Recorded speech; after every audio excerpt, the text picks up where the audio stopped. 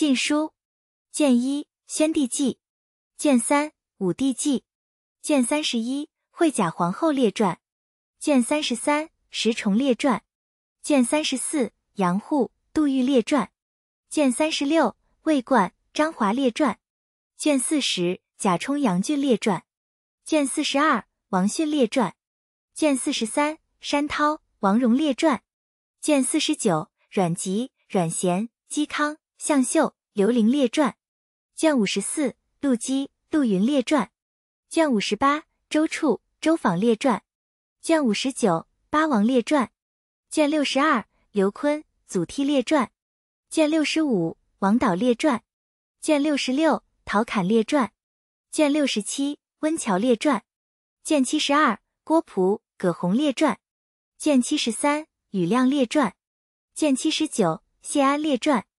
卷八十，王羲之、王献之列传；卷九十二，顾恺之列传；卷九十六，王凝之妻谢氏列传；卷九十八，王敦、桓温列传；卷一百一，游园海载记；卷一百四至卷一百五，石勒载记；卷一百六至卷一百七，石继龙载记；卷一百八，慕容伟载记；卷一百十三至卷一百十四，苻坚载记。卷一百十四，王蒙载记；卷一百十六，姚常载记；卷一百二十，李特载记；卷一百二十三，慕容垂载记；卷一百三十，赫连勃勃载记。晋书，中国社会科学院历史研究所研究员。童超，晋书是唐代贞观年间奉诏纂修、成于众手的一部纪传体正史。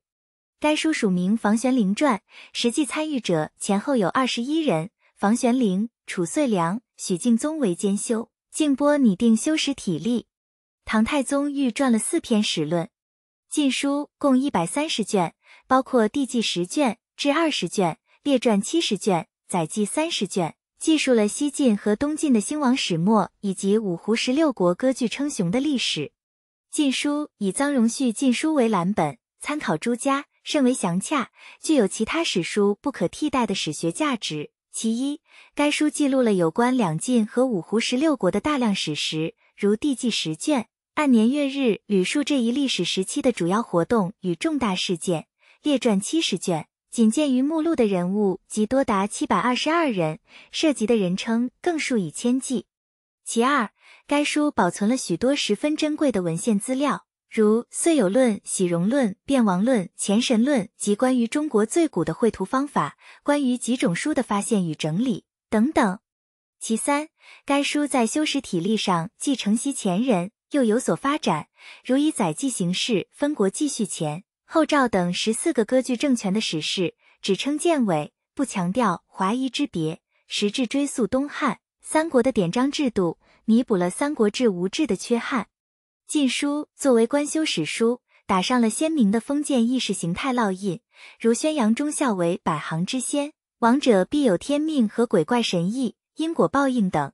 其文字竟为起验，不求笃实。卷一，宣帝纪，同魏武帝曹操一样，晋宣帝司马懿生前并未称帝，可他却权倾一时，功高震主，留给子孙一招权柄。同曹操的子孙一样。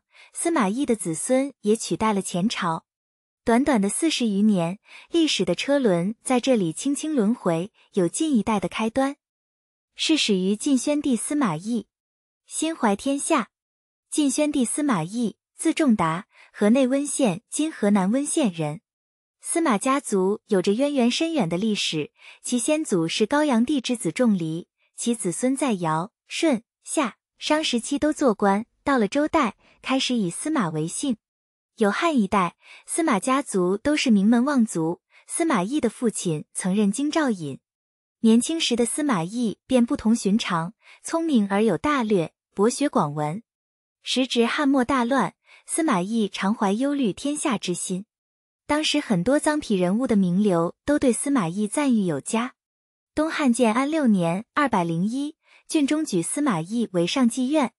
当时官至司空的曹操想征召司马懿，司马懿却不愿屈身追随曹操，便以封闭不能起居为由推辞了。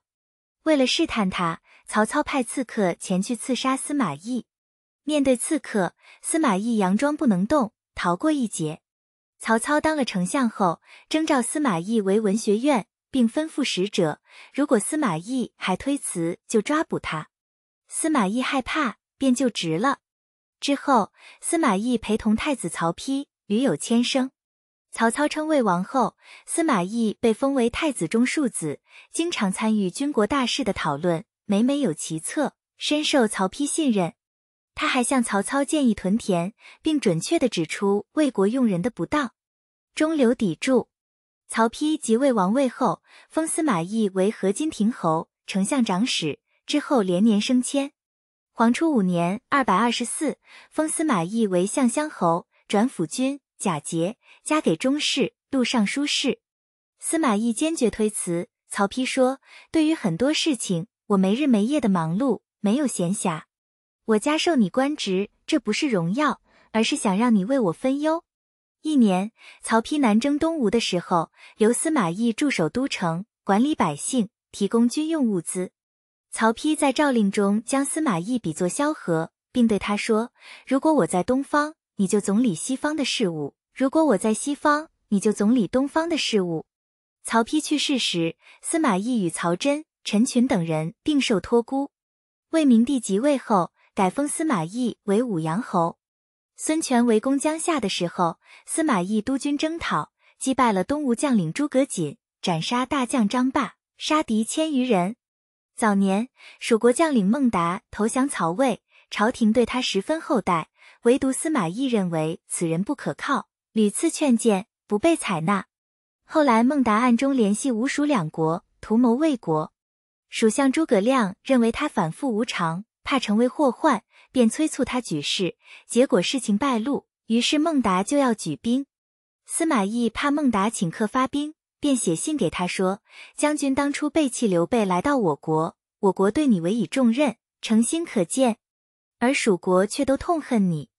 诸葛亮要攻伐我国，苦于无路，他怎么能让你们的密谋轻易败露呢？想想便知道怎么回事了。”孟达看了信，很高兴。之后又开始犹豫不决。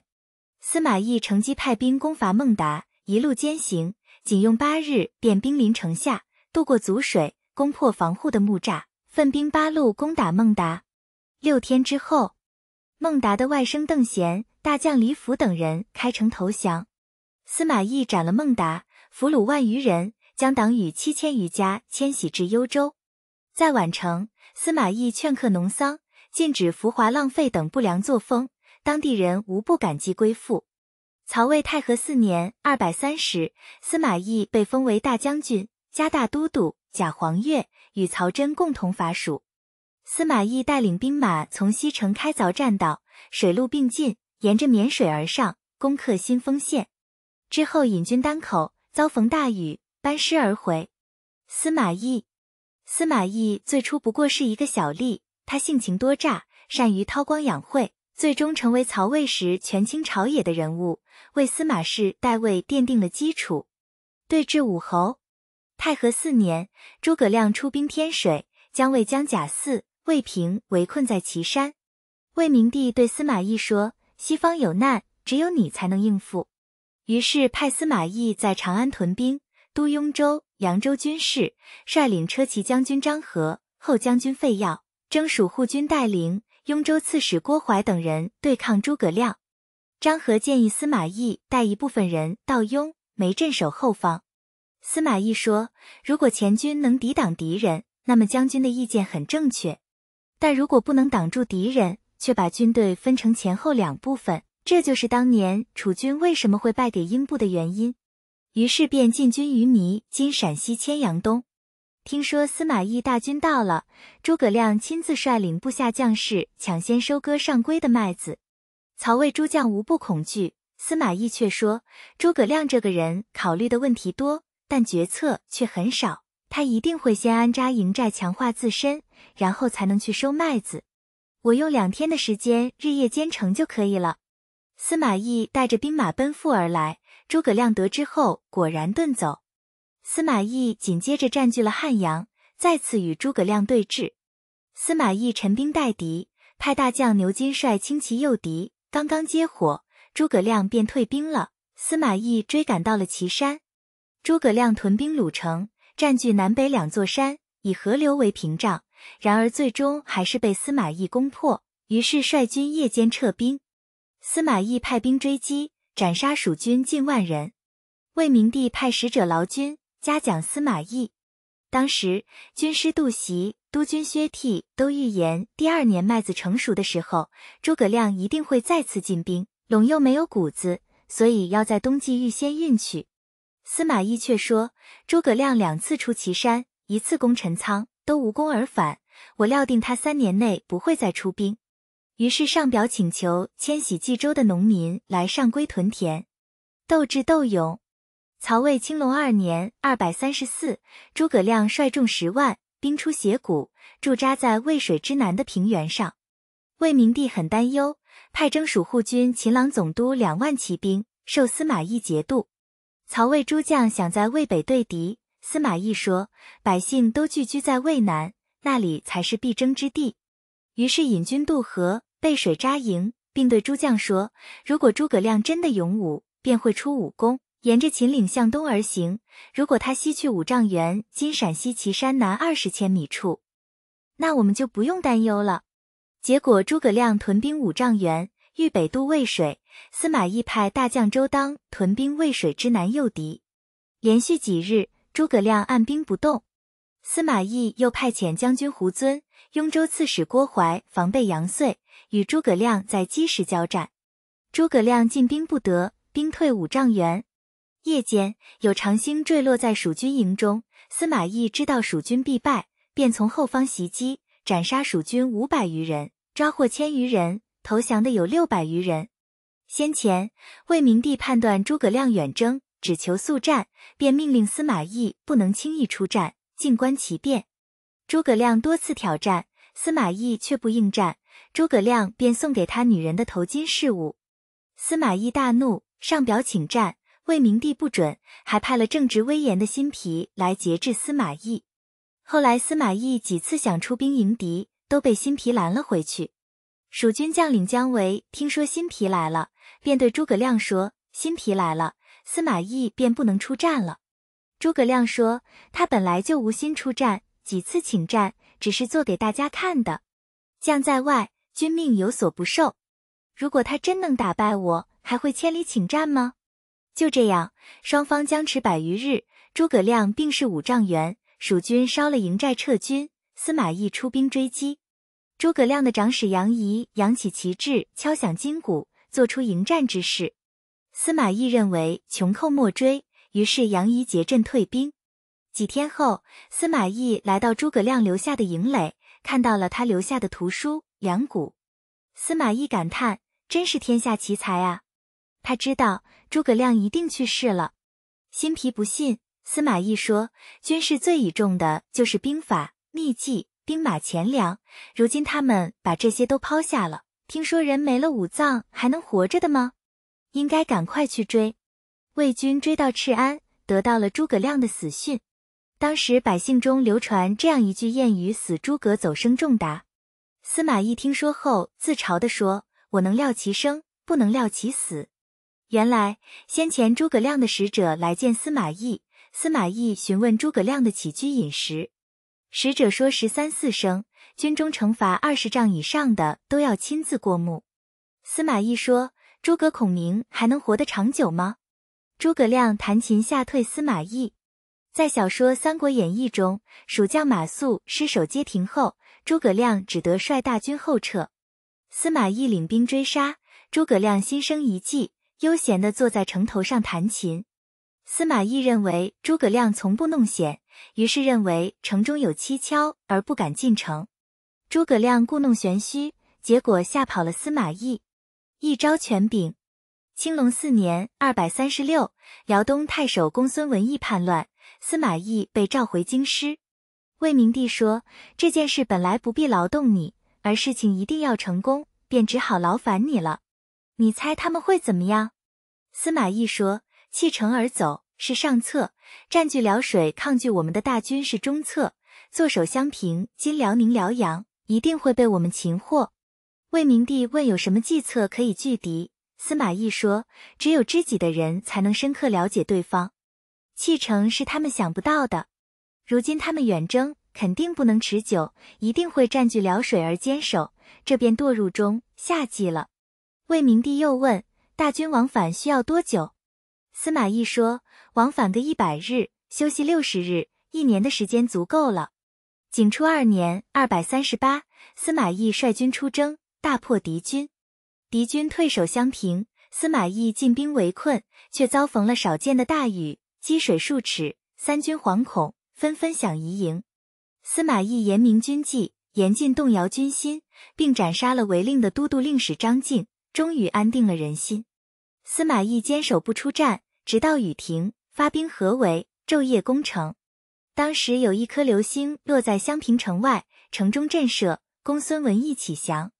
司马懿不准斩杀来使，公孙文义再次派遣使者。司马懿对使者说：“军事有五大要素，能战便战，不能战就守。如果不能守就逃跑。除此之外的两大要素就是投降和战死。既然你不能自己绑缚了来投降，那就等着战死吧。”公孙文义突围而出，司马懿率兵追击，在流星坠落的地方斩杀了公孙文义。进入襄平城后，司马懿下令杀掉了十五岁以上的男子七千多人，收录四万户，人口三十余万。处理完辽东事宜，司马懿班师回京。先前，司马懿刚到襄平的时候，梦到魏明帝枕在他的膝盖上，说：“看着我的脸。”司马懿俯身看到他的脸色有异。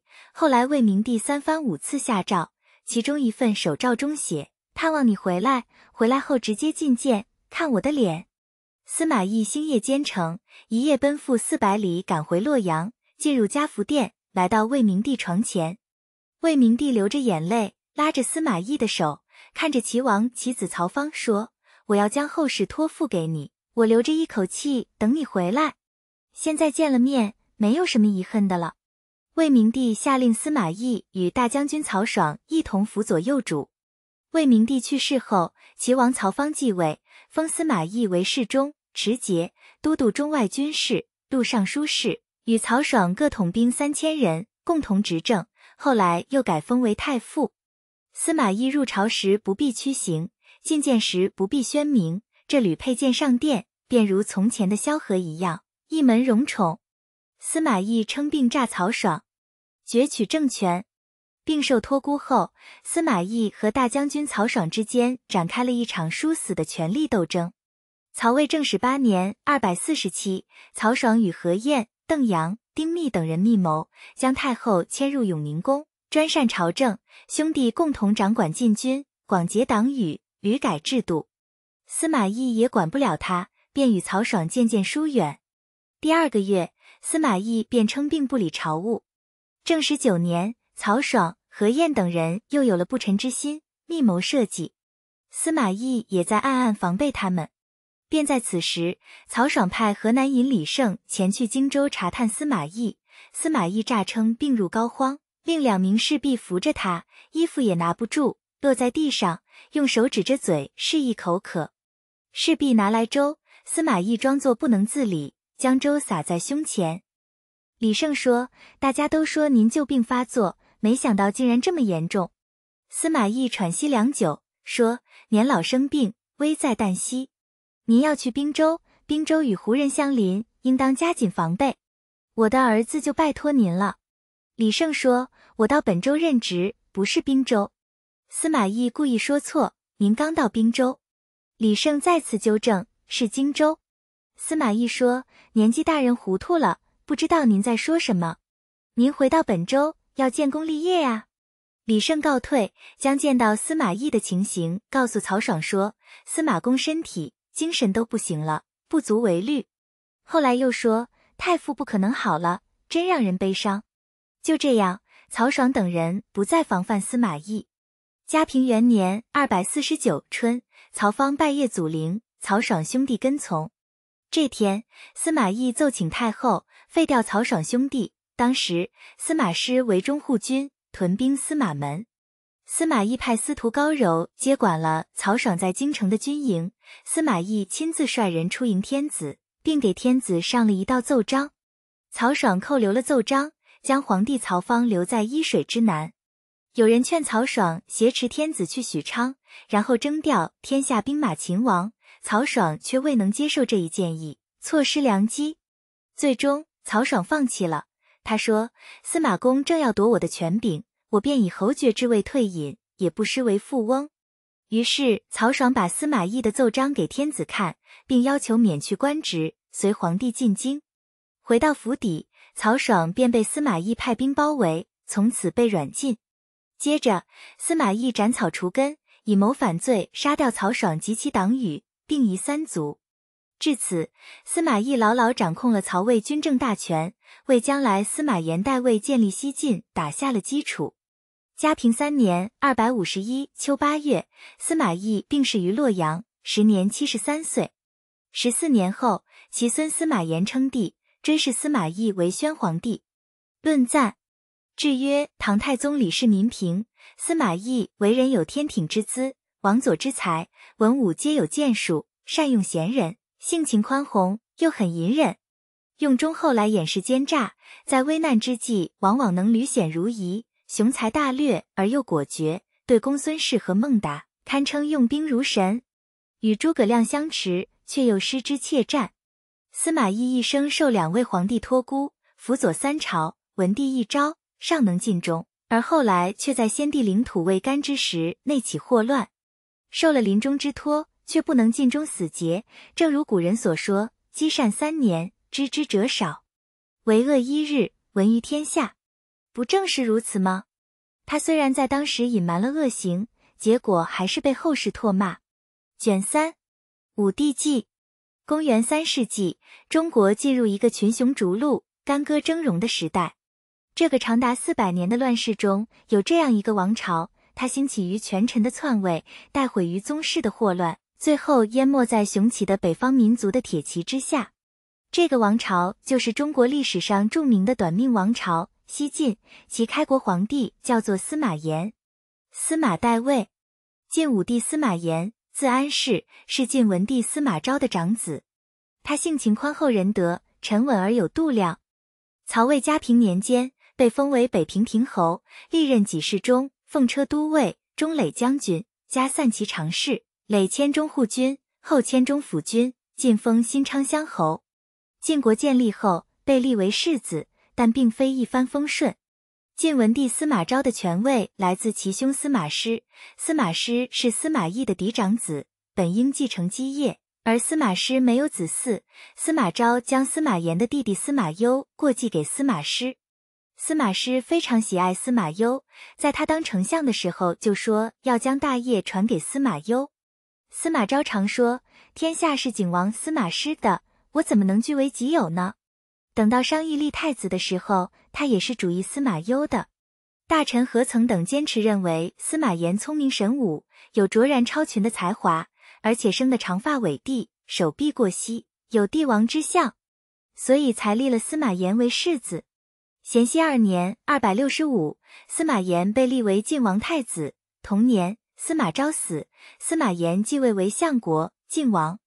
执掌曹魏大权后，司马炎下令减轻刑罚、宽宥罪责、安抚百姓、减少服役，并为篡权称帝做了一系列准备，广封亲信，终于四海归心。此时的曹魏天子也知道隶属有定，被迫下诏禅让。太始元年（二百六十五），司马炎正式称帝，封魏天子曹奂为陈留王，追尊司马懿为宣皇帝，司马师为景皇帝，司马昭为文皇帝。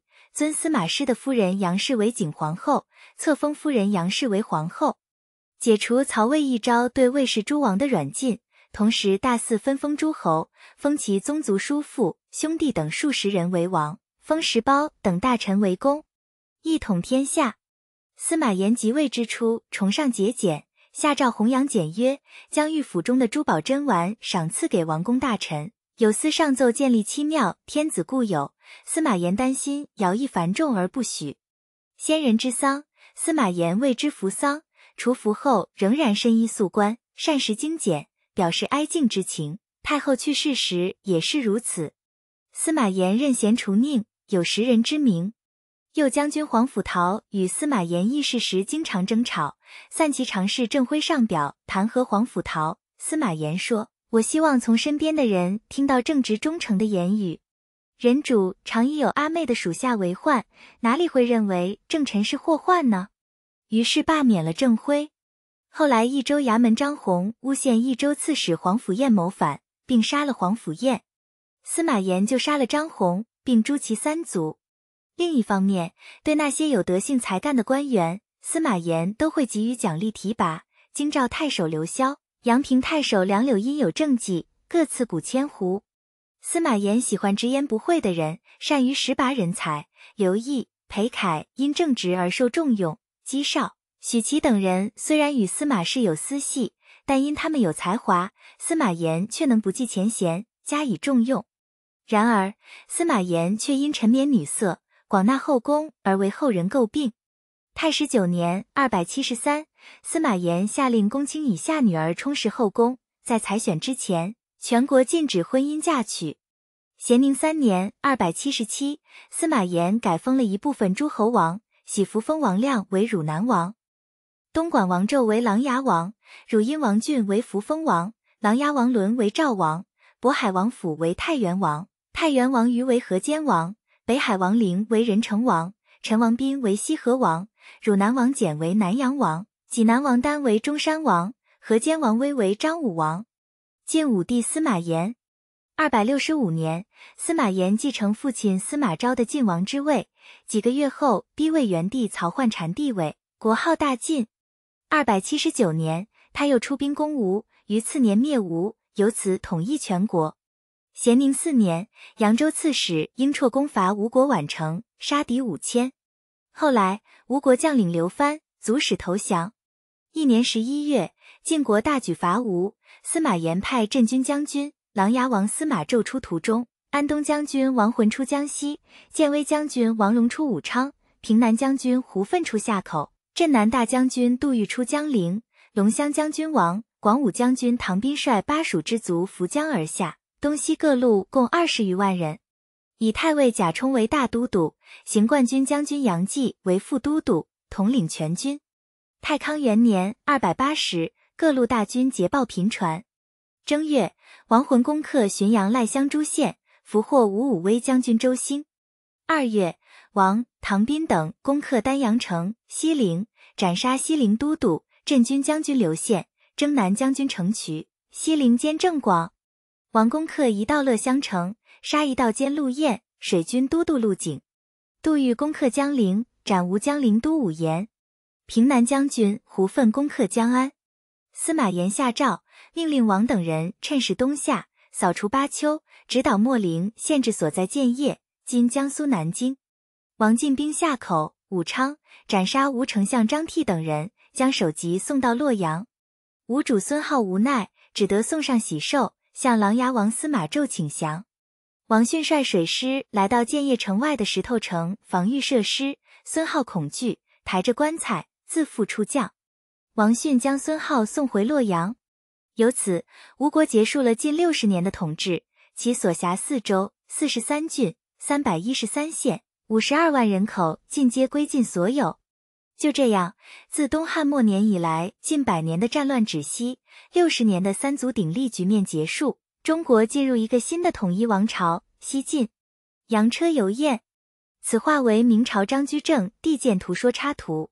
司马炎多宠姬，所以让他头疼的一件事就是日暮时分到哪里过夜。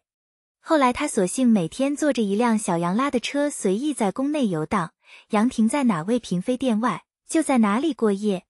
于是，宫中女子就以竹叶洒盐水来吸引拉车的羊。晚年昏聩。太康三年（二百八十二），司马炎封司空齐王幽为大司马、都青州诸军事、镇东大将军，琅琊王纣为辅军大将军，汝南王亮为太尉，这为日后的朝政动乱埋下种子。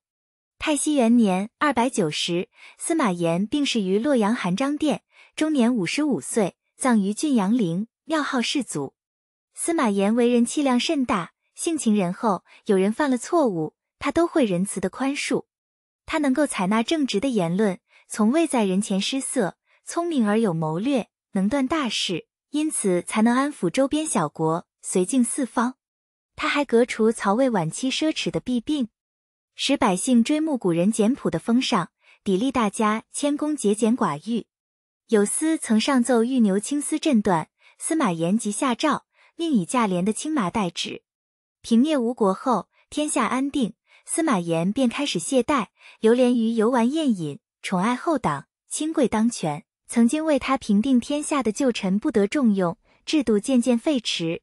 到了晚年，明明知道儿子不能胜任皇位，却认为皇孙聪明，因此没有产生废立的念头。又考虑到皇孙不是太子妃贾氏所生，担心后患，便与心腹谋划后事。不想大家众说纷纭，很久也不能确定。最后用了王佑的计策，派太子生母的弟弟都督关中，楚王司马玮、淮南王司马允共同镇守军事要塞，以图加强地势。又担心外戚杨氏专权，便封王佑为北军中后，掌管禁军。司马炎病重的时候，这些侧命的元勋已然先他而亡，朝廷上下无不惶恐不知所措，无从计较。司马炎在弥留之际下诏，令汝南王司马亮辅政，又想派朝中几个有名望的年轻人辅佐他，但外戚杨俊却压下这道诏令，秘而不宣。等到司马炎神志不清的时候，杨后矫诏，命令杨俊辅政，敦促司马亮离开。司马炎时而清醒时，要见司马亮，托付后事。左右服侍的人都说司马亮未到，司马炎便这样去世了。由于其后期用人不当，为后来西晋的败亡留下隐患，因此晋武帝一招，权臣贾充这样的凶恶之徒执掌权柄，外戚杨俊这样的豺狼之辈包藏祸心，以致从前的栋梁之臣也拥兵自重。随着司马炎的去世。西晋祸乱四起，中国历史在经历了短暂的静平后，进入一个更加纷乱的动乱时代。短短的几年间，朝廷纲纪崩坏，天下再次动荡，迫使宗庙南迁，中原土地被少数民族占据。论赞，制曰：晋武帝继承先人的基业，接受天命，总揽天下，驾驭寰宇，教化劝导人民，以治世代替了乱世，革除了奸伦共富。变奢侈之治为简约，遏制浮华之风为淳朴，待人接物以仁德之心，宽厚而深得人心，恢宏有大略，度量甚广，具有帝王的气量。因此，在他的治理下，百姓和睦，风俗雅静，百姓家中自给。于是他厉兵秣马，开疆拓土，终于成就一代霸业。然而晋武帝登基之后，却日益骄奢，不知居安思危，屡次听信谗言。不除掉刘元海，不废掉晋惠帝，最终导致江山崩坏。所谓保全一个人的功德是微薄的，拯救天下的责任才是重大的。舍弃一个人是小，安抚天下社稷才是大孝。西晋建国前经历三代经营，却因这两人而沦丧。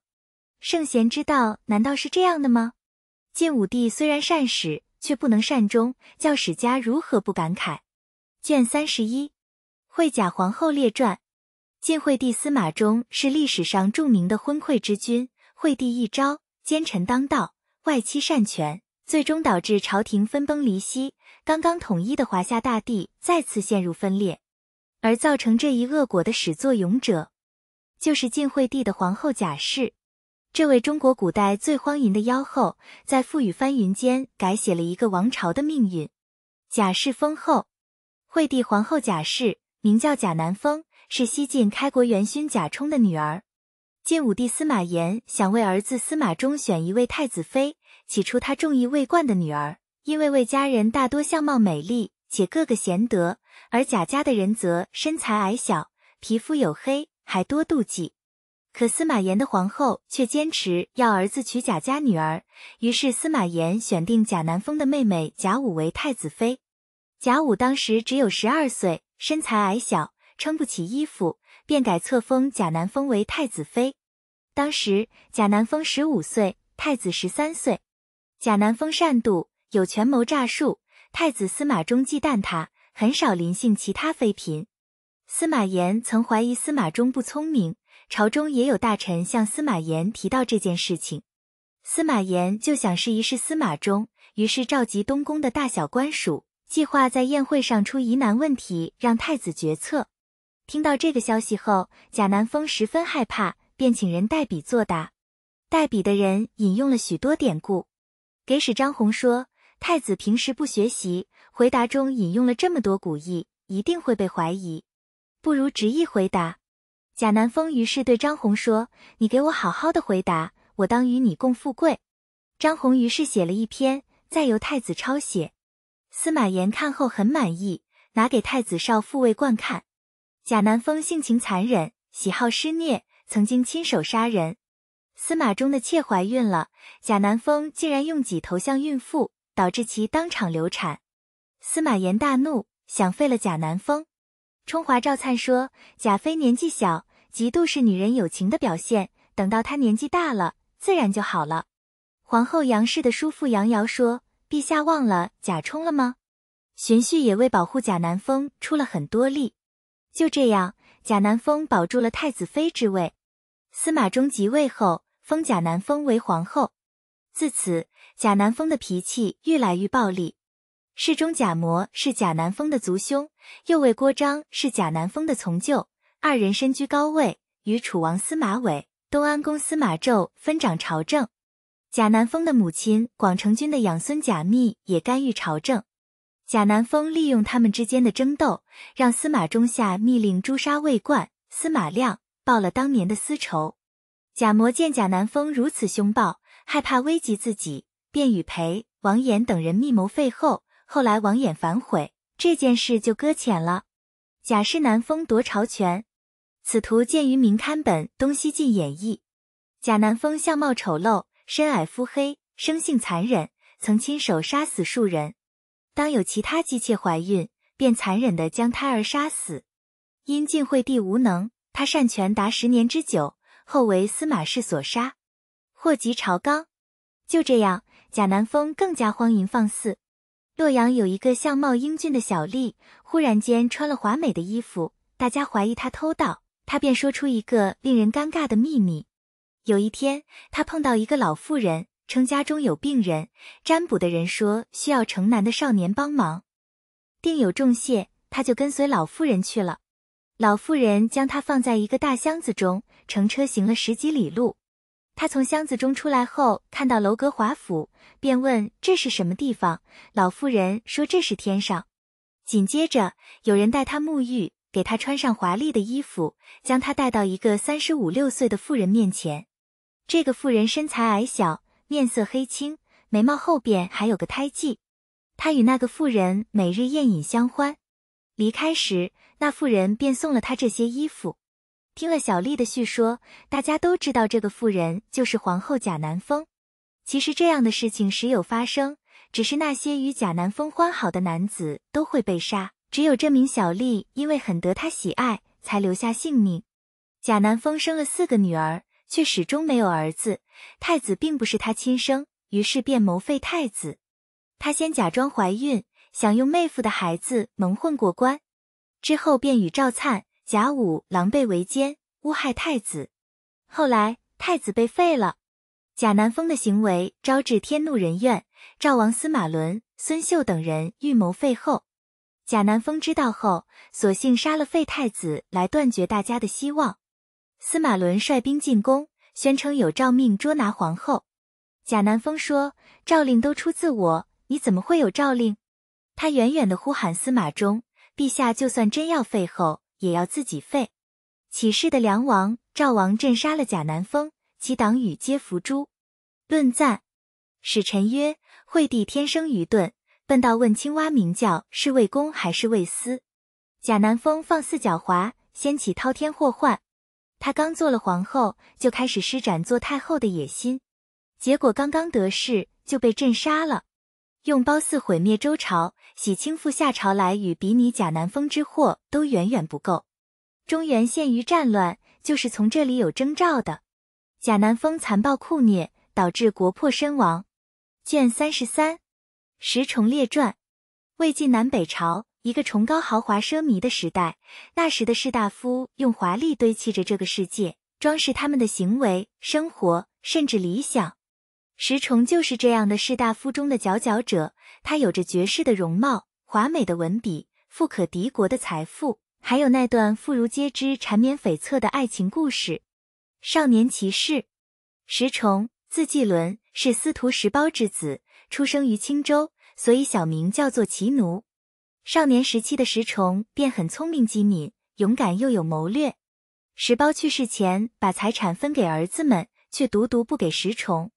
石崇的母亲为石崇说好话，石苞则说：“这个孩子现在虽然还小，可将来一定能自己赢得一切。”石崇二十几岁的时候便做了修武令，因能力强而出名。后来他在朝廷做了散骑郎，之后又升迁为城阳太守。石崇参与了伐吴，并立下战功，由此被封为安阳乡侯。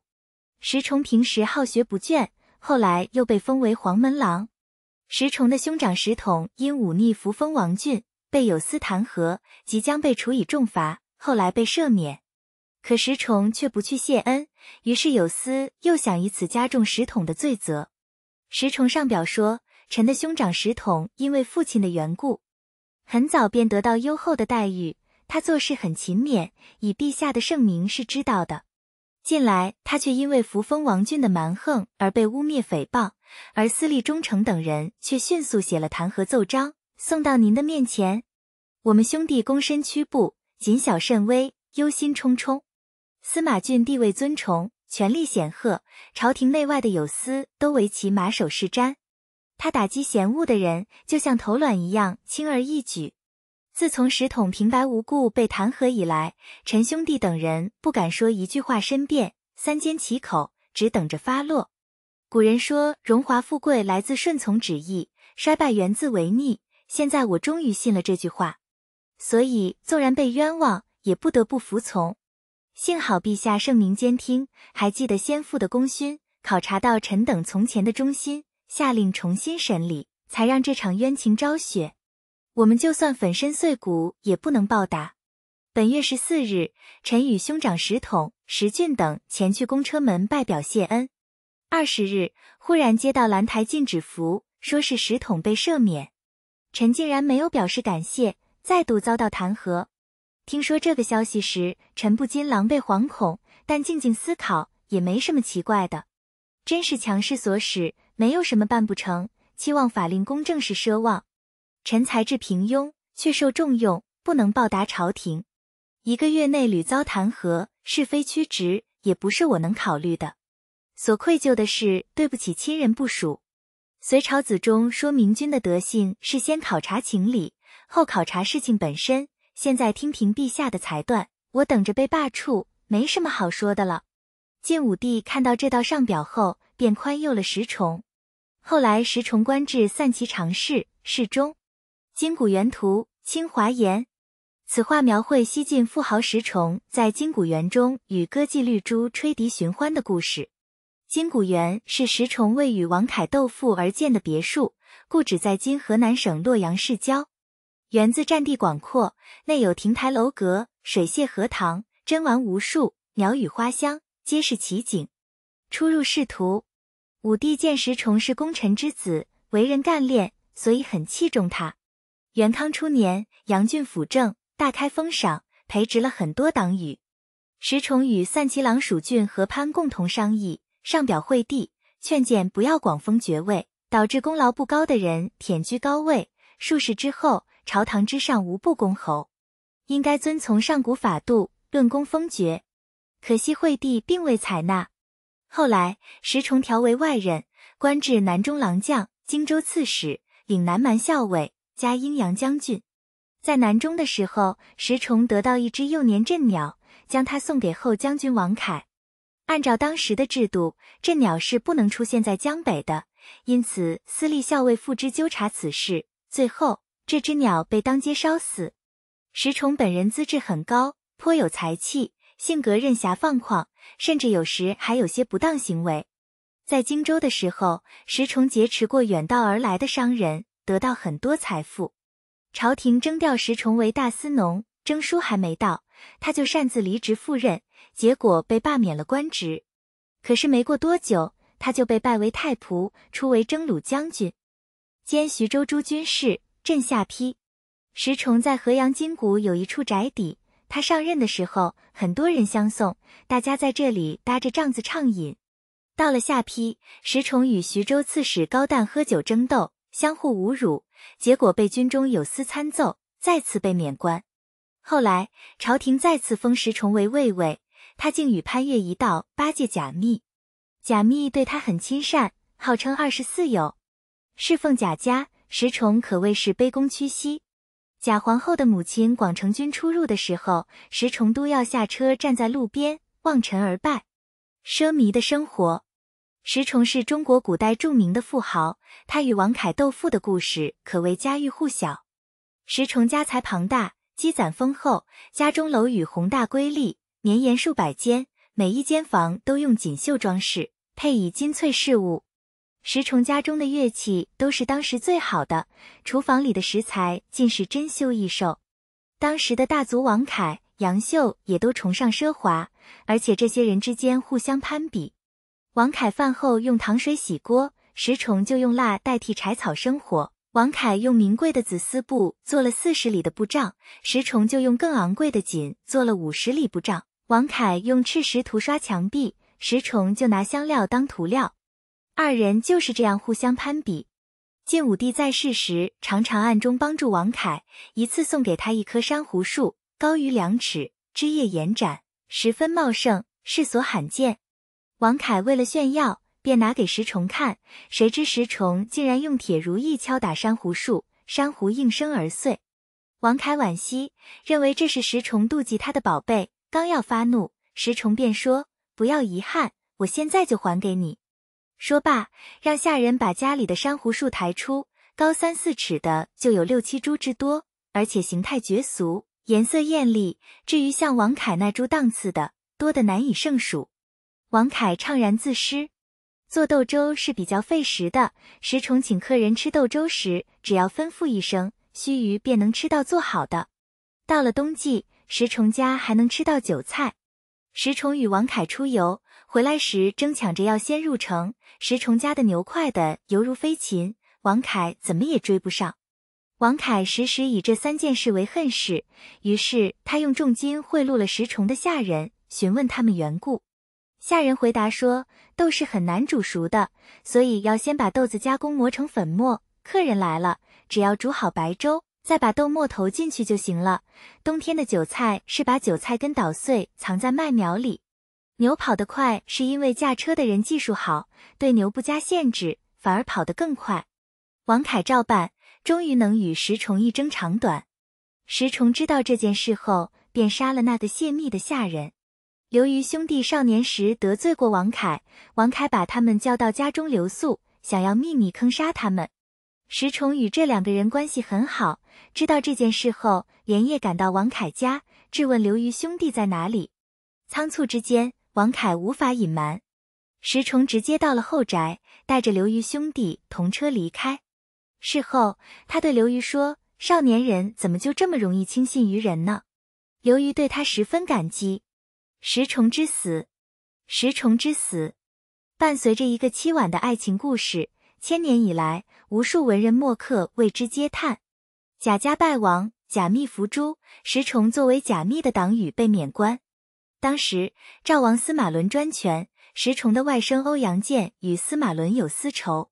石崇有一个妾，名唤绿珠，姿容美丽，擅长吹笛。跟随司马伦的孙秀心中向往，派人来求。那时石崇正在金谷别馆，刚刚登上凉台，面对着小溪，身边有女子服侍着。使者说了孙秀的请求，石崇叫出几十个婢妾，个个麝香罗裙，说。在这里挑一个吧。使者说：“您的婢妾美丽是很美丽，但我是奉命来求绿珠的，不知道哪一个是。”石崇勃然大怒，说：“绿珠是我所爱，不会给他的。”使者说：“君侯您博古通今，察远照耳，请您三思啊。”石崇还是坚持。使者离开又返回，石崇还是不同意。孙秀大怒，怂恿司马伦杀石崇、欧阳建。石崇和欧阳建也知道了他们的计划，便与黄门郎潘岳暗中劝淮南王司马允和齐王司马囧图谋赵王司马伦和孙秀。这件事被孙秀知道了，竟然矫诏抓捕了石崇、潘岳、欧阳建三人。当时石崇正在楼上与宾客宴饮，抓捕的武士破门而入。石崇对绿珠说：“我是为了你才遭逢横祸啊！”绿珠哭着说：“我会死在你之前，算是报答了你。”于是纵身跳楼而死。临死前，石崇感叹道：“这些人不过是贪图我的家财啊！”行刑的人说：“你知道是财富害了你，为什么不及早散去？”石崇茫然，不知该如何回答。石崇之死累及全家，而他自己当时也不过五十二岁。之前，石崇家曾有一桩怪事，那就是稻米饭掉在地上，一夜之后变成箩。当时人都认为这是灭族的征兆，不想后来真的应验了。直到后来，惠帝司马衷复继帝位，才以公卿之礼安葬了石崇。绿珠坠楼，论赞，使臣曰：下雨节俭，殷商时有增有减。祭祀时用什么东西都是有章法的。诸侯不总是用牛，是不总是用猪。禁止骄奢，关系到治国。石崇博学多闻，性情乖戾，很少悔改。他的富有程度超过其他富豪，还与公侯斗富。正所谓缠在高树上，不知道螳螂就在后面偷袭。石崇为人风流骄矜又奢侈，最终害了自己，国家罹难，身死名裂，真是福兮祸之所伏。卷三十四，杨户杜预列传。有晋一代，四海沸腾，宇内震荡。宗庙之上有平庸之主，朝堂之上有奸佞之臣。内则外戚专擅，乌烟四起；外则藩王并立，觊觎神器，大臣无状，更是不胜枚举。然而，就是在这样一个短命的王朝，也有忠诚高雅的重臣，他们秉承着士大夫独有的气节，以他们的精略才干。书写着与众不同的魏晋风流，他们中杰出的代表就是杨户和杜预。杨户戍边，杨户字叔子，泰山南城（今山东新泰）人，先祖曾经做过俸禄两千石的高官。传到杨户已经是第九代了。杨户的祖父和父亲都做过太守，而杨户的外公就是大名鼎鼎的蔡邕。杨户的姐姐是司马师的皇后。杨户十二岁丧父，侍奉叔父十分恭谨。少年杨户曾在汶水一带游学，当时的一位老人看到他便预言：这个孩子的面相好，六十岁之前一定能建立天下奇功。长大之后，杨户博学，擅长写文章，身长七尺三寸，生了一副漂亮的胡须，时常脏否时事。夏侯霸的弟弟很看重杨户，便将夏侯霸的女儿嫁给了他。后来，曹爽征召杨户入朝为官。当时的朝廷内部，皇帝年纪幼小，两大辅臣司马懿和曹爽斗争激烈，而杨户偏偏与这两家都有姻亲关系。杨户看出曹爽不及司马懿，早晚必败，因此没有出仕，可见其先见之明。夏侯霸投降蜀国后，家中亲戚害怕受牵连，多与之断绝关系，只有杨户还像从前一样。对待夏侯家的人一如既往，甚至更加有恩有礼。杨户母亲和兄长先后去世，他为之守丧十余年，常年素服，品格之高，就像一位真正的大儒。司马氏掌权后，司马昭征辟杨户，杨户还是不肯出仕，于是朝廷公车征拜杨户为中书侍郎，后来屡屡升迁。司马炎受禅称帝后，加封杨户为公爵。当时朝堂上的王佑、贾充、裴秀等人都是当世名流，杨户辞让，不敢位列其上，最后受封为侯爵。司马炎早有吞吴之心，就封杨户为都督荆州诸军事。杨户率兵镇守南下，开设学校，安抚远近百姓，在江汉一带深得人心。杨户不仅如此对待晋人，对待吴人也是开诚布公，凡是投降的人，可以自行决定去留。在襄阳城外七百余里，吴人修建了一座石头城，那里的驻军经常滋扰西晋的边境。杨户深以为患，于是便用巧计，诱使吴国撤销了石头城的守备，这样晋军也可以减少防戍力量，其余的士卒开垦屯田八百余顷。杨户刚刚上任的时候，军粮难以维持百日。经过杨户三年的经营，晋军囤积的粮草可用十余年。杨户的一系列措施行之有效，为日后伐吴做了准备。司马炎下令撤销江北所有的都督建制，由杨户负责汉东江夏的所有军队。后来，朝廷授予杨户车骑将军、开府。杨户上表辞让，朝廷还是授予了他这样的殊荣。当杨户回到驻地的时候，东吴西陵（今湖北宜昌）都不产举城投降。东吴名将陆抗率兵出席，杨户领兵五万出江陵，派遣荆州刺史杨肇出战，但未能取胜，不产被擒。有关官吏以此为由弹劾杨户，杨户被贬为平南将军。杨户，杨户是西晋的开国之臣，著名军事家、政治家，得名远扬。杨户挥军东进，占领了石城以东的战略要地，周边的吴人望风投降。杨户为建立德信和威望，对投降的人实行怀柔政策，渐渐的有了吞并吴国的势头。杨户对吴人秉承赤诚之心，与吴兵交战时从不演习，手下将帅有献诡诈计策的，杨户便敬献好酒，将话题带过去。交战中，杨户斩杀了两名吴将。却因这二人的忠勇，将之厚葬。杨户从不在吴国境内掠夺粮食，如果征采，都用券换取；打猎的时候，也从不越过边境。如果碰到被吴人射伤的野兽，还要送还给吴国。吴国人对杨户无不心悦诚服，从不直呼其名，而是尊称其为杨公。杨户与敌国将领陆抗的君子神交，堪称一时佳话。虽然双方处于敌对状态，但陆抗称赞杨户有德量，纵然乐毅与诸葛孔明也不过如此。陆抗生病的时候，杨户送来药材，陆抗毫无戒心的吃了。当时很多人都见阻，陆抗却说：“杨户岂是下毒害人的人？”陆抗还对手下人说：“他在此是为了德，我在此却是为了战争，所以不用打仗，我已然服了。现在大家各保疆土，无他所图。”杨户为人忠贞正直，大公无私，嫉恶如仇，因此遭到许多小人的记恨。那些人经常在背后诋毁他，尤其是王戎、王衍两个人，以致当时人们中纷纷流传这样一句话：“二王当国，杨公无德。”咸宁初年，杨户升任大将军。杨户一心志在吞吴，他推荐名将王坚益州诸军事，密令建造舰船，为伐吴做了充分的准备。杨户上表力主伐吴，皇帝也深以为然。然而此时西晋王朝却兵败秦凉，杨户再次上表说明平定了吴国，胡人自然就会平定。可是朝廷中多数人都反对伐吴，杨户大志难酬，不由得叹息：天下不如意事十之八九，这就是当断不断啊！天予不取，早晚要后悔呀。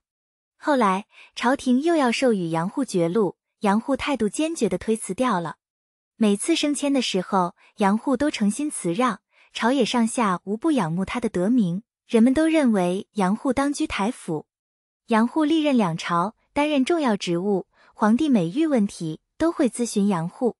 杨户的女婿曾经劝杨户在外别致经营，杨户当时什么也没说，回去后对儿子们说：“这就是知其一不知其二，为人臣者背公营私。”这是大错，你们一定要懂得我的深意。杨户曾写信给堂弟说：“等天下平定，我就会辞官回归故里，将来就死在那里好了。我以布衣的身份而居重位，最后一定会受到指责。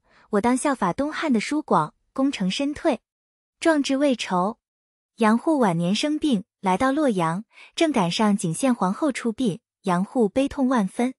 晋武帝命令杨户可以乘坐车辇直接入殿，不必下车参拜，十分礼遇。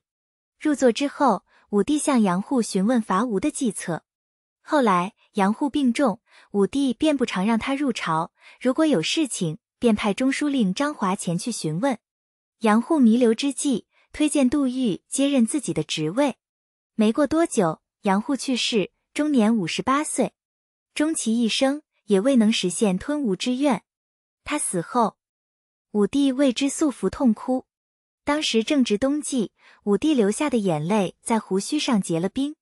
百姓们听说杨护的死讯，无不嚎啕，商人罢市，相驴之间哭声相闻。就连吴国边界驻守的将士中，曾经受过杨护恩惠者，听闻死讯，也都为之泣涕。杨护生前的仁德，由此可窥见一斑。杨护为官清正简朴，穿着粗布的衣服，吃着素食，所得的俸禄或支援亲属。或赏赐战士。他死的时候，家中没有多余的财产。杨护一命不要将南城侯的大印带入灵柩。杨护的堂弟深深了解杨护的为人和愿望，便提出将杨护按照辈分葬在祖坟。武帝却不肯答应，赐予皇陵附近的一块墓地，占地面积多达一顷，并以隆重的礼仪下葬了杨护。杨护深得百姓爱戴，他的文章在当时广为流传。杨护生前喜欢畅游山水，常常一个人流连山间。襄阳地区的百姓在县山为杨护建碑立庙，前来拜祭的人见到石碑无不落泪，因此这块石碑又被称为堕泪碑。荆州百姓甚至为惠名及必称其名，原本以户称屋室，现在只叫门户曹，也被改称为祠曹了。杨护去世后的第二年，西晋平定东吴，群臣祝贺武帝。武帝却执着绝哭了。他说：“这都是杨太傅的功劳啊！”接着，晋武帝派人到杨护的庙，告诉他，他坚持了一生的愿望终于实现了。杜预，杜预博学多才，精通政治、军事、经济、立法、律令、工程等，被誉为杜武库。杜武库，杜预，字元凯，京兆杜陵（今陕西西安）人。其祖父是曹魏的尚书仆射，父亲官至幽州刺史。杜预博学多才，了解兴废之道。杜预的父亲与司马懿不和，最终因此去世，所以杜预的仕途很不顺利。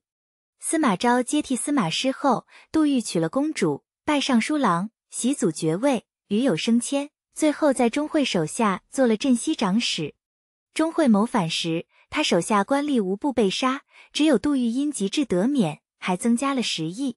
西晋建国后，车骑将军贾充等人制定律令，杜预为律令做了注解。杜预与司隶校尉石建有夙愿，陇右叛逆时，石建为安西将军，杜预为安西军司。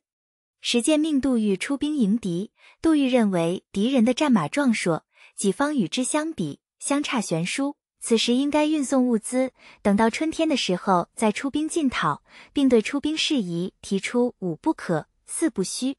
石建大怒，上奏朝廷说杜预擅自装饰城门关舍，导致军力疲乏。由于杜预是公主的丈夫，所以没有判罪，只是免了侯爵之位。而后来战斗的发展，便如杜预预见的一模一样。北方匈奴举兵反叛，朝廷以杜玉名于筹略。拜他为杜之尚书，杜预在任时实行了一系列颇见成效的措施。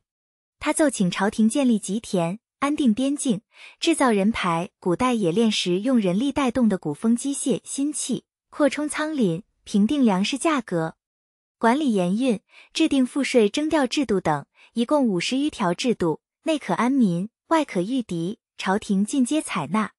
杜预在朝，政绩斐然。当时孟津渡险要，经常有船在此覆没。杜预请求在富平津修建河桥。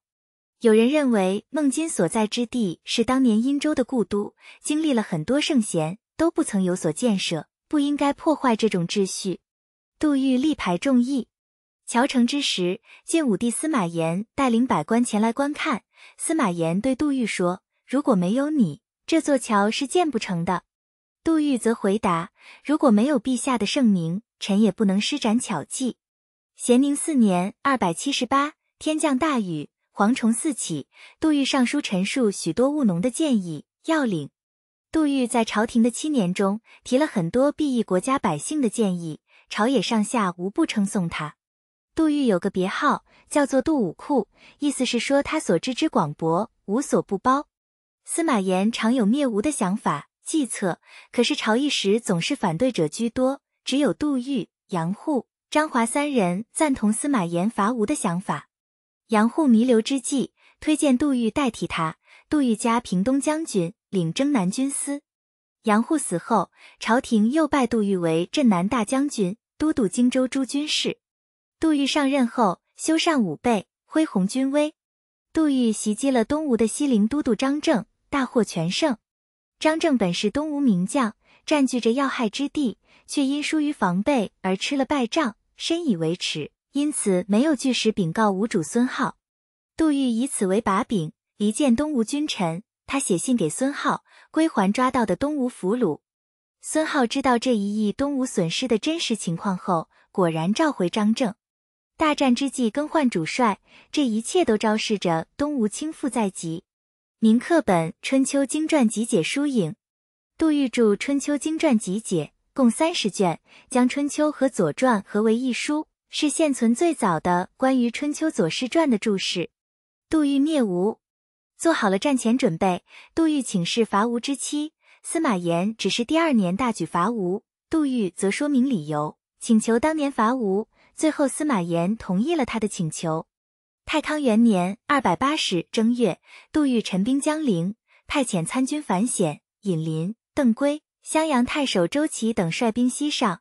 一路上就像杜预料的一样，攻城拔寨，又遣衙门管定、周芷。武朝等率骑兵八百，连夜从水上出兵，袭取乐乡。晋军旗帜大张，在山中放火，震慑敌人。吴国都督孙欣既震惊又害怕，称晋军是飞着渡江的。他引兵抵挡晋朝大将王逊，结果大败而归。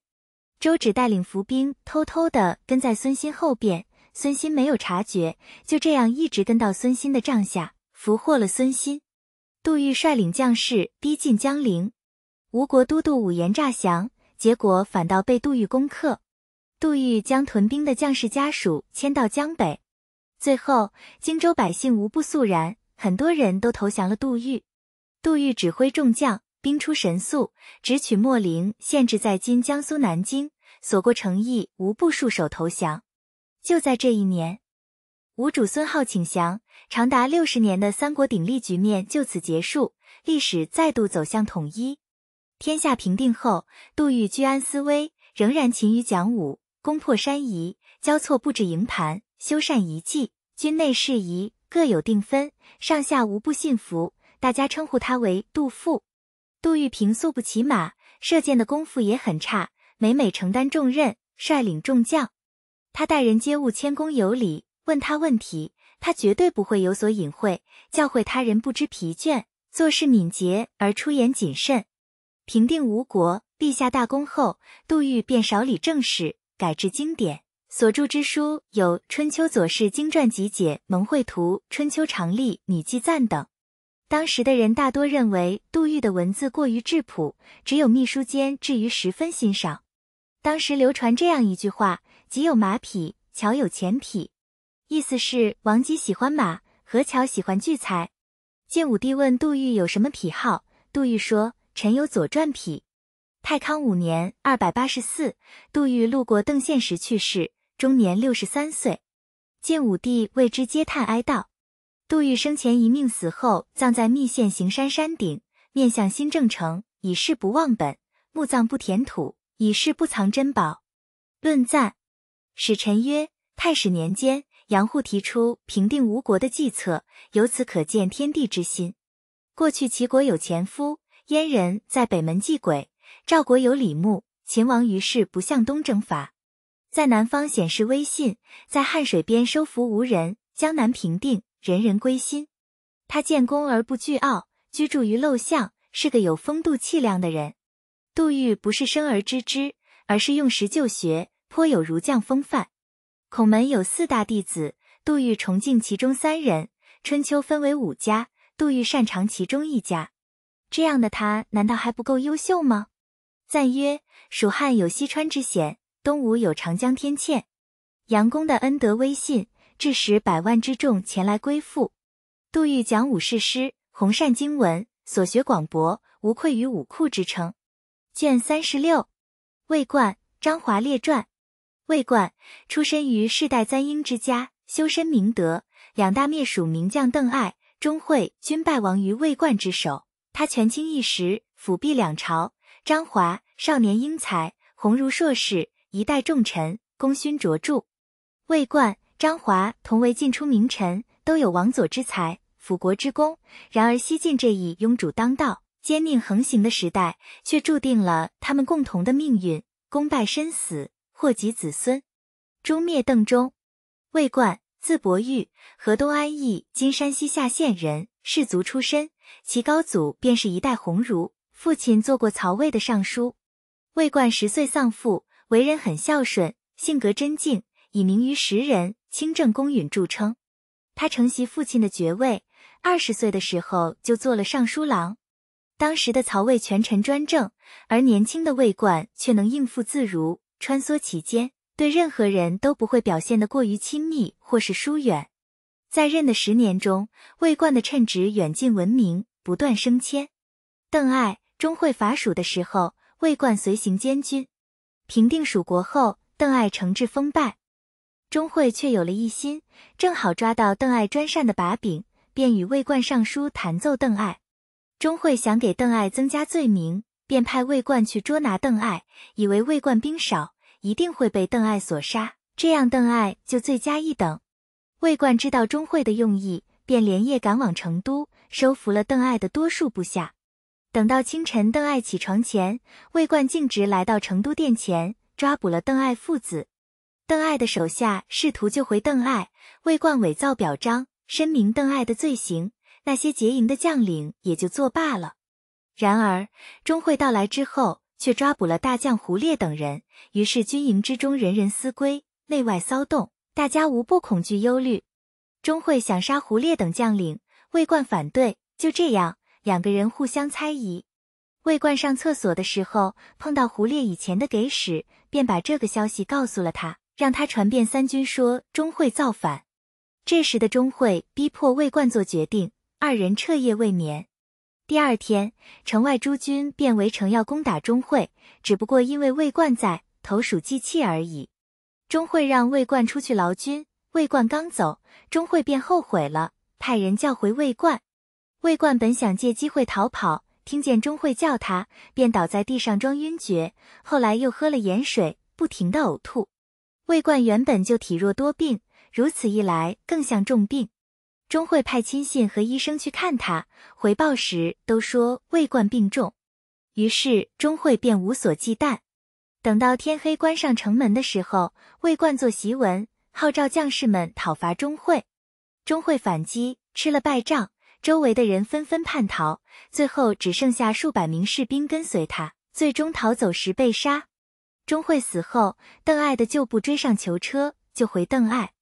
魏冠曾与钟会密谋擒拿邓艾，担心邓艾一旦被救出，会找自己寻仇，便派人夜袭邓艾，杀死了邓艾和他的儿子。就这样，灭蜀的两员大将都死在了魏冠之手。后来朝廷论功行赏时，魏冠说：“平定蜀国是各位将士的功劳，邓艾和钟会两人是自取灭亡。”坚持不肯接受任何封赏，国之重福。后来魏冠升迁，先后做了青州、幽州两州刺史，护乌桓校尉。魏冠来到幽州后，便上表请求平定边境。当时的幽州东有乌桓，西有利威，都是鲜卑单于，两方势力无不危害幽州。魏冠便用离间计，导致两人互生嫌隙，最后乌桓投降西晋，利威忧愤而死。由此解决了边境两大危险势力。朝廷为了嘉奖魏冠，赐其一子为亭侯，可魏冠却将这一封赏让给了弟弟。魏冠一共有六个儿子，却无一有爵位，他生平所受恩封都让给了两个弟弟。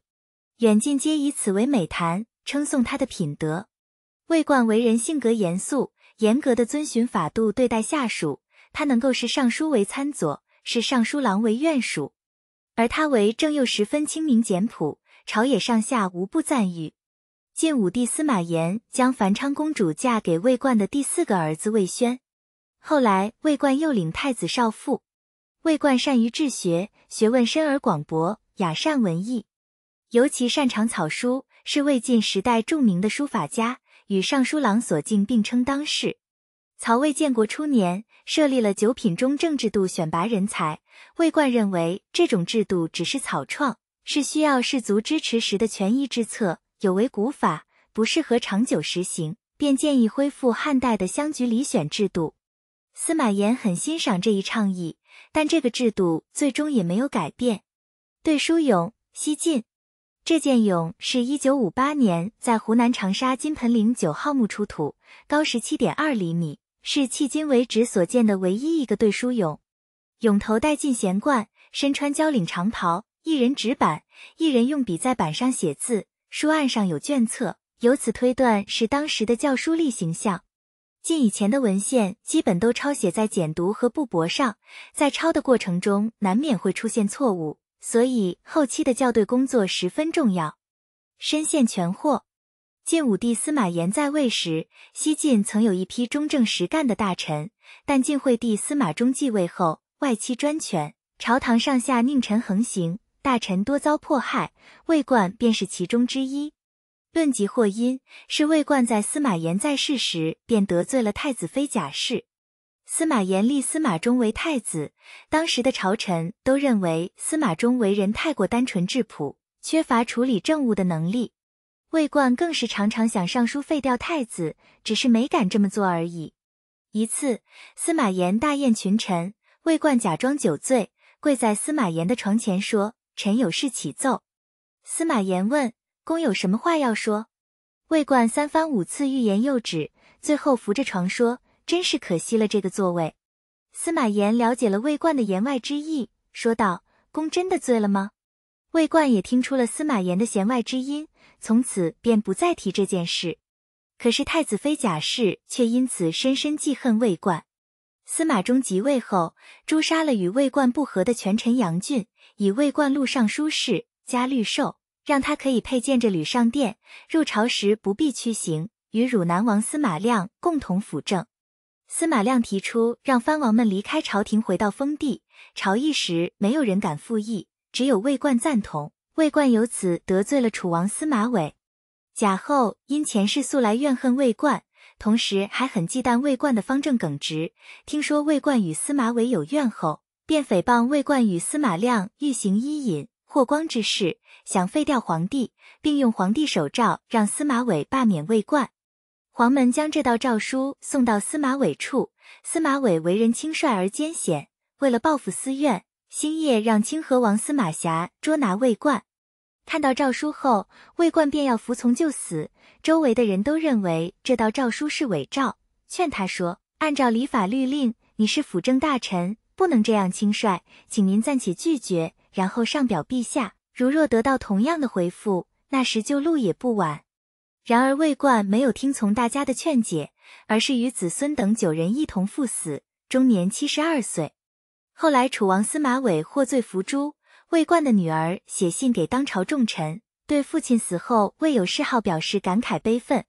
于是钟繇等人上表为魏冠平反，朝廷也以魏冠全家无辜受祸。追悼魏冠，谥号成，赐予死后殊荣。女史箴图局部，东晋顾恺之。西晋张华收集历史上各代先贤圣女的事迹，写成九段女史箴，宣扬女德，流传很广。东晋顾恺之依据此文作画，原有十二段，今仅剩九段，纵二十四点八厘米，横三百四十八点二厘米。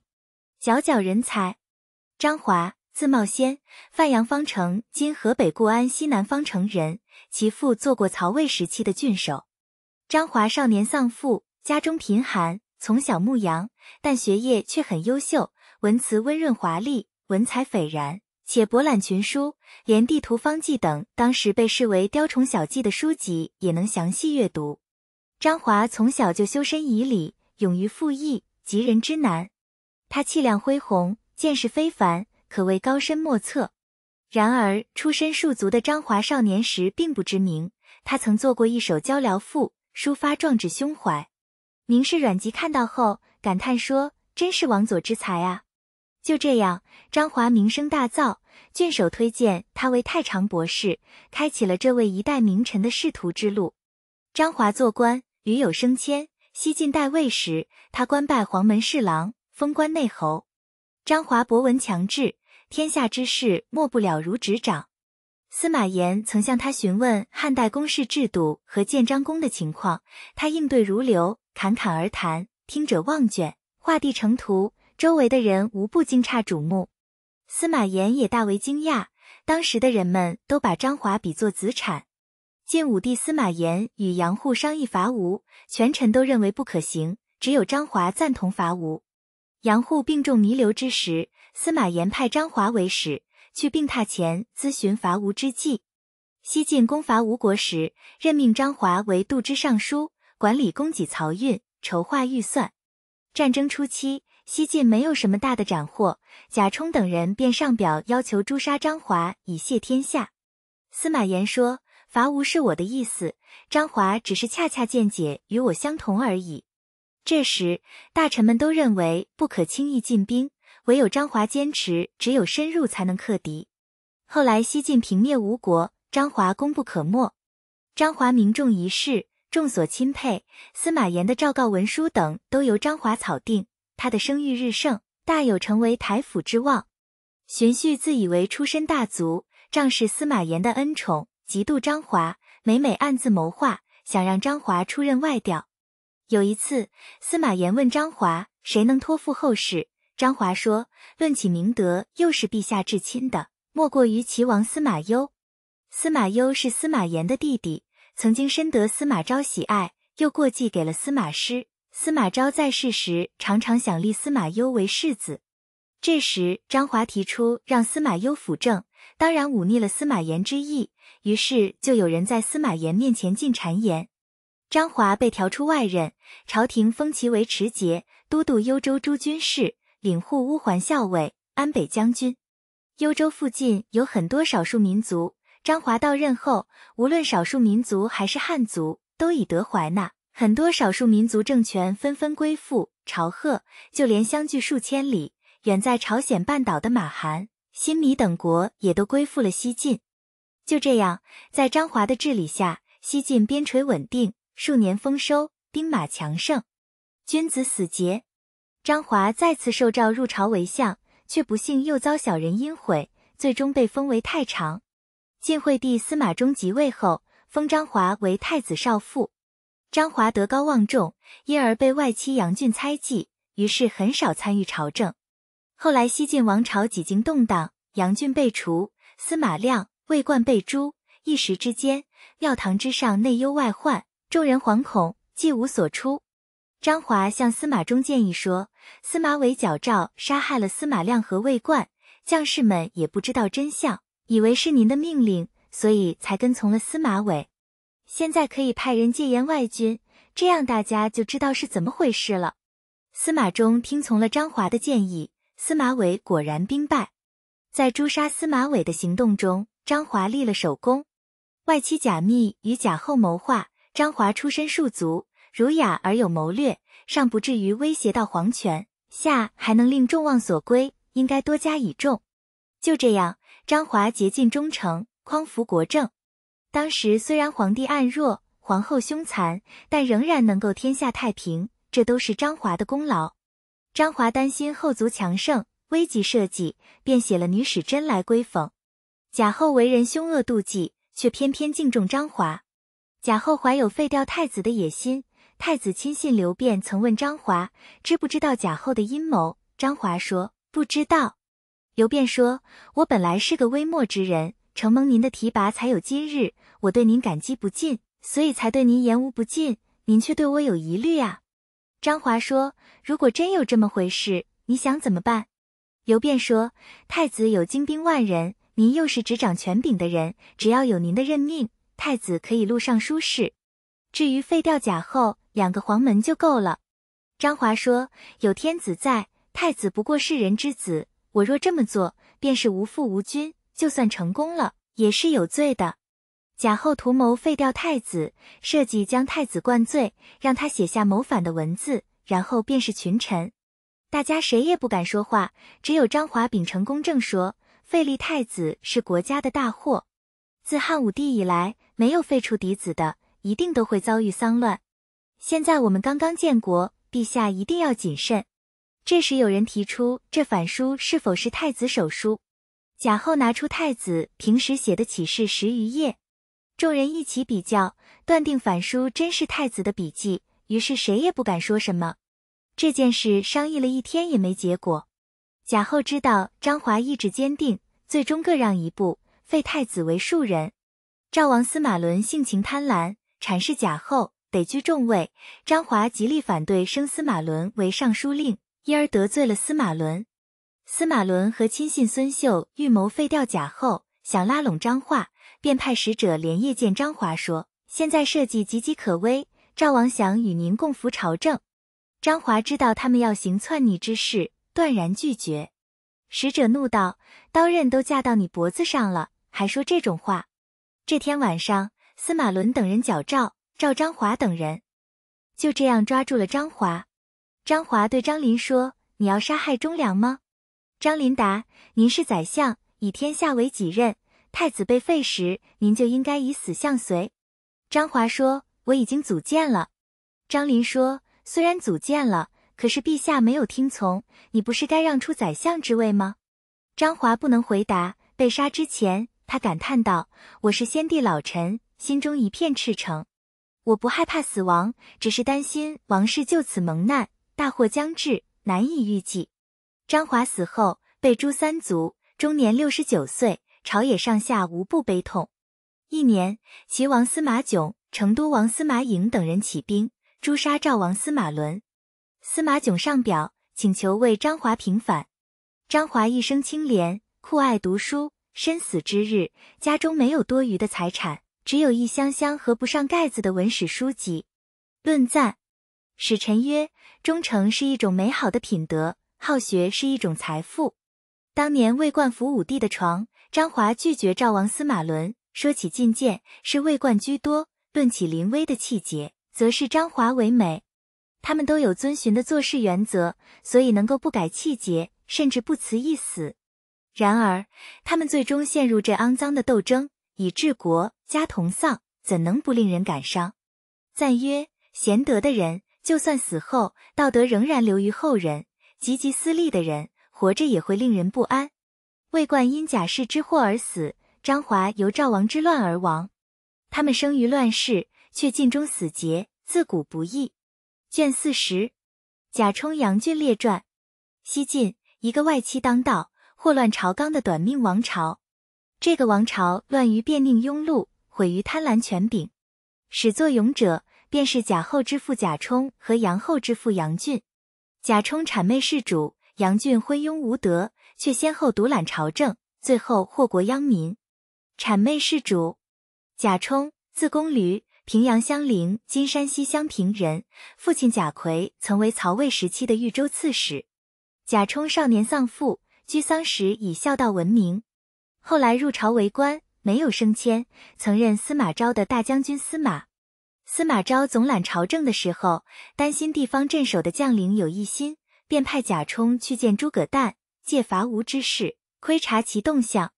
贾充对诸葛诞说：“现在天下人都愿陛下禅让。”你以为如何？诸葛诞厉声说：“你是贾豫州的儿子，你家世代受魏隆恩，怎么可以帮助他人图谋社稷？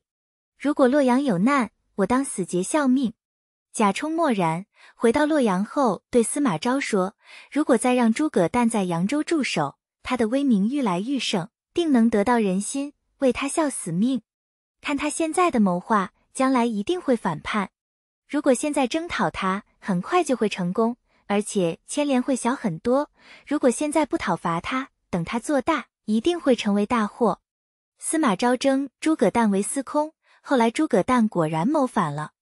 司马昭专擅朝政，早有篡逆的图谋。所谓司马昭之心，路人皆知。当时的魏帝曹髦不想坐以待毙，便带人攻打司马昭的府邸。贾充率众人在襄府南阙抵御曹髦，但抵挡不过。有人问该怎么办？贾充说：“司马公养你们就是为了今天，还有什么好说的？”于是大家拼死抵挡，曹髦兵败被杀。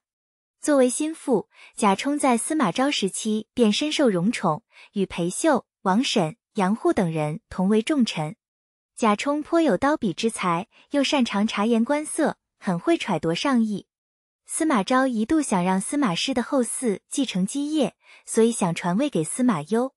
贾充在司马昭面前盛赞司马炎的宽厚仁德，说他身为长子，很有人君的德性。就这样，司马昭立司马炎为世子。司马昭病重，向司马炎交代后事的时候说：“贾公驴是很了解你的。”司马炎继承晋王大位后，大家封赏贾充。贾充做官为政，重视农业，注意节俭，裁并官员，这些善举都得到司马炎的赏识。贾充请求领兵出征，未获批准，可他仍然从容任职。在任时经常推举人才，因此世人都愿意依附他。司马炎的舅舅王寻曾经诋毁过贾充，可贾充并不记恨，反倒推荐他。就算是那些背弃贾充、投靠其他权贵的人，贾充也能像从前一样对待。但是贾充缺乏正直的操守，不能以身作则，以献媚取悦皇帝为能事，始乱朝纲。侍中任恺、中书令宇纯等人刚正不阿，与贾充不能相容。低枪反叛的时候，任恺提出让贾充去镇守关中，贾充不想外任，却苦无良策。即将上任的时候，朝廷官僚们在西阳亭相送。贾充将自己不愿戍边的想法告诉了荀婿。荀婿与贾充私交甚好，他说：“您是一国的宰辅，怎么能为一个匹夫牵制？但是此行难以推辞，除非是与太子结亲。”贾充说：“对呀，但是谁能为我提这件事呢？”荀彧承揽下此事。之后的宴会上，大家聊起了太子的婚事，荀彧便说贾充的女儿性格贤淑又有才智，适合嫁给太子。杨皇后等人也都赞同。就这样，司马炎以贾充的女儿为太子妃。当时正好赶上京城大雪，积雪足有两尺厚，大军停滞，贾充出京的事也就此搁置。伐吴之时，王攻克武昌，张华坚决主张平吴，贾充上表说。吴国不是一时之间可以平定的。如今刚刚入夏，江淮地带潮湿，一定会有疫病。现在最好召回大军，以后再慢慢图画。现在就算是腰斩了张华，也不足以谢天下。这一年，西晋平定吴国，司马炎赏赐群臣。贾充上表请罪，可司马炎还是封赏了他。太康三年（二百八十二），贾充去世，终年六十六岁。贾充的女儿贾南风是历史上著名的妒后，而他的妻子郭槐也是性情善妒。贾充的儿子贾黎民三岁的时候，乳母抱着他来见贾充，贾充爱抚着儿子的情形被郭槐看到，便认为贾充与乳母有私情，竟然鞭杀乳母。幼小的贾黎民因为思念乳母发病而死。之后，同样的悲剧因为郭槐的妒忌再次重演。贾充的小儿子年幼时由乳母抱着，贾充摸他的头。郭槐看到后疑神疑鬼，又杀了这个乳母，结果小儿子也同样死于私墓。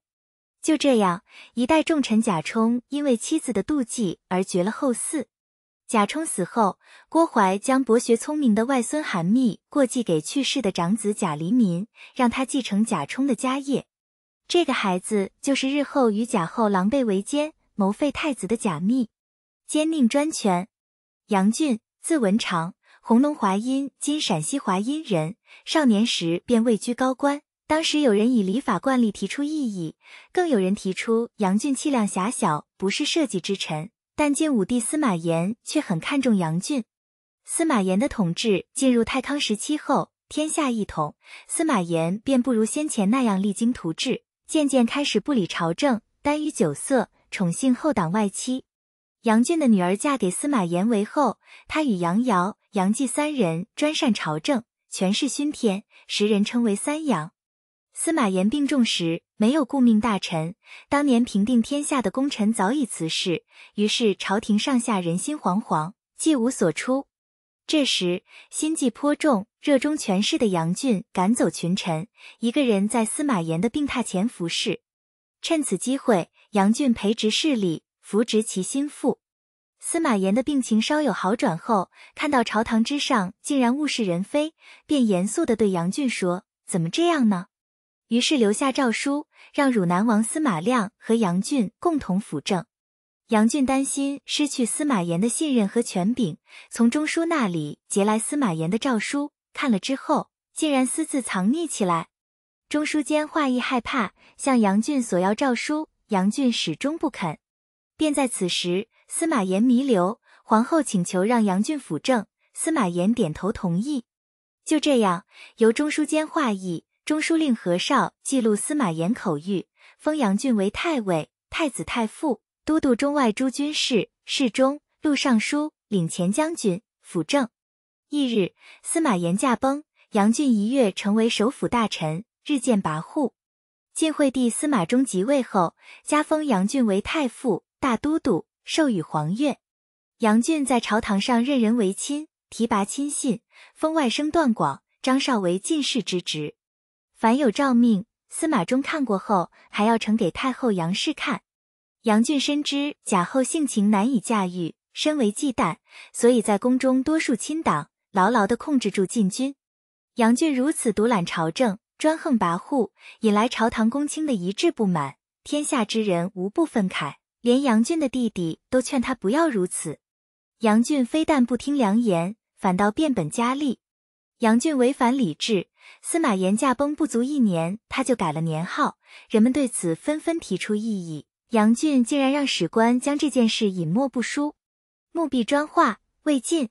魏晋时期流行薄葬，主要原因是当时处于乱世，墓中的随葬品随之减少，壁中开始出现大量精美壁画。这四块砖画分别表现的主题分别是放鹰、做饭。放母和男兵观看童舞，杨俊自知声望不好，不能聚拢人心，便效法魏明帝大开封赏，想用恩惠笼络众人。然而他为政严苛，刚愎自用，始终得不到人心。冯异太守孙楚与杨俊私交很好，便劝他说：“你是外戚，却有着伊尹、霍光的权利，辅助年轻的君主，应该追思古人至诚谦顺的品质。”从古到今，没有异姓能够专擅朝政而有好下场的。现在宗室的势力很大，藩王势力强，你不与他们商议朝政，在内猜忌他们，在外树立自己的势力，这样下去早晚会引来祸端。但杨俊没有听从孙楚的规劝，贾后野心勃勃，图谋干预朝政，却屡屡受制于杨俊，于是便阴谋剪除杨俊。贾后本欲联合汝南王司马亮。可司马亮却说：“杨俊凶暴，早晚自取其祸，不足为虑。”贾后转而拉拢楚王司马玮。司马玮入朝后，与殿中中郎孟观、李昭奏禀杨俊妄图谋取社稷。司马衷连夜下诏废掉杨俊，派东安公司马胄带领四百人前去捉拿杨俊。杨俊的府邸就是当年曹魏大将军曹爽的故宅，在武库的南侧。杨俊听说朝中有变。召官员们商议对策，太傅主簿朱振说：“这件事一定是宦官给贾后出的主意，我们应该放火烧云龙门示威，向陛下索要祸首，然后打开万春门，把东宫和外营的军队引进城来。您拥护太子，径直进宫抓捕奸人，不想杨俊过于胆怯，不能决断。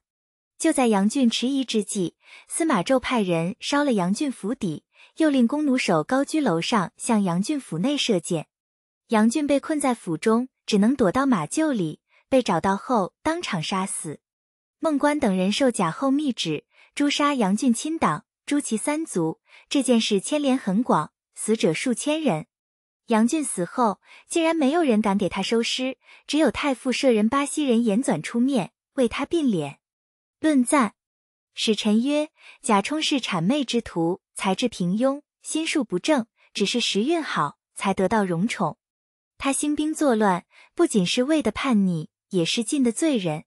然而他荣极一时，身兼文武之职，担任宰相，没有能力德性，却享有后路，于是灾祸就来了。至于他的子孙，都是乞丐一样的人，奸邪凶恶。杨俊因为外戚的身份而受宠，担任起朝廷重任。恭敬还来不及，反而骄奢淫逸，如此必不能免去灾祸。卷四十二，王训列传。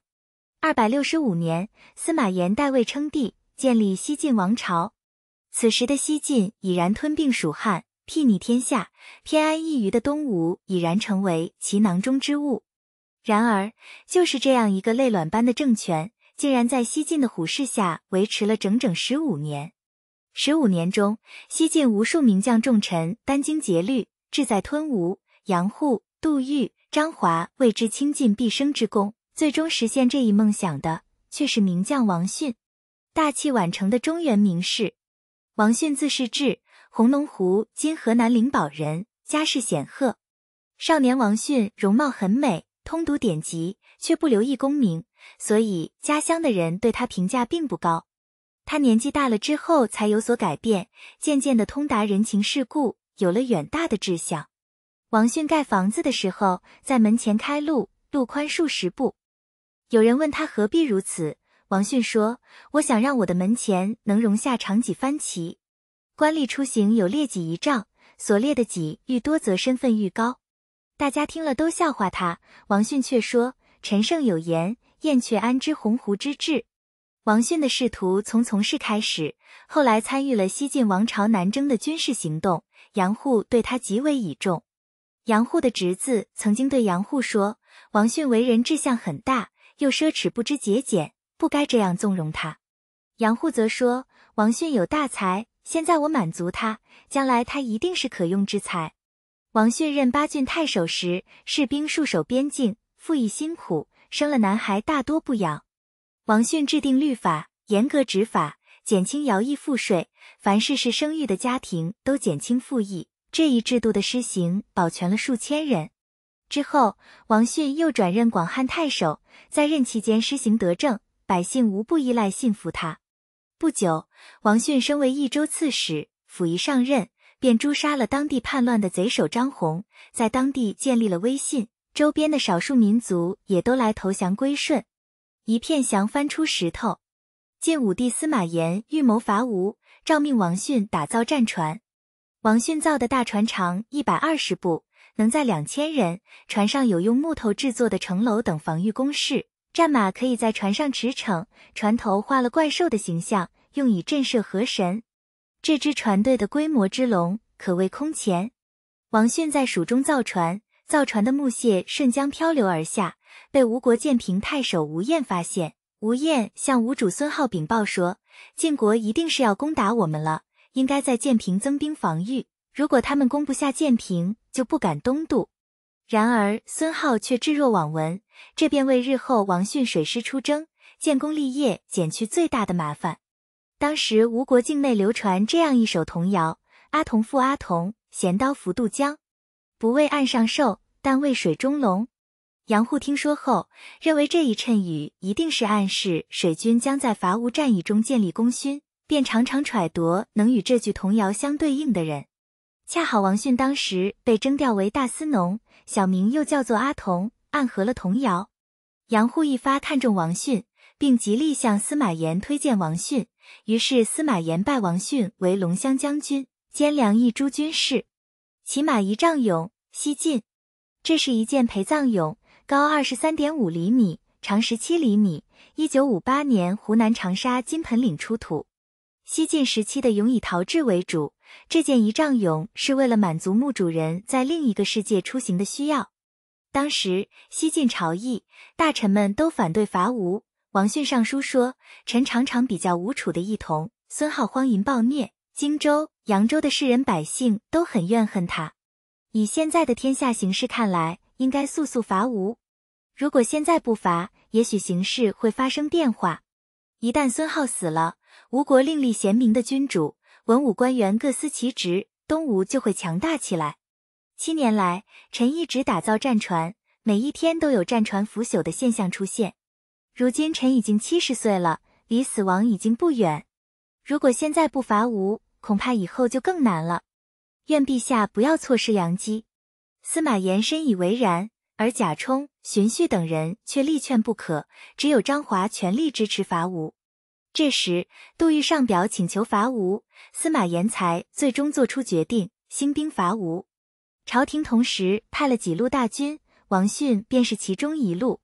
出征前，先前巴郡那些受了王恩惠才得以生养的人全部入伍，参加这场战争。出征前，他们的父母对他们说：“生养你的是王府君王逊，你一定要多加勉励，不能贪生怕死。”太康元年二百八十正月，王逊率军从成都出发，顺江而下，首先攻克丹阳，擒拿丹阳兼胜计，吴人在长江险要的地方布置铁索、铁锥等防御工事，暗藏在江流之中，用来偷袭敌船。然而此前杨护在世时，已经在吴国间谍处得知这一情况。王逊于是预先制作了几十个巨大的木筏，上面竖着穿着铠甲、手持兵刃的草人，让安习水性的人驾驶木筏行驶在队伍之前。这些木筏遇到铁锥后，铁锥便刺入木筏中。被飞快行驶的木筏顺水带走。至于铁锁链，王迅则用火炬破解。王迅派人在船头设置巨大的火炬，长有十几丈，里外共有几十围粗，里面灌上麻油。一旦遇到铁锁链，便可停船，点燃火炬。只消片刻功夫，横亘在江面上的铁锁链便被融化，沉入江底。就这样，王的船队畅行无阻，扬帆东下。二月，王逊相继攻克西陵、荆门、一道、乐乡，一路上兵不血刃，势如破竹。孙浩派游击将军张相率领水军一万拒敌，结果张相望风投降。孙浩听说王逊水军精骑兵甲，漫遮长江，气势如虹，锐不可当，只能接受光禄薛营、中书令胡冲的建议，向王逊投降。于是，王逊进入建康城外的石头城。孙皓以亡国之礼，素车白马，赤身面腹，衔着璧，牵着羊，大夫穿着丧服，士兵们抬着棺材来见王逊。王逊亲自为他解开绑缚，烧掉棺材，将孙皓送到洛阳。青釉提梁勋，西晋。这是一件随葬名器，底径十二点五厘米，今藏于苏州博物馆。西晋时期的熏炉式样丰富，这件提梁勋以瓷土烧制而成。做连口折波式，口沿上置丁字形提梁，器身外施光润的青釉，腹体镂雕三层熏孔，每层有孔三十个。钟鸣鼎食的晚年，王逊平定吴国，立下盖世奇功的同时，也为自己埋下隐患。西晋起兵初期，王逊受杜预节制调度，兵至秣陵（现置在今江苏南京）的时候，又受王浑的节制调度。早些时候，杜预认为王逊一路捷报，威名卓著，不应该再受他节制调度了，便写信给王逊说：“你一举摧毁了吴国在西边的防线，应当进取秣陵，讨伐逆贼，救吴国百姓于涂炭。从长江到淮水，再渡过泗水和汴河，最后回到京师，这就是旷世之业。”看到这封信，王大悦。然而，当王逊要兵进秣陵的时候，王浑却派人阻拦王逊，王并未听从。杨帆直指莫灵，只是派人告诉王浑，现在是顺风，不能停泊。原来王浑早就击破了孙浩的中军，但却因畏首畏尾而停止进军。偏偏这时王承胜接受了孙浩的投降，王浑既愤恨又深感耻辱，盛怒之下上表弹劾王逊为诏不受节制调度。王也上书据理力争。说明自己进军的必要性。紧接着，王浑第二次上书弹劾王入秣陵城后抢夺吴国宫廷中的宝物。就此，王逊再次上书自白。两个人斗争日渐焦灼。暗流不止来源于王浑。当王逊回师洛阳的时候，有官吏上奏王逊不奉诏，不听节制调度，犯了大不敬之罪，应该交给廷尉定罪。司马炎却因王逊立下盖世奇功。完成他毕生的心愿，非但没有降罪，反倒封他为辅国大将军，领步兵校尉，特为王逊增设的官职，封县侯，亿万户。受到封赏的王逊居功自大，却常常受到王浑父子和其他豪强大族的抑制，其他官员也经常弹劾他，王逊不由得愤愤不平。每次觐见，都自陈功劳，还表现出一副委屈的模样，有时还不胜愤慨，离开时径直而出。毫无礼法，即令如此，司马炎还是容忍了王逊。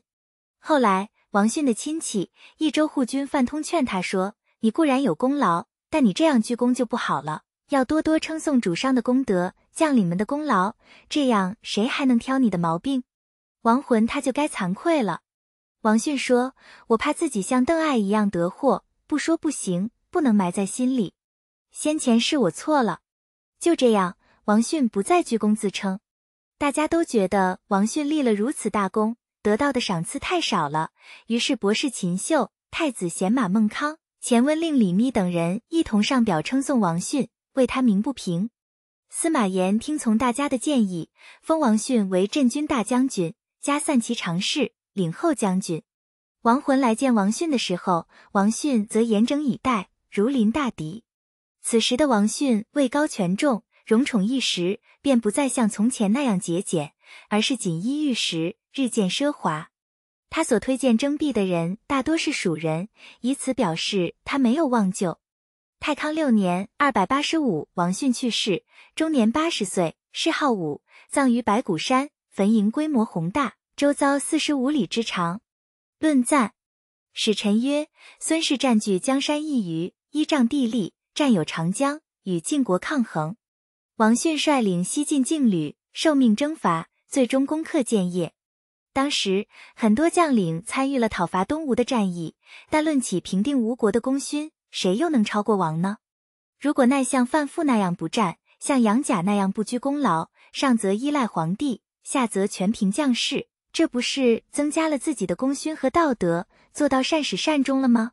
卷四十三，山涛王戎列传，穿越历史文化最凝重的积淀，我们看到魏晋风流的遗风。这是一个流泻着浪漫与不羁的镀金时代，在乱世中凝聚深邃的思想精髓与永恒的传承。当我们仰望这个充满神韵的时代时，竹林七贤相携而出。他们用最激荡的语言向我们展示这个时代最华美的篇章。山涛最长者，王戎最善臧否者，他们都曾展现过竹林七贤迥然的风采。中年入仕，山涛字巨源，河内怀（今河南武陟西南）人。其父曾为宛沟令，在山涛幼年时就去世了。山涛家中贫寒，却很有气量，卓然不群。好读老子、庄子，常常隐身自会，与嵇康、吕安交情很好。后来又遇到阮籍，他们经常相聚在山阳县的竹林下，被称作竹林七贤。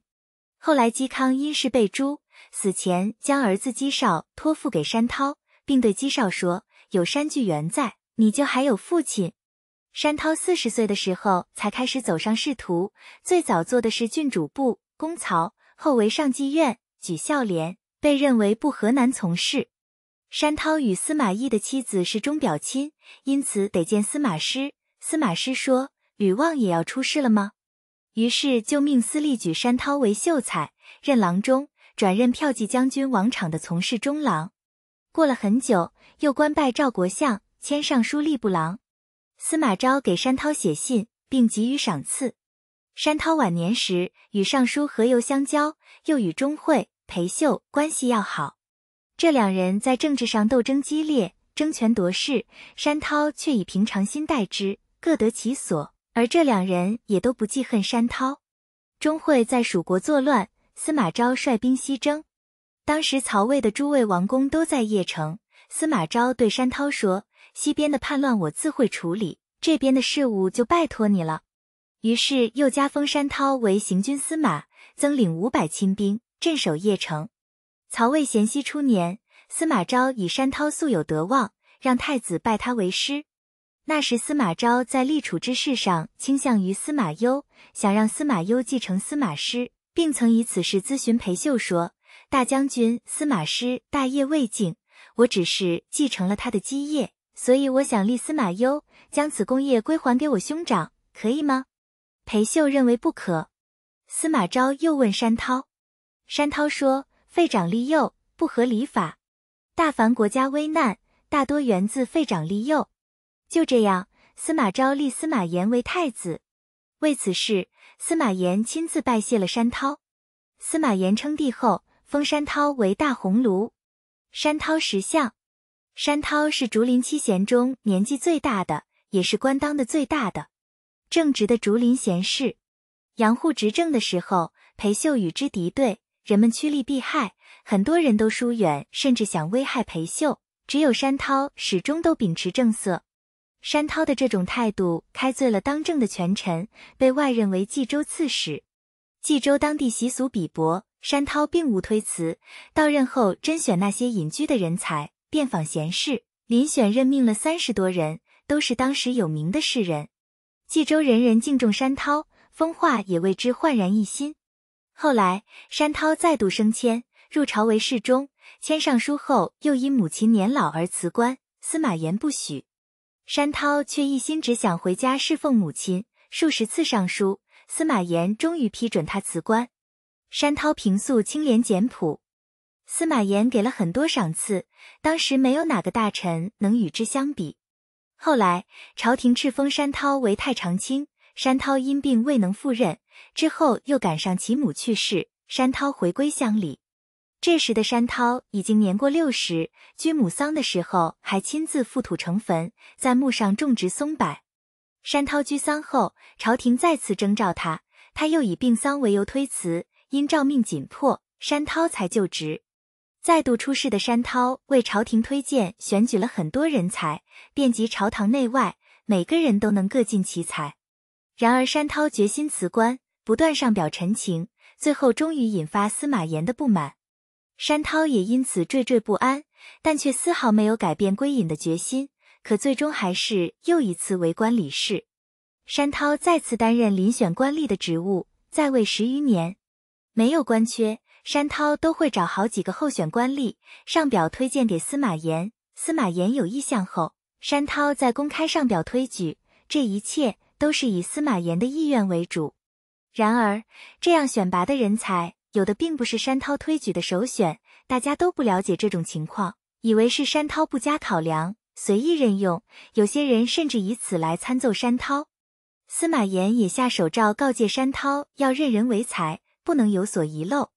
然而，山涛一如既往。一年之后，大家终于了解了真实情况。后来，朝廷几次升迁山涛。都被山涛拒绝了。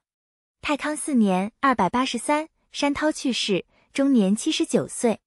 山涛出事之前，家中贫寒，他便对妻子开玩笑说：“你且忍耐着，日后我必然位列三公，只是不知道那个时候你是不是有资格做公夫人。”后来，山涛飞黄腾达，却仍谨慎简约，纵然绝同千乘，也始终没有纳妾，所得的俸禄都送给了从前的亲友。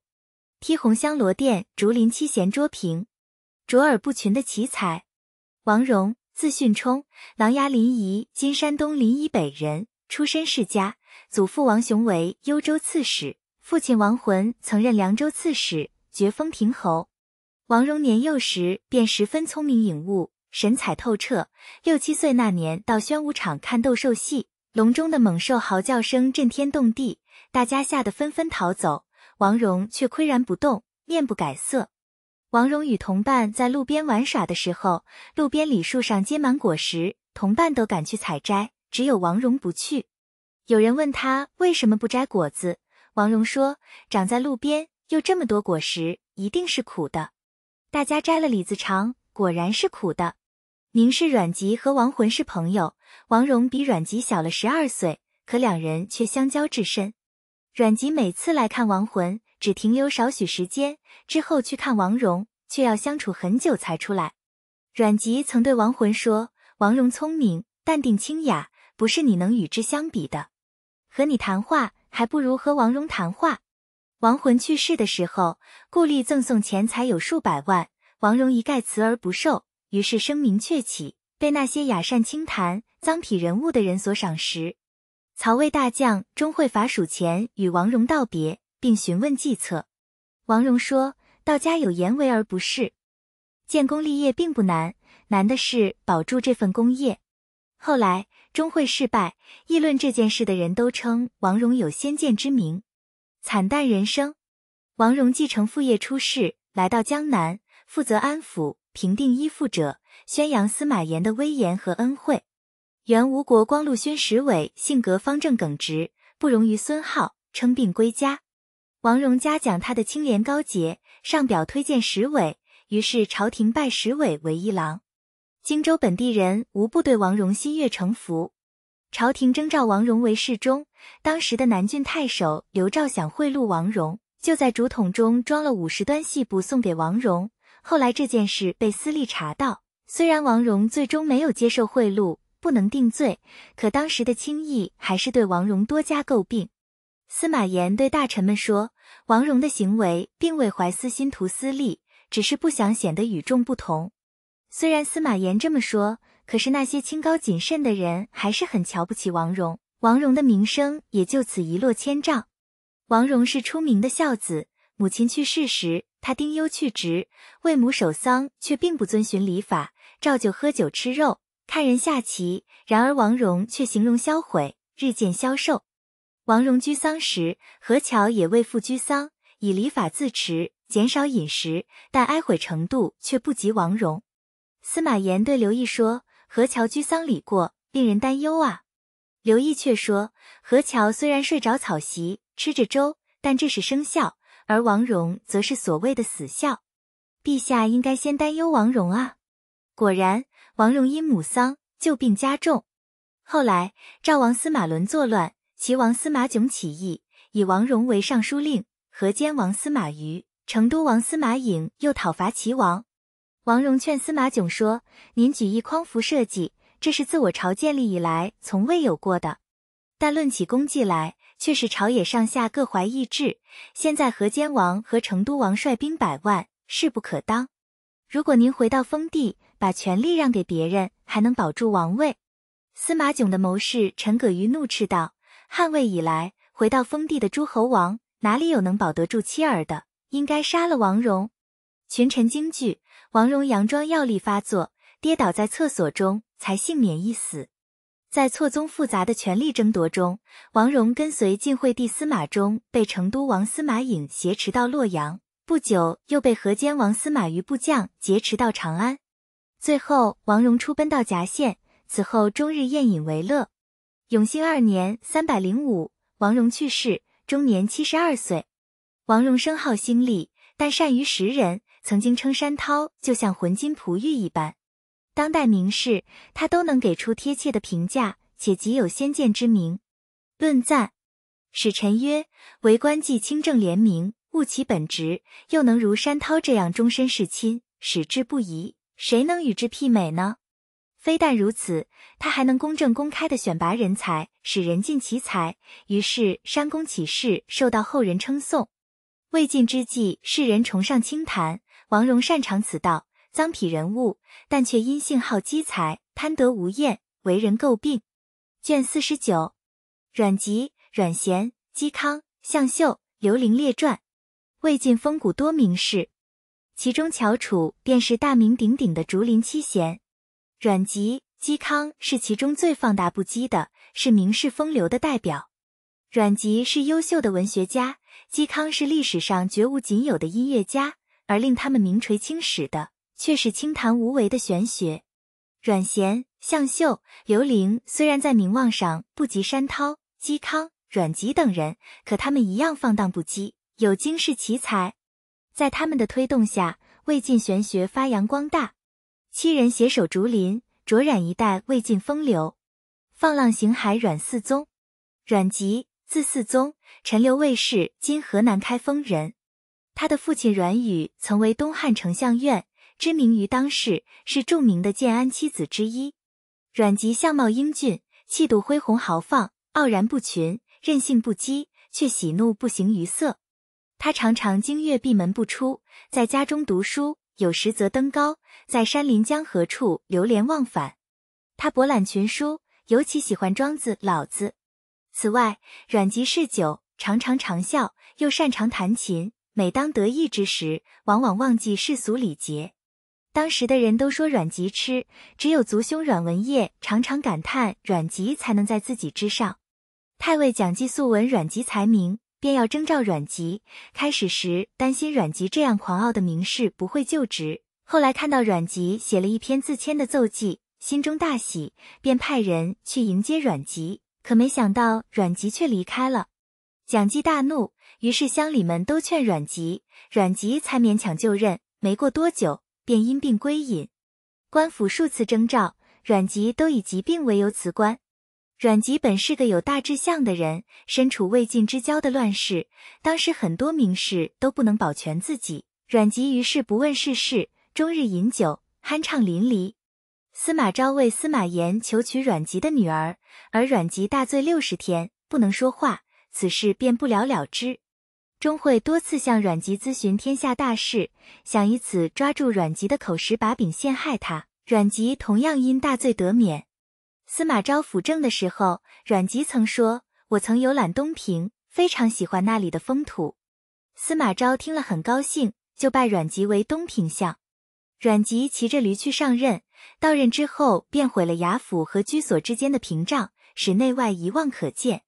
阮籍为官，法令清明简约。后来司马昭又升阮籍为大将军，从事中郎。当时有官吏上奏一起儿子杀母亲的案件。阮籍说：“杀父亲也就罢了，怎么还能杀母亲呢？”在座的人都怪阮籍胡言乱语。司马昭说：“杀父亲是天下重恶之首，怎么能说还可以呢？”阮籍回答说：“禽兽便是知母而不知父，杀父便如禽兽一般，杀母连禽兽都不如。”阮籍听说步兵雏营中有人擅长酿酒，珍藏了三百壶美酒，便申请去做步兵校尉。阮籍不理事务，终日游荡府中，只要有宴会就一定参加。当时正逢司马昭辞让加酒席，公卿们都上表劝进，因阮籍文采斐然，便让阮籍写劝进词。而阮籍沉醉，忘了这件事。使者来取词表时，他还在伏案沉睡。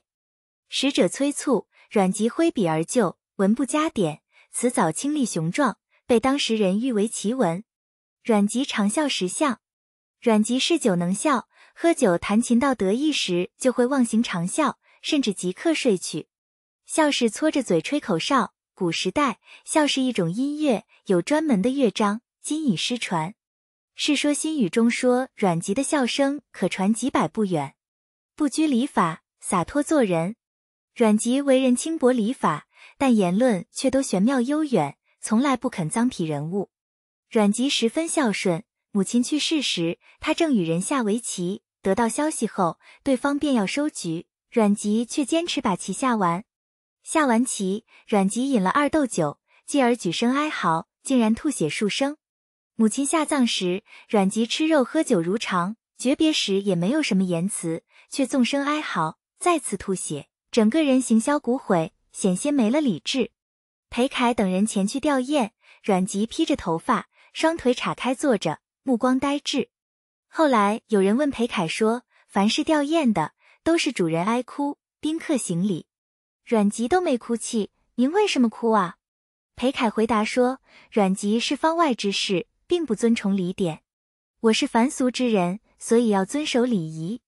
从前阮籍如果碰到尊奉礼法的俗人，便用白眼相对。姬喜来吊丧时，阮籍就做白眼。”姬喜的弟弟嵇康听说后，便带着酒携着琴来到阮籍家。阮籍很高兴，所以那些手里的士大夫对他们嫉恶如仇。司马昭却常常回护阮籍。阮籍外表坦荡，内心醇厚。一次，嫂子要回娘家，阮籍看到后与嫂子道别。这件事为世人讥讽，阮籍却说：“礼法岂是为我所设？邻家少妇相貌美丽。”当泸沽酒，阮籍喝醉后便躺在那少妇之侧。阮籍不以为意，那少妇的丈夫也毫不生疑。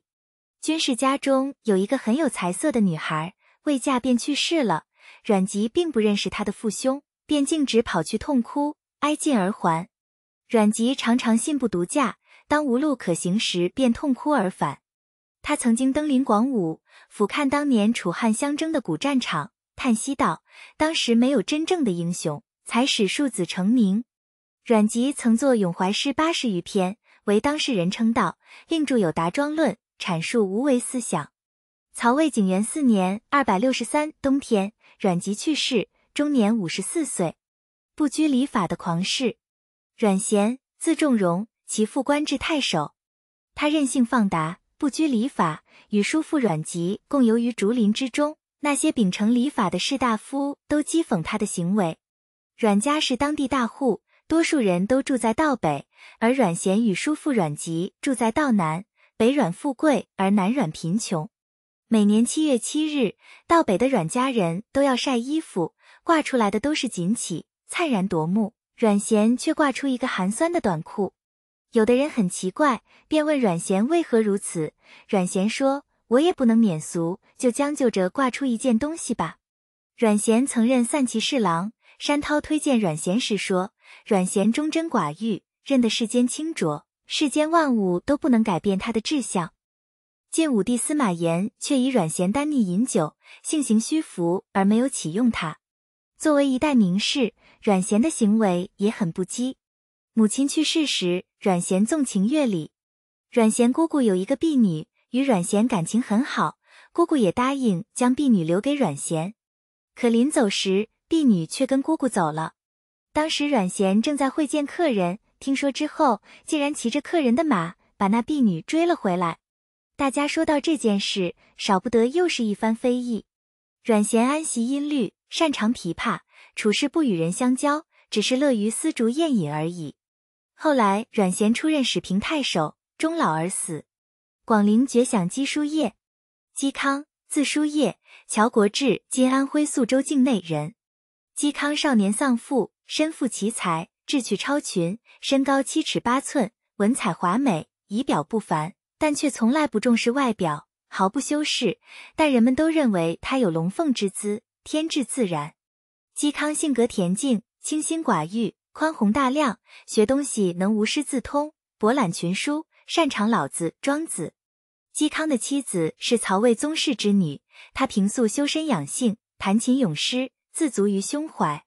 嵇康认为，神仙秉承自然，并不是学习就能达到的境界，只要导引修养得当，便可以像安妻、彭祖一样。于是便写了《养生论》。嵇康胸襟之广阔，常人难以企及。能与他神交的，只有陈留、阮籍、河内山涛，又与河内向秀。沛国刘伶、阮籍的侄子阮咸、琅琊王戎等人共游竹林，便是世人所谓的竹林七贤。王戎曾说过，他与嵇康在山阳共住了二十年，没见过嵇康高兴、恼怒之色外露。嵇康常为心神所感，遇到一些优异之事，他在山中采药时，常常自得其意，忽而忘形。路过的樵夫看到了，都以为是神仙。嵇康曾跟随孙登出游。孙登沉默自守，不言不语。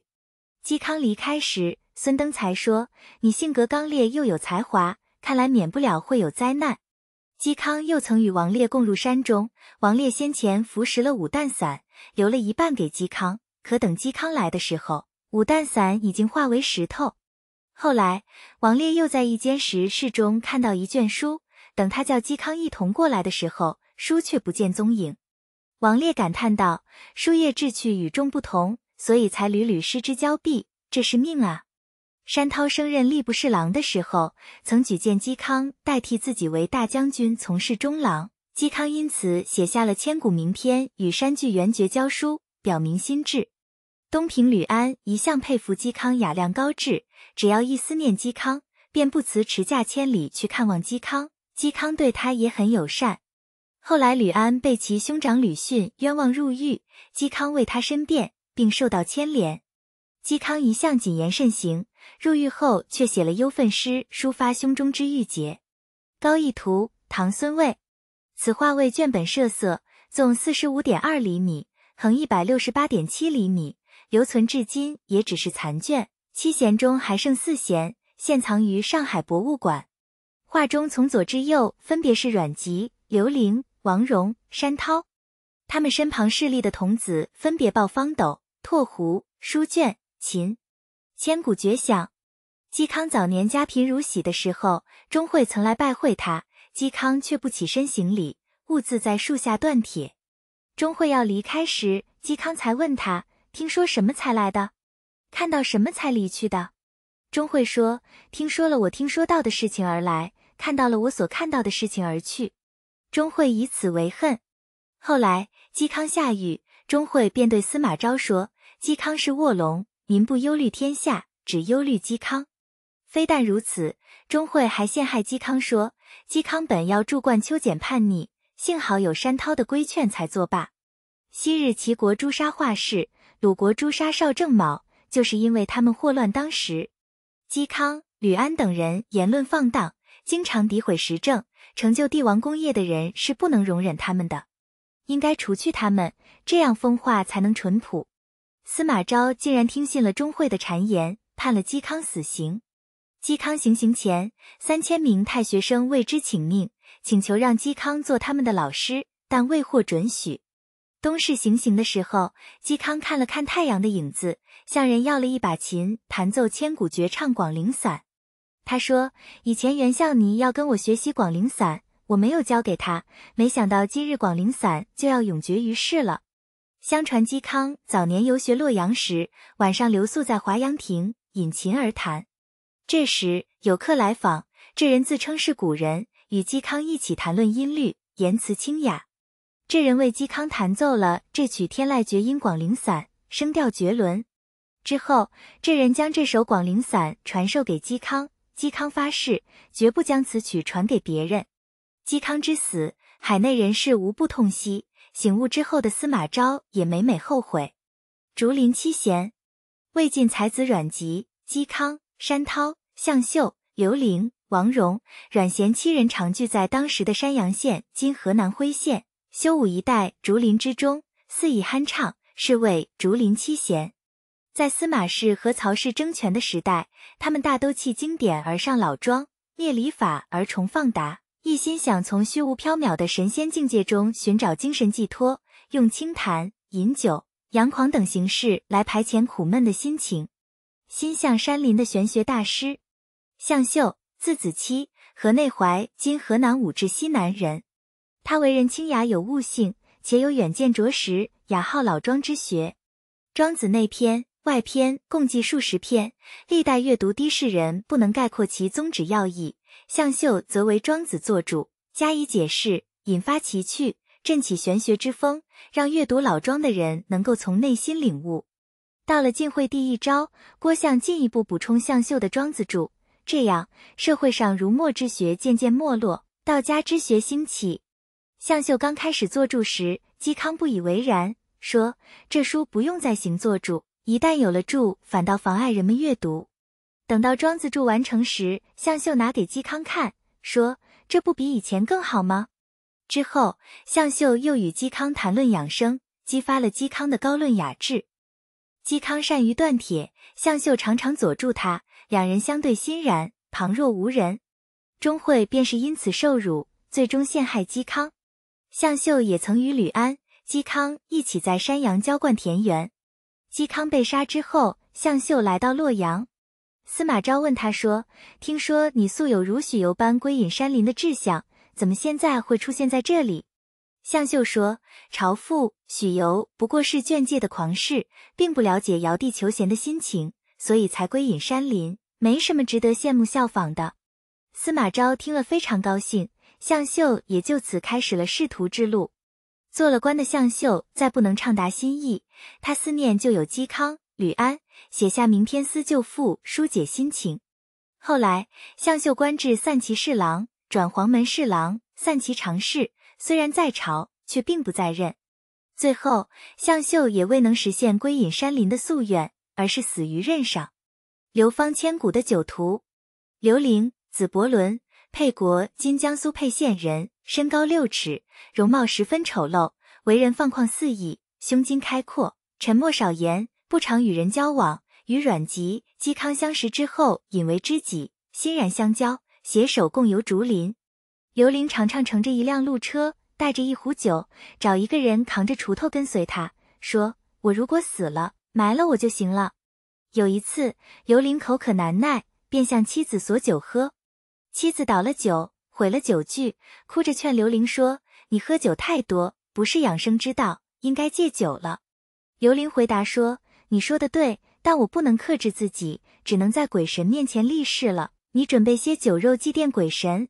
他的妻子为他准备了酒肉。刘玲跪下祷祝说：“天生刘玲，因饮酒而出名，每次饮一壶，五斗之后酒醉自醒。”妇人的说辞，您可不要听啊！说完，竟然将酒肉吃了，直到酣然沉醉。刘伶曾因醉酒和人起了冲突，对方捋起袖子，挥着拳头。刘伶慢慢的说：“我瘦得如同鸡肋一样，不足以安慰你的拳头。”那人听罢大笑，此事便这样作罢。刘伶虽然放任，却不失机智灵活。平素不怎么涉猎文学，传世的只有一篇《九德颂》。后来做官，官至建威参军。他经常宣扬无为思想，最终竟以长寿终老。象牙雕刘伶醉酒。论赞，使臣曰：如果治学为非常之道，万物就融会贯通，进则不追名逐利，退则保持纯真。他们尊崇庄子的放旷通达，词风雄辩，视世间荣华为无物，富贵如粪土，轻蔑王侯的高官厚禄。阮籍、嵇康畅游于竹林之中，留龄以久为友，藐视世俗礼教。至于嵇康给山涛写的书信，阮籍所创大人先生之传，都是不与世间名流为念。嵇康广陵之绝响，阮籍义气之徒存，他们雅善如此，当然不通风俗。虽然被召在朝为官，却难有什么建树。也许追寻他们的足迹，或能看到闪光之处。赞曰：老子、孔子的学说各有所长，各存其趣。道家思想的精髓，便在于无为。不修礼法，放任而生，以美酒为德，以旋律为本性。如果不是他们沉溺于这种风气，国政又怎么会败坏呢？卷五十四，陆机、陆云列传。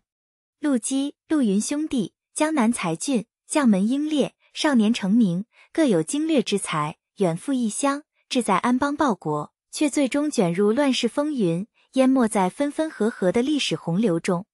他们是名门之后，未能战死沙场，马革裹尸，却最终死于小人之手，天下人莫不喟然叹息。将门后裔，陆机，字世恒，吴郡华亭（今上海松江）人。他身高七尺，生如洪钟，年少时便有异才，文章冠绝当世，专长儒术，非礼不为。陆抗死后，陆机接领了父亲所带的兵士。在他二十岁的时候，东吴为西晋所灭，陆机退居故里，闭门勤学，就这样过了整整十年。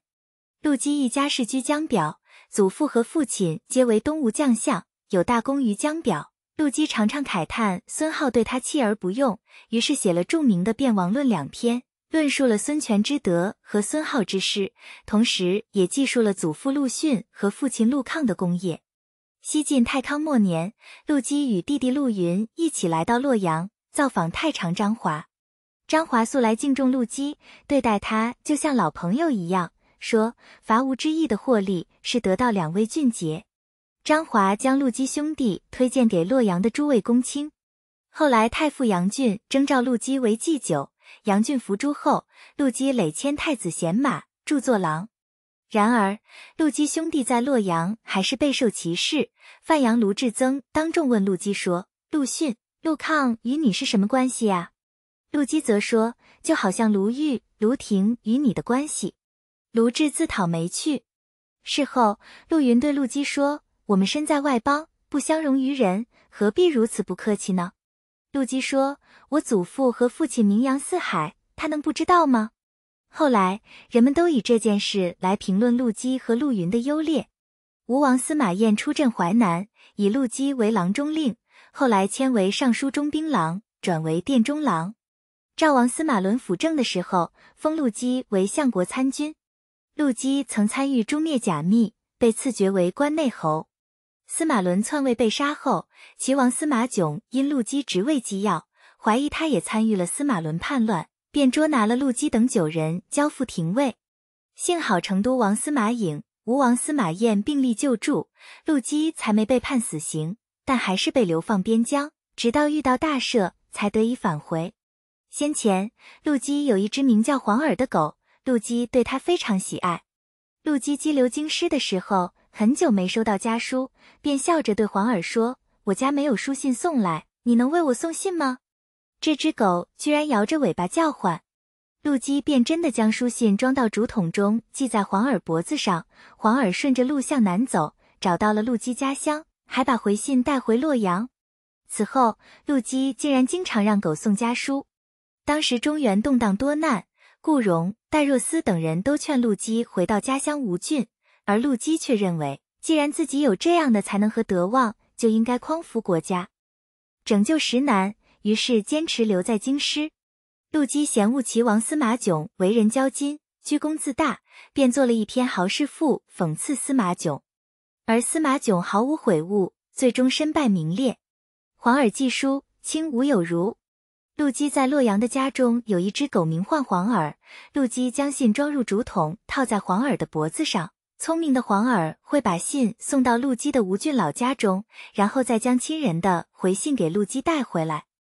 含冤获罪，剪除司马囧后，成都王司马颖推功不居，而且礼贤下士，又救过陆基性命。在这样一个多事之秋，陆基认为司马颖可以忠心尽事，便决定为司马颖效命。司马颖也重用陆基。其后，陆基参与了讨伐长沙王司马懿。被封为后将军、河北大都督、都北中郎将王粹、冠军千秀等将领及士卒二十余万人。陆基认为，一个家族中三代为将是道家的大忌。况且他在东吴灭后入晋为官，现在又位居王粹等人之上，这些人不免生出怨心，因此故辞不受。陆基的同乡也劝陆基将都督之位让给王粹，陆基不禁感叹。若将士们认为我为避贼而动摇不定，大祸会来得更快。临行前，司马颖勉励陆基说：“如果能功成事定，你一定会绝封郡公，位至台司。”陆基则回答说：“昔日齐桓公任用管仲而建立了九合诸侯的功勋，燕惠王猜疑越议，导致伐齐功亏一篑。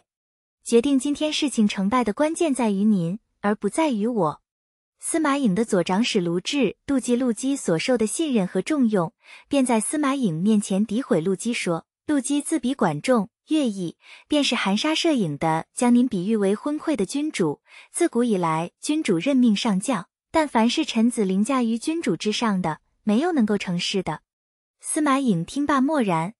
陆基的队伍从朝歌（今河南淇县）出发，到河桥，鼓声大作，响彻数百里。其出师盛况，汉魏以来无出其右。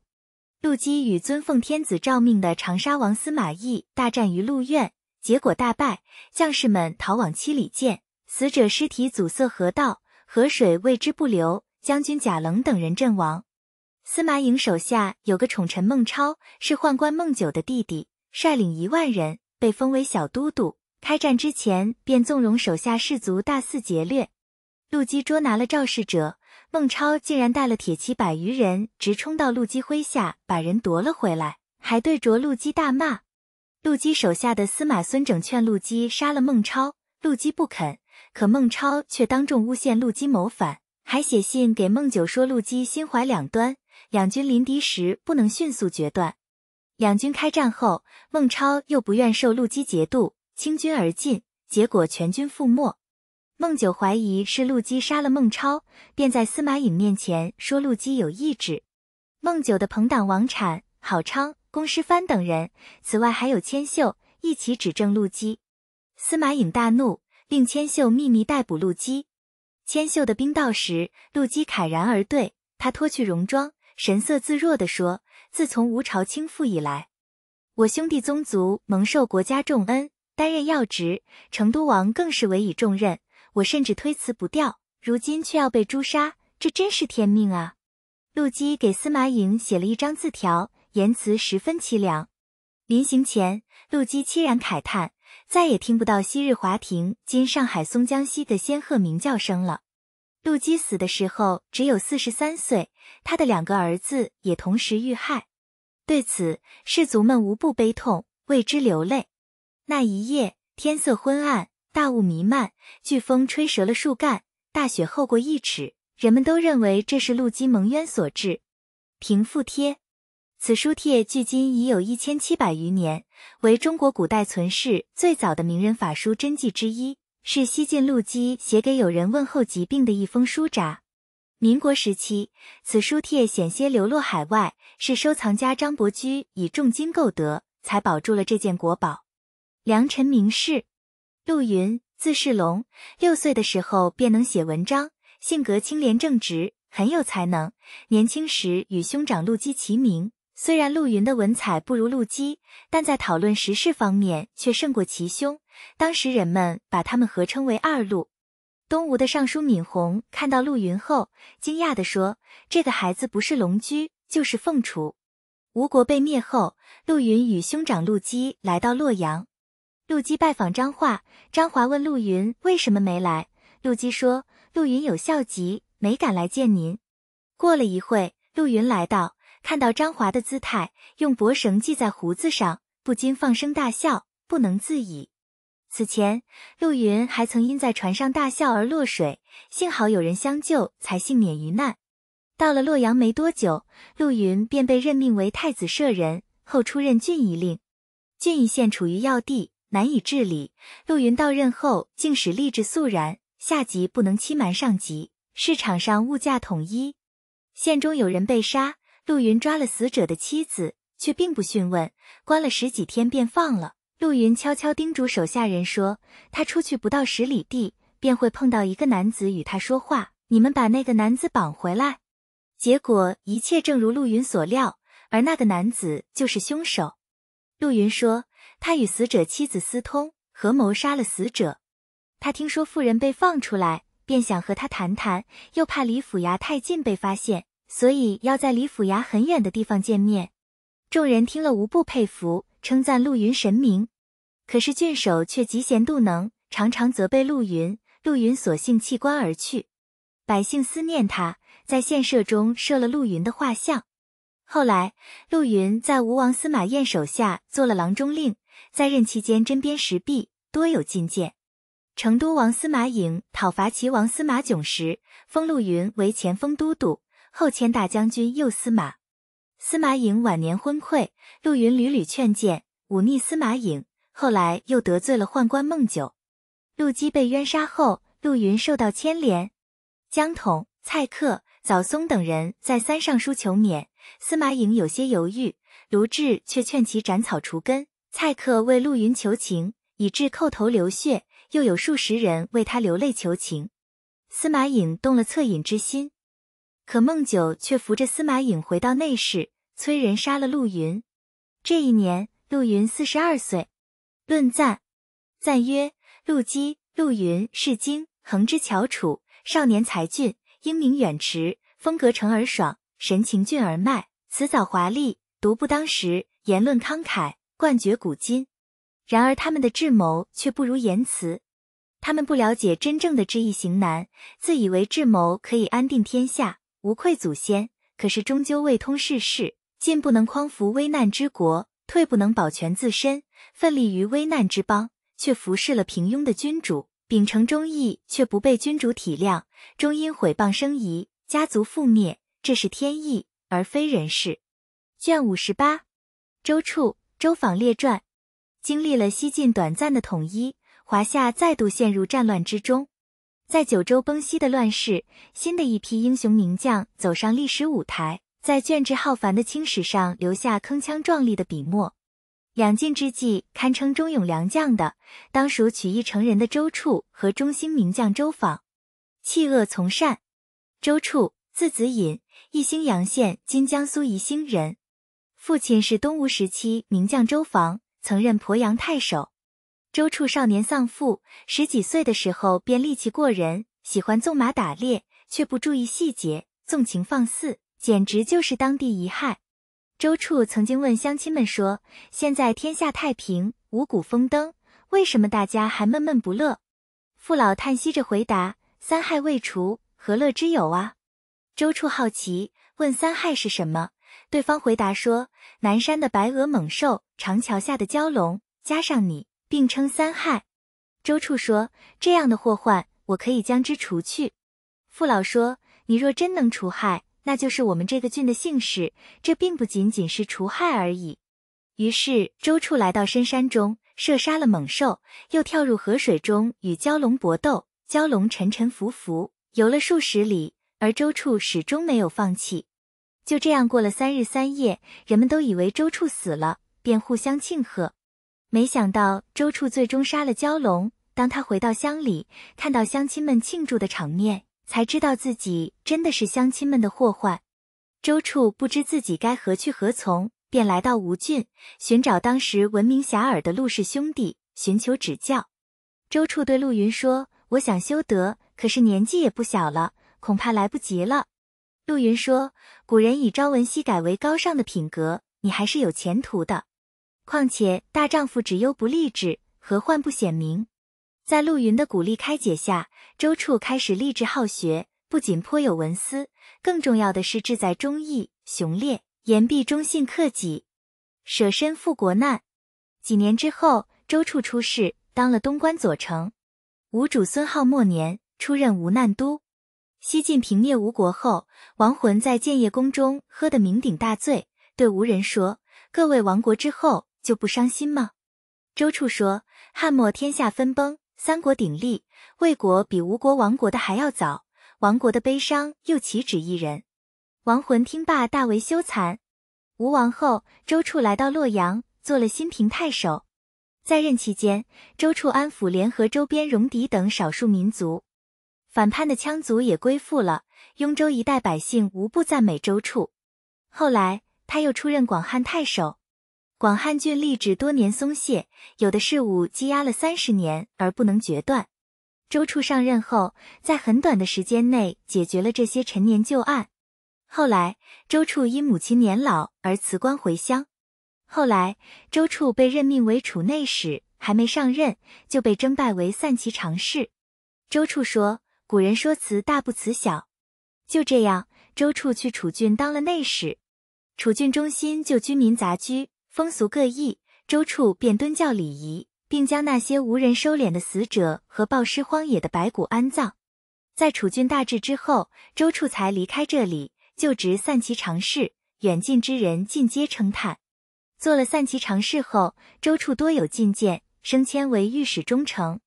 周处忠正耿直，即便是宠臣权贵有错，也弹劾不误，因此得罪了很多人。敌人齐万年造反时，那些怨恨周处的大臣，以周处是名将之后，忠烈果毅为由，推荐周处出征，欲将周处陷于必死之地。伏波将军孙秀对他说：“你可以以母亲年老为由，推辞掉这件事。”周处回答说：“忠孝难以两全，我已经告别父母，侍奉君王，父母还能得到我这个儿子吗？今日我死得其所。”齐万年听说这件事后说：“我素知周处其人，文武兼备，如果他这次统兵来战，必定势不可当。可他现在受制于人，则会败于我。指挥的征西大将军是梁王司马荣，周处曾经弹劾过司马荣。”他料定司马荣一会陷害自己，然而他认为自己身为人臣，竭尽忠诚，不该推辞，于是慷慨上路，志不生还。当时齐万年部署七万人屯兵梁山，夏侯俊却逼迫周处率军五千人攻击梁山。周处断然拒绝，说大军没有后继便贸然出击，一定会打败仗，就算是死了，也会令国家蒙羞。随后，司马荣再次下令让周处出兵，周处无奈，只好攻打齐万年。开战前，周处手下士卒还没来得及吃饭，就被司马荣催促着出发。周处知道这场战斗定然惨败，长叹赋诗，慨然出战。这惨烈的一役持续了一整天，周处军斩将杀敌数以万计，然而因缺少后继，终于功断剑绝。左右的人都劝周处后退，周处按着剑说：“这是我为国尽忠效命的日子，怎么能退兵呢？”古代的良将，只要受命，便是抱定必死的决心。现在我们的军队将领各怀鬼胎，军威不振，我便当以身殉国。就这样，英勇宏烈的周处最终力战而亡。除三害，这幅清末民初时期的苏州桃花坞年画，描绘了西晋人周处除虎。斩蛟的故事。中兴名将周访，字士达，祖籍汝南安城（今河南原阳西南）。汉末乱世，周访的祖先来到江南避乱，传到周访已经是第四代了。西晋平吴后，周家便定居在庐江浔阳（今湖北黄梅）。周访的祖父周纂是吴国的威远将军，父亲周敏官至左中郎将。周访年少时性情沉稳刚毅。又谦逊忍让，做事果断，为人慷慨，散尽家财周济身边的人。周访曾做过县公曹，陶侃又推荐他为主簿，两人关系很好，还结为儿女亲家。后来周访举孝廉，凡有征召，皆不应征。东晋元帝司马睿渡江南下后，周访参与镇东军务。当时有一个和周访同名的人犯了死罪，负责的官吏却没搞清楚。捉拿了周访，周访奋力反抗，打走了前来的数十人，然后自己到司马睿面前请罪，但司马睿并没有惩罚他。不久，司马睿任命周访为杨烈将军，领兵一千二百人驻守浔阳鄂陵，与甘卓、赵佑一起讨伐华裔。周访部下的武将与华裔麾下的武昌太守冯异勾结，周访杀了这个武将。冯异率部攻打周访，结果被周访打得大败而归。冯异远遁柴桑（今江西九江），周访乘胜追击。华裔派他的同党王约、傅札率领一万人接应冯异，双方展开一场恶战。周访再次战胜冯异。周访与甘卓会师后，与华裔的水军交战，大败华裔。华裔手下部将周广烧了城池，华裔所部溃败而逃，最后还是被周访寻访捉到。周访斩杀华裔，平定了江州，持刀讨勇。西晋，西晋时期，门阀大族仍然像汉末时期一样拥有大量私兵，于是，在这一时期的门阀氏族墓葬中，墓主人为了显示自己身份的高贵，往往随葬这种陶制的兵俑，智勇过人。司马睿任命周访为镇武将军、浔阳太守，并特赐鼓吹、躯盖等仪仗。之后再次任命周访出兵征讨杜涛。杜涛做局高来攻打官军的船舰，周访做了长旗乘来抵御杜涛的攻击，成功的遏制了局高的威力。杜涛秘密从青草湖包抄官军后路，与此同时，又派部将张燕攻陷了豫章，焚烧城邑。周访在权臣王敦的帮助下大败敌兵，斩杀张燕。在这场战斗中，周访中了流矢，折了两颗门齿，可他依旧颜色不变，指挥若定。天色渐晚时，周访与敌人隔水对峙，敌军数量是周访的数倍。周访自知不能力敌，便悄悄派人装成砍柴人而出，然后列阵鸣鼓，大呼左军来了。由此军心大振，高呼万岁。周访又让士卒们在夜间多多生火做饭，敌人以为援军真的到了，没等到天亮，便自己退兵了。周访料到敌人知道自己虚张声势后，一定会再来追赶，便命令大军迅速渡江，最后毁掉桥梁。果然，当敌人发现被骗并追赶到江边时，只能望着断桥兴叹，最终回到襄州。周访再次出动水师，直抵阜口。杜涛派杜洪领兵到海昏。周访带着水师直逼襄城，敌人退保庐陵。周访派兵围困庐陵城，杜洪无奈，只好将城中的宝物扔到城外，趁着官军进乡捡敛财物时，突出重围，一路逃窜到南康、临贺。周访一路追杀。为了表彰周访的功劳，司马睿加封周访为龙骧将军，同时王敦也上表推荐周访为豫章太守。后来朝廷下诏，命周访镇守荆州。周访声威日隆，王敦开始猜忌周访。王敦的手下劝王敦亲自统领荆州，改派周访守凉州。周访大怒，却只能改赴襄阳。周访智勇过人，为中兴名将，却性情谦恭，从来不曾夸耀自己的功劳。有人对他说：“人们有了一点小的成绩，便会向人夸赞自己。你有这样的大功劳。”为什么没说过一句话？周访说：“那都是将士们浴血奋战的结果，我有什么功劳？”从此，将士们更加敬重他。周访志在克复中原，众部下也愿为他效死命。周访嫉恶如仇，他素知王敦有谋反之心，每每提及，无不切齿。中周访一事，王敦都不敢胡作非为。东晋大兴三年（三百二十），周访去世，终年六十一岁。论赞，使臣曰：仁义并没有一定的模式，履行者即为君子，背弃者就是小人。周处曾经是乡里遗害，放荡无忌，可最终克己向善，舍生取义，殉国身亡，可以说是忠心守节的贤士了。周访文武兼修，在宗庙倾颓之际，平定襄、罗等地，责备子孙，被推为中兴名将。卷五十九，八王列传。二百八十年，西晋占领东吴都城建业，结束了汉末以来近百年的丧乱纷争与飘摇动荡。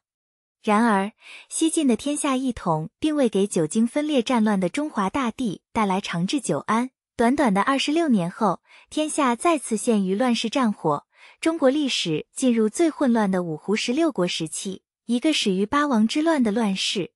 乱世诸王，汝南文成王司马亮，字子义，是晋宣帝司马懿的第四个儿子。少年时便很有才干，曹魏时先后历任散骑侍郎、东中郎将、左将军，加散骑常侍、镇西将军。司马炎代位后，封司马亮为扶风郡王，十亿万户，都督关中庸、凉诸军事。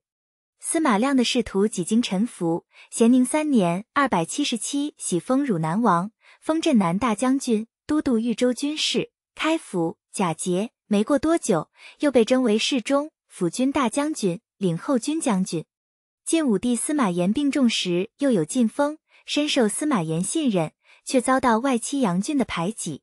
杨俊死后，司马亮攫取了朝廷政权，但却始终没能逃脱身死人手的厄运。楚隐王司马玮，字彦度，是晋武帝司马炎的第五个儿子。最初被封为始平王，担任屯骑校尉。太康末年，喜封楚王，都督荆州诸军事，平南将军，转镇南将军。司马炎去世后，入朝为卫将军，领北军中侯，加侍中，行太子少傅。少年时期的司马玮性格果敢锐利，在任时又立了威名。朝廷上下都对他有所忌惮。汝南王司马亮和太保魏冠一致认为司马玮性情乖戾，不堪大用，建议司马炎将司马玮遣回封国。司马玮心中愤愤不平，与人合谋扳倒辅政的司马亮和魏冠。然而，司马玮终究没能在纷繁复杂的政权角逐中全身而退，被贾后设计诛杀。赵王司马伦。字子仪是司马懿的第九个儿子，不学无术。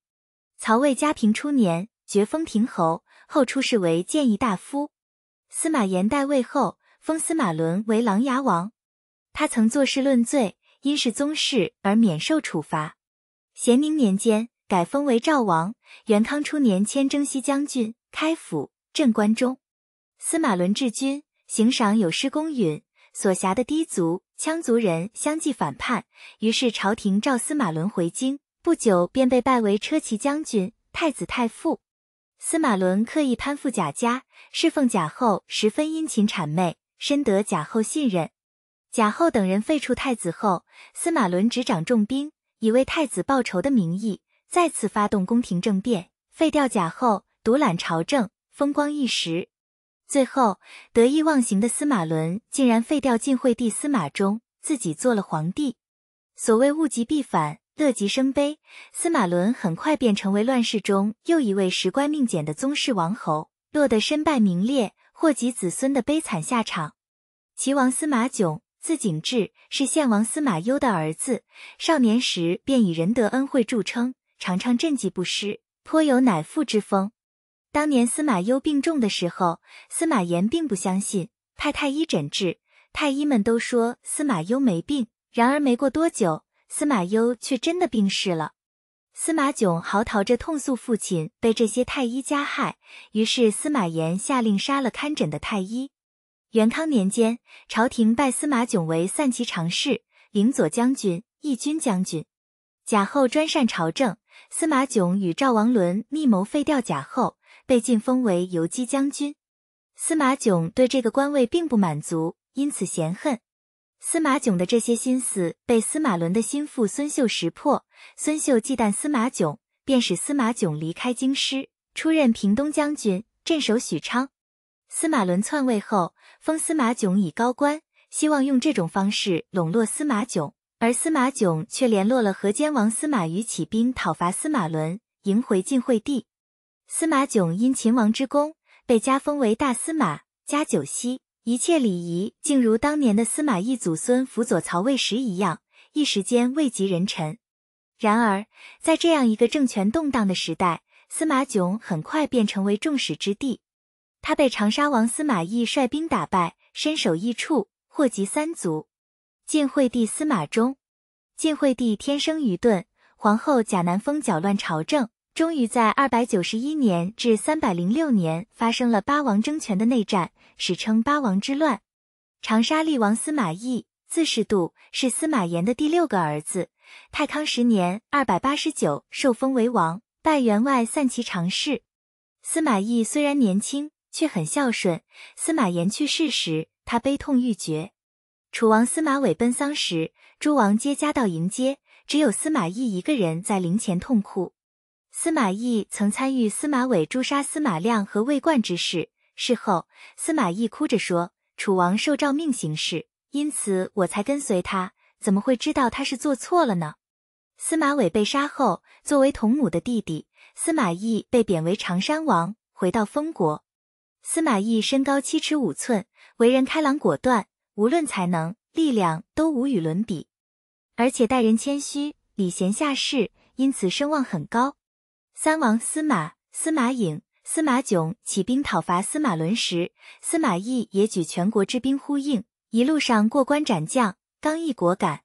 事成之后，司马懿因功被封为辅军大将军、领左将军，不久又迁为骠骑将军、开府，复为长沙王。司马囧专权后，司马懿曾对成都王司马颖说：“这个天下是先帝的基业，你有责任守护的。”当时听到这句话的人无不惊惧。后来在剪除司马囧的斗争中，司马懿再次以其勇武果敢取得了胜利。即令如此，司马懿仍然没能免身乱世，最终被囚而死，终年只有二十八岁。他死前冤痛之声传出很远，三军将士无不为之垂泪。成都王司马颖，字张度，是司马炎的第十六个儿子。太康末年被封为王。食邑十万户，官封乐骑校尉，加散骑常侍、车骑将军。权臣贾密曾与太子争道而行，恰巧被司马颖看到，他厉声呵斥贾密说：“太子是国家的储君，你贾密怎么能如此无礼？”贾密很惧怕司马颖，于是将他外任为平北将军，镇守邺城。在一系列政变之后，司马伦篡位自立。司马颖与司马囧一起发兵讨伐司马伦，迎回晋惠帝司马衷。当权后的司马囧骄奢自义，专政弄权，司马颖便再次发动政变，诛杀司马囧。此役之后，司马颖又联合河间王司马囧，剪除长沙王司马懿，排除异己后，司马颖掌控朝政，挟持晋惠帝，自立为皇太帝。幽州刺史王逊联合乌桓。鲜卑讨伐司马颖，在新一轮斗争中，司马颖功败垂成，自缢而死，年仅二十八岁。越窑青釉堆塑贴花动物纹骨仓冠，西晋。这是一件陪葬用的冥器，又称魂瓶，意在希望墓主人死后能过上仓满粮食的殷富生活。冠高四十二厘米，分为上下两部分，上部分有楼阁、阙门、坐俑、狗、羊等，堆塑错落有致。下部分为冠体，冠尖上有龟、鱼和蟹。河间王司马，字文载，是安平县王司马孚的孙子，太原列王司马圭之子。咸宁二年（二百七十六）继承父亲爵位，一年改封为河间王。少年时代的司马，便有清誉之名，清钱财重世人。诸王进京朝拜时，司马炎称赞司马堪当诸王仪表。元康初年，司马被封为北中郎将。元康九年（二百九十九），代梁王为平西将军，镇守关中。按照西晋的规制，只有皇帝的嫡系亲属才能镇守关中。司马原本没有镇守资格，但朝廷却考量其才干，将这一重任交给他。司马伦篡位后，司马与司马颖一起起兵响应司马囧。随着司马日益做大，司马囧又受密诏讨伐司马囧。后来又大败司马懿，其部将张方拥兵自重，挟持晋惠帝司马衷，引起众怒。虽然司马囧杀了张方，可还是不能改变自己逐渐滑进斗争漩涡的命运，在最后与东海王司马越的角逐中败绩，死于非命。东海孝献王司马越，字元超，是高密王司马泰的次子，少年时便有很高的声誉，为人谦和简朴。平素就如同平民布衣一样，封国内外的人无不效仿。司马越早年出仕时为骑都尉，入仕东宫，晋封官爵，在讨伐杨俊时立了功，封五千户侯，迁散骑常侍、辅国将军、尚书右仆射，领游击将军、侍中，加奉车都尉。后封为东海王。永康初年，封为中书令，迁司空，领中书监。八王之乱中，晋惠帝司马衷一度迁都，后又被张方挟持。司马越联合诸侯及鲜卑人，迎司马衷回归洛阳。晋怀帝司马炽即位之初，以司马越为辅政大臣。司马越是八王之乱中唯一的存活者，然而他所得到的只是一个满目疮痍、风雨飘摇的政权，还有来自北方日渐强大的少数民族的威胁。而司马越却将这危如累卵的政权推向更深的渊谷，最终使得朝廷动荡，天怒人怨。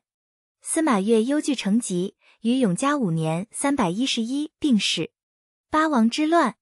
西晋初年，为了防止权臣篡权，晋武帝司马炎大肆分封同姓为王，授以兵权，镇守四方。可司马炎万万想不到，就是这些曾经保疆守土的同姓兄弟，会在他身死之后争权夺势，令饱经风霜的中华大地再次陷入纷飞的战火。一个短命的王朝就这样走到了尽头。司马炎去世后，继位的司马衷资质驽钝。外戚杨俊独揽朝政，早有政治野心的贾后为了贾氏家族的利益，发动政变诛杀杨俊。然而杨俊之死并未满足贾后的初衷，朝廷政权落在汝南王司马亮和朝廷元老魏冠手中。于是贾后联合了功勋卓著、素有威名却受司马亮排挤的楚王司马伟。诬陷司马亮和魏冠有废立之谋，矫诏派长史公孙弘和将军李肇连夜围捕司马亮。司马伟下令，能斩司马亮者必有重赏。就这样，一向以忠义自持的司马亮死于乱军之中。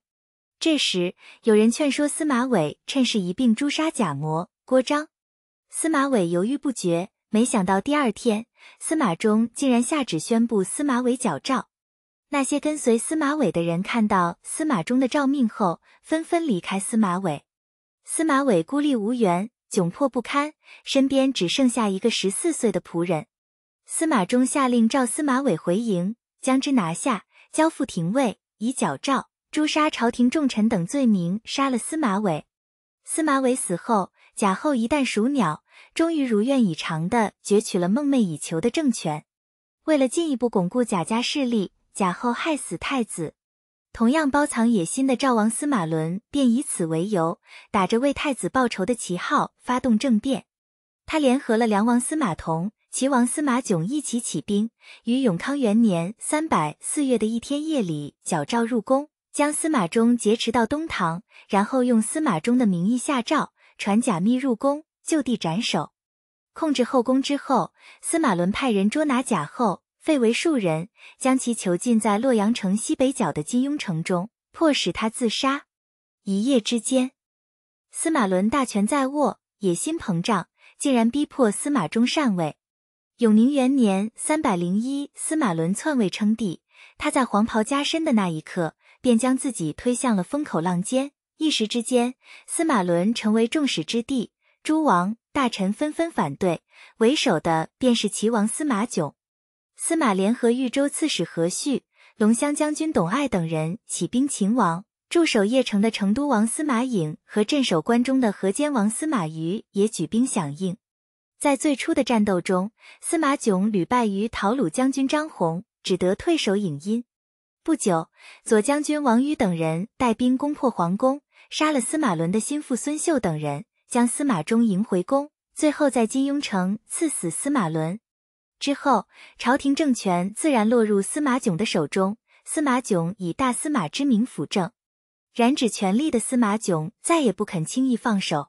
他武断的立年仅八岁的清河王为太子，以求长期专擅朝政。志得意满的司马囧日益骄奢，沉湎酒色，任人唯亲，刚愎自用，诛杀大臣，引发了众怒。河间王司马瑜上表司马衷，列举司马囧的几大罪状。扬言出十万兵马清君侧，成都王司马颖、长沙王司马懿等人响应。将军李涵屯兵阴盘，张方兵至新安，司马懿则杀入宫中，封闭宫门，宣读天子诏书，攻打大司马府。司马囧派董爱迎战，司马懿则纵火焚烧千秋门、神武门。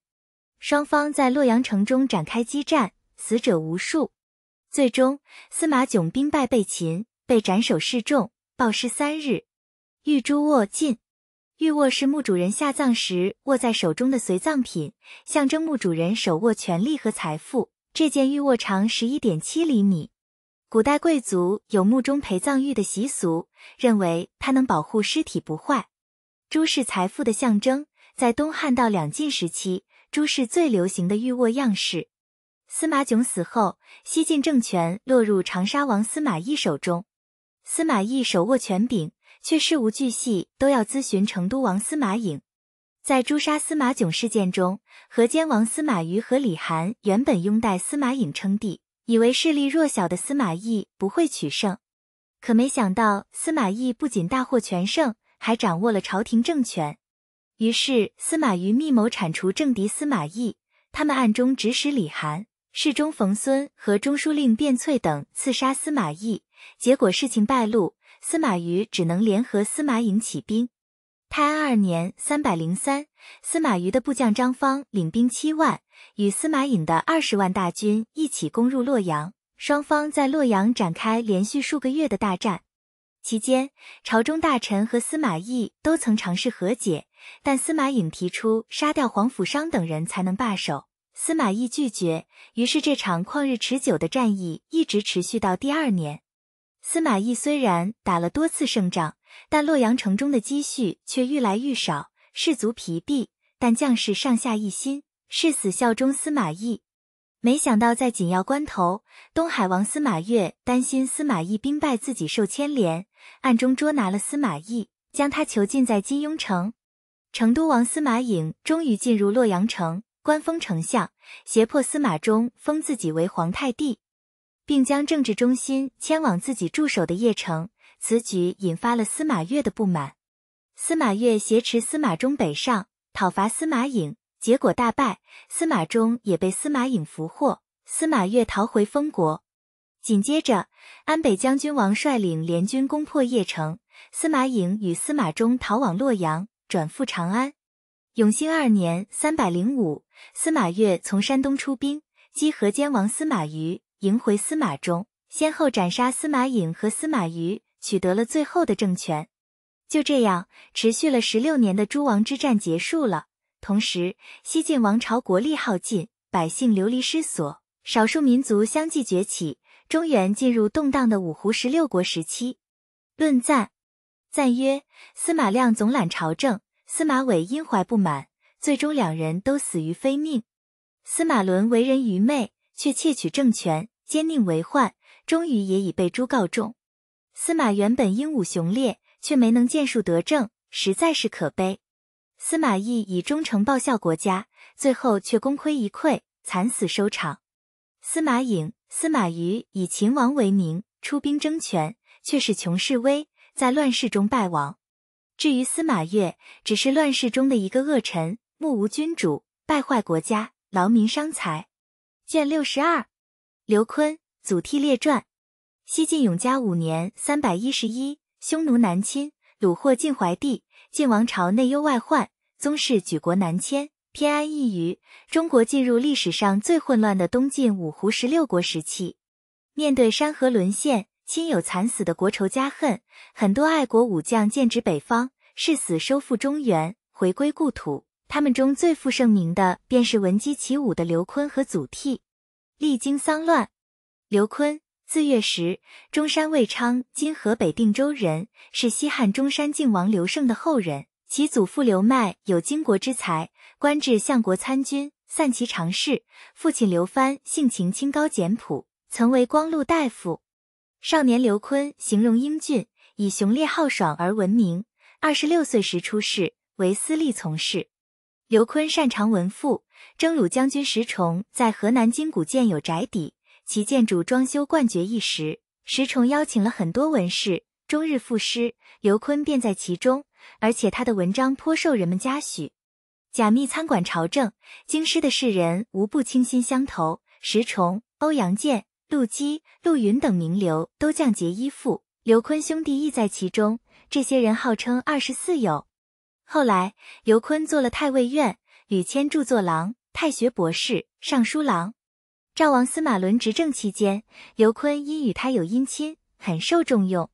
成都王司马颖、河间王司马、齐王司马囧讨伐司马伦时，刘琨被任命为冠军将军，率兵三万人抗击司马颖。双方在黄桥展开恶战，刘琨大败，不得已焚烧了桥梁以求自保。司马伦败亡，齐王司马囧辅政，非但没有追究刘琨辅佐司马伦之事，还对其委以重任。东海王司马越当政后，任命范阳王司马萧代替刘乔为豫州刺史。刘乔起兵反抗，刘琨奉命率领精锐骑兵救援司马萧，尚未到达，而司马萧已大败而逃。刘琨遂与司马萧一起奔赴河北，父母却陷于刘乔之手。司马萧领冀州后，派刘琨往幽州，向王逊借兵，渡河击败刘乔，接回父母。紧接着一鼓作气，大败司马颖所部，斩杀大将石超，收降吕朗，从长安迎回晋惠帝司马衷。永嘉元年（三百零七），刘琨出任滨州刺史，加镇威将军，领护匈奴中郎将。此时的滨州北部有刚刚兴起的匈奴首领刘渊建立的汉政权。刘琨到达晋阳（今山西太原）时，这里已然是一座空城，满目萧条，府衙寺院焚烧殆尽，尸横遍野，存活的百姓无不饥馑羸弱。晋阳府内荆棘成林，豺狼满道。刘琨下令清除荆棘，为死者收敛骸骨，营造府地，修建市场、监狱。凡有盗寇侵扰，则以城门处为战场，百姓们全民皆兵，带着盾牌耕地。刘琨抚恤百姓，深得民心，同时还派人秘密侵入刘渊所部，离间其部下，俘虏万余人归降。远近人士纷纷投奔刘琨。然而，刘琨虽然善于怀柔安抚世人，却不擅长控制驾驭，所以往往在很多人归附的时候，又有很多人离开。而刘琨性喜豪奢，又纵情声色，刚刚取得政绩，便难免放纵，结盟鲜卑。为了对抗匈奴，刘琨与拓跋鲜卑首领拓跋伊卢结盟，上表朝廷推荐拓跋伊卢为代郡公，与刘熙屯兵中山。这无疑侵犯了与东部鲜卑结盟的王的利益。王多次出兵攻打刘琨，刘琨却没有能力抵抗。刘琨宠幸一个叫做徐润的人，徐润与奋威护军令狐胜有仇，便在刘琨面前进谗言，说令狐胜要劝他称帝。刘琨并未调查此事，便草率地杀了令狐胜。刘坤的母亲感叹道：“你不懂得经略之道，不会驾驭豪杰，只知道一味铲除威胁自己的人以求自安，怎么能成大事呢？早晚会给我带来祸患啊！”果然，令狐胜的儿子令狐尼投奔了匈奴刘聪，透露了刘坤的虚实。恰好这个时候，上党太守席纯投降刘聪，雁门、乌丸也反叛刘琨，刘琨亲自率领精兵出击。刘聪派儿子刘粲与令狐尼乘虚袭击晋阳，太原太守高桥举郡投降刘聪，刘琨的父母因此丧命。回军的刘琨与伊卢一起攻杀刘粲，大败敌人。刘粲所部死者十之五六，刘坤乘胜追击，却没能取得进一步的胜利。伊卢则认为刘聪并非旦夕之间可以剪除，便引兵离开。刘琨志在报仇，却苦于力量薄弱，只能抚恤伤亡，移居阳邑城，召集王散的旧部，迟钝讨武士勇，东进。武士身上穿的是魏晋时期的戎服，上身为褶，下身为裤，称为褶裤服。折短至两胯，紧身小袖。这件武士俑身上的褶裤服已经是汉化改良了的，改左衽为右衽。晋闵帝司马业即位后，拜刘琨为大将军、都督滨州诸军事，加散骑常侍、假节。刘琨先后两次上表，表明是灭胡虏的决心。建兴三年（三百一十五），司马业敕封刘琨为司空、都督，并记幽三州诸军事。刘琨上表辞让了司空一职，受了都督职位。上任后，很快便再一次与拓跋伊卢联合讨伐刘聪。然而没过多久，伊卢与侄子都生病死了，部落也因此四散。而先前刘琨的儿子刘尊在拓跋伊卢部落做人质，颇有名望，很多人都依附他。拓跋伊鲁死后，刘尊率领拓跋鲜卑部落的三万余人归附刘琨，刘琨也由此再一次崛起。强大起来的刘琨立刻发兵攻伐石勒，结果中了埋伏，再次惨败，前军尽失。当时天气大旱，刘琨不能自守。这时，幽州刺史鲜卑人段匹敌多次派遣使者，愿意与刘琨一起辅佐王室。就这样，两个人结成姻亲，约为兄弟。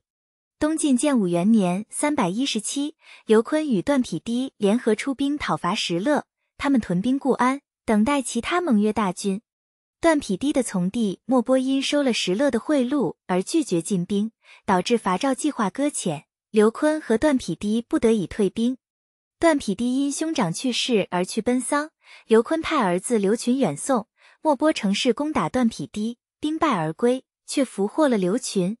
莫波后代刘群希望他能劝父亲与自己结盟，对抗段匹敌，并许诺让刘坤做幽州刺史。刘群受了莫波蛊惑，派人秘密送信给刘坤，希望他为内应。当时刘坤屯兵在以前的征北府小城，并不知道这件事情。送信人竟将这封信送给了段匹敌。段匹敌拿信给刘坤看，说：“我也不是怀疑你，只是把这件事告诉您罢了。”刘坤回答说：“我与你结盟，为的就是匡扶王室，仰仗你的力量，为国雪耻，为家报仇。就算是这封信送到我手里，我也不会为了一个儿子而辜负了你，舍弃了忠义。”段匹敌素来敬重刘坤，原本也没有加害他的想法，就想放他回去。可段匹敌的弟弟却悄悄对段匹敌说：“我们是胡人，晋人之所以服我们，是忌惮我们人多。现在我们祸起萧墙，正方便他们图谋我们。如果这个时候刘坤起兵，我们必有灭族之灾。”就这样，段匹敌软禁了刘坤。刘坤的儿子刘尊害怕段匹敌，闭门自守。段匹敌召唤几次，他都紧闭城门，段匹敌便纵兵攻城。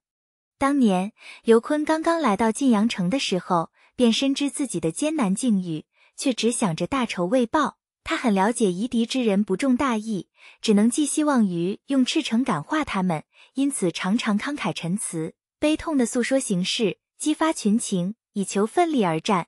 可是没想到，最终为段匹敌擒获。刘琨自知必死无疑，神情怡然，慨然赴死。闻鸡起舞，祖逖。字世志，范阳球（今河北荣城北）人。父亲祖武曾为晋王院、上古太守。祖逖少年丧父，生性豁达，不修礼仪。十四五岁了，还没怎么读书，几个兄长都很忧虑。然而祖逖重义轻财，为人慷慨又有气节。每次到了家中的田舍，就谎称兄长们的意思，用谷物布帛周济穷人，所以宗族都很敬重他。后来祖逖博览群书。涉猎古今，来到京师，人们都称赞他的才华。二十四岁时，朝廷征辟祖逖为官，他却不去上任。祖逖与刘琨关系要好，同榻而眠。夜间听到鸡叫，祖逖叫醒刘琨，开始舞剑，这就是著名的闻鸡起舞的故事。八王之乱时，祖逖先后做过齐王大司马院、长沙王骠骑祭酒、转主簿、迁太子中舍人。豫章王从事中郎，后来随着晋惠帝司马衷一路颠沛流离。当时很多人都想结交祖逖，王公们先后征辟祖逖，可祖逖从不就任。永嘉之乱后，祖逖率领亲朋乡党数百家避难淮泗，途中他将自己的车马让给年老和有疾病者，自己则一路步行。乡亲们的粮食药品也都由他供给。此外，祖逖多权谋，众望所归。被推举为行主，到达泗口后，晋元帝司马睿封祖逖为徐州刺史，徙居丹阳京口（今江苏镇江）。闻鸡起舞，北上抗胡，西晋灭亡，社稷倾覆。祖逖常常以此为恨，志在收复中原。祖逖门下聚集了很多杰出勇武的门客，祖逖待他们犹如自己的子弟。当时扬州饥荒，这些门客有的入室偷盗，祖逖包庇他们。为人们所诟病，可他仍然我行我素。司马睿偏安一隅，只想拓定江南，不思北伐收复失地。祖逖劝谏说：“晋室之乱，其原因不在于主上无道和臣下怨恨反叛，而在于藩王争权，自相残杀，使戎狄之人有戏可乘，导致中原沦丧。现在人人都有奋勇反击的志向，您若能发威北伐，命我为统帅，则天下之人无不欣然归附，用不了多久便可一雪国耻。司马睿无心北伐，又不好推却，便拜祖逖为奋威将军、豫州刺史，拨给士兵一千人，布帛三千匹，却不供给铠甲兵器。如果要组建军队，则要自行招募。面对司马睿消极的北伐态度，祖逖带着随他迁徙的一百余户不取渡江北上。大江之上，祖逖慨然发誓：祖逖如果不能收复中原，便犹如这大江一样东流不回。人们无不为他的壮烈言辞所感动。过了长江，祖逖屯兵江阴，打造兵器，很快便招募了两千人。祖逖北上之前，北方多流寇。祖逖设计，又使刘仁物主张平的手下谢福倒戈，杀了张平。得到捷报，司马睿嘉奖了祖逖的功勋，同时运送粮草以资嘉奖，却因为路途遥远，迟迟未能送到，导致祖逖军中缺粮饥馑。刘仁物主樊雅率众夜袭祖逖营垒，他持着戟大声呼喊，奔向祖逖军帐，一时间士卒大乱。祖逖镇定如常，指挥士卒抵抗。都护董昭打败敌人，祖逖率兵追赶，又遭到张平余党的追击。祖逖求救于彭皮务主陈川，陈川派大将李头增援。在陈李的帮助下，祖逖顺利攻克谯城。祖逖占领谯城后，前来相助的南中郎将王涵部下大将桓宣便带兵撤离。石勒养子石继龙闻讯后，引众攻打谯城，桓宣则再次出兵救祖逖，石继龙只得退兵。于是桓宣留了下来，协助祖逖共同讨伐未归附的叛逆势力。祖逖占领谯城，里头功勋卓著。樊雅有一匹骏马被祖逖虏获，里头十分喜爱，却不敢奢求。祖逖知道后，便将骏马送给里头。里头深感祖逖的恩遇，常常感叹说：“如果能得此人为主，我就算是死也没什么遗憾的了。”不想陈川听到后大怒。竟然杀了李头，李头的亲党冯宠率领四百余名部下投靠祖逖，陈川更加生气，居然派人劫掠豫州诸郡。为了保卫百姓安宁，祖逖派将军魏策力战陈川，将其虏获的人口财物全部归还，自己军中毫无所留。吃了败仗的陈川大为恐惧，投靠了石勒。祖逖率兵讨伐陈川，石继龙引兵五万救助陈川，被祖逖用奇谋打败。陈川喜相国，石继龙、刘桃豹等守陈川故城，出师未捷。就这样，祖逖和羯人共同占有了陈川所守的故城。杰人经南门出入放牧，祖逖则驻守在东门，如此相持了四个月。祖逖设计用一千人背着装土的布袋，假装运粮上东台，又派几个人挑着粮食故意掉队，被敌人截获。敌人于是以为祖逖的士兵丰衣足食，自己却要忍受饥饿，于是斗志丧失殆尽。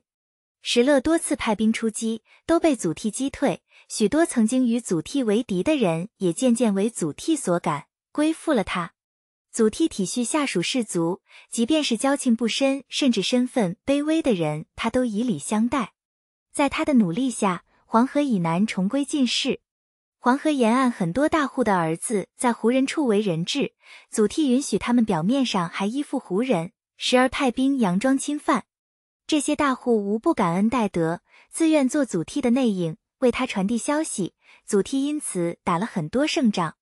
只要有少许功劳的人，祖逖一定立刻赏赐。可他自己却躬行节俭，劝都农桑，家中没有任何资产营生，子弟都要亲自种田、砍柴。此外，祖逖还下令收埋枯骨，进行祭奠，百姓们都感激他的恩德。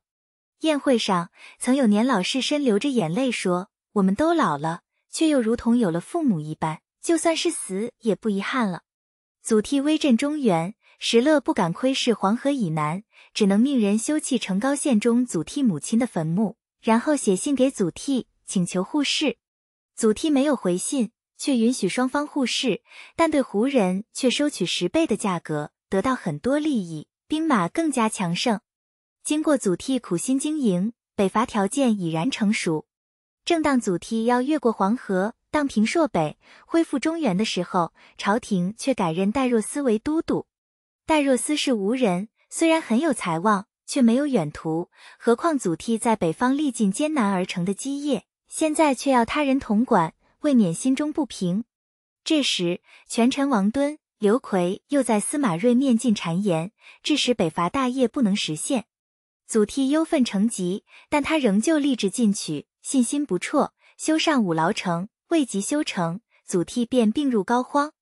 这一年，豫州天现妖星，祖逖感叹说：“我快要死了。如今河北刚刚平定，上天却要杀我，真是不保佑国家呀！”不久，祖逖病逝雍丘。终年五十六岁，豫州百姓如丧考妣，桥梁之民为他立祠。论赞，使臣曰：刘琨年少时本来没有什么特殊的操行，借居在贾密的客馆，投在司马伦的帐下谋食，当时不过是个轻佻之徒。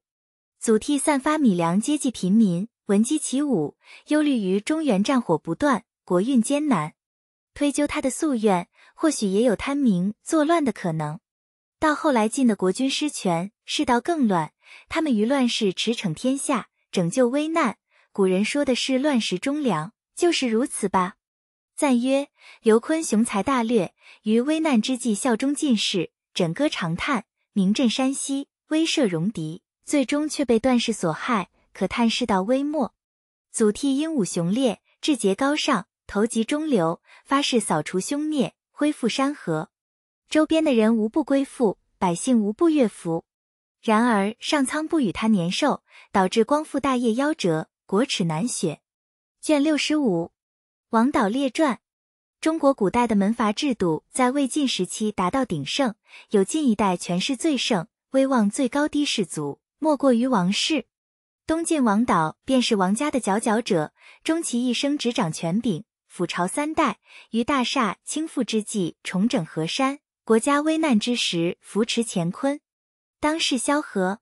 王导，字茂弘，其祖父官至光禄大夫，父亲为镇军司马。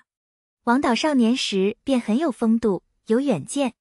十四岁那年，陈留高士张公见到他，十分惊奇，对他的堂兄王敦说：“这个孩子无论相貌还是志向，都是将相之才。”王导出世的时候，承袭了祖上爵位。